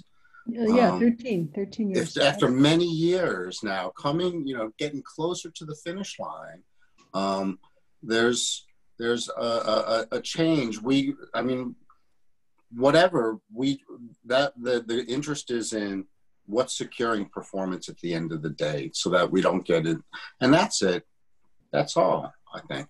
But but maybe i'm wrong. Maybe we are interested in the value of the lot and what's sellable and what's not. But that's i think that's business. That's not planning board. I think that's the business. That i'd like to make a motion to continue this to our next meeting.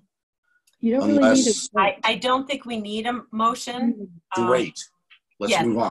So um, I just want to say that I think, Mr. I think some value is important. This is why Amherst Hills gets that problem because maybe we need two lots now. I mean, if they're going to have us redo the, so David, what this usually happens in the beginning of a subdivision. No, I don't need. I don't need the, the recap. No, no, no. Let's So move- they're move meeting on asking. Over. I'm just saying what information I feel I need from Mr. Reedy. Sure, So okay. if they're going to have us re-step back into a covenant, well, it's going to be today's dollars, not what was set up over 10 years ago, because we want to make sure the road gets finished. So that's why I want to know numbers. Um, so Chris, have that conversation with Mr. Reedy tomorrow and let us know, email or whatever, what's going to happen or if it's coming on the on the 15th or sooner or whatever. Okay.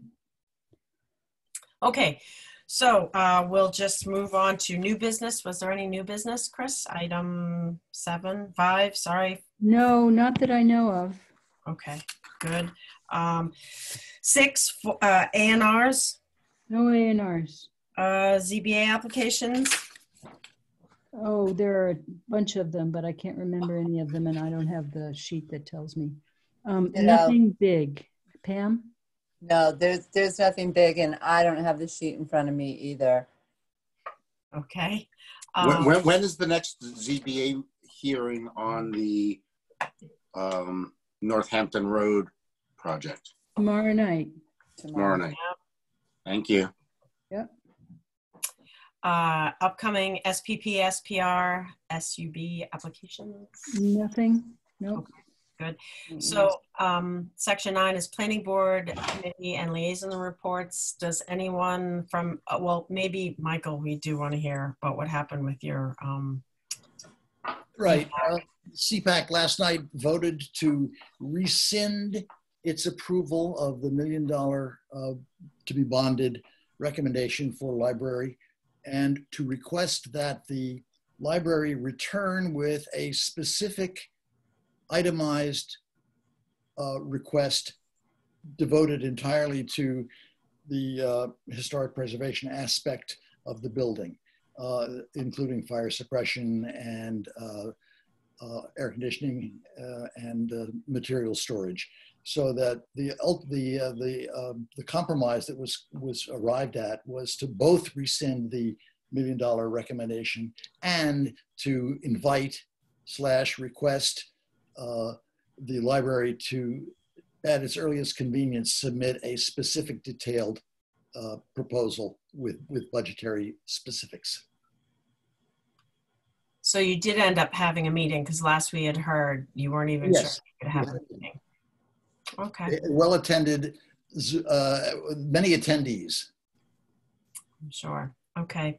And what's the, so they'll submit that and then you'll meet again? Well, we assume they will submit that. We've invited them to do that. We don't know what they'll do, given the fact that the library process seems to be in a kind of holding pattern.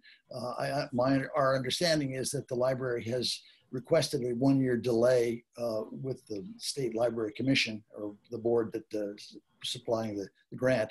Uh, so we don't know what, the, how pressing things are at this point from either the library's point of view or the town council's point of view. Mr. Bockelman seemed to suggest that the town council would not be taking this issue up in the near future.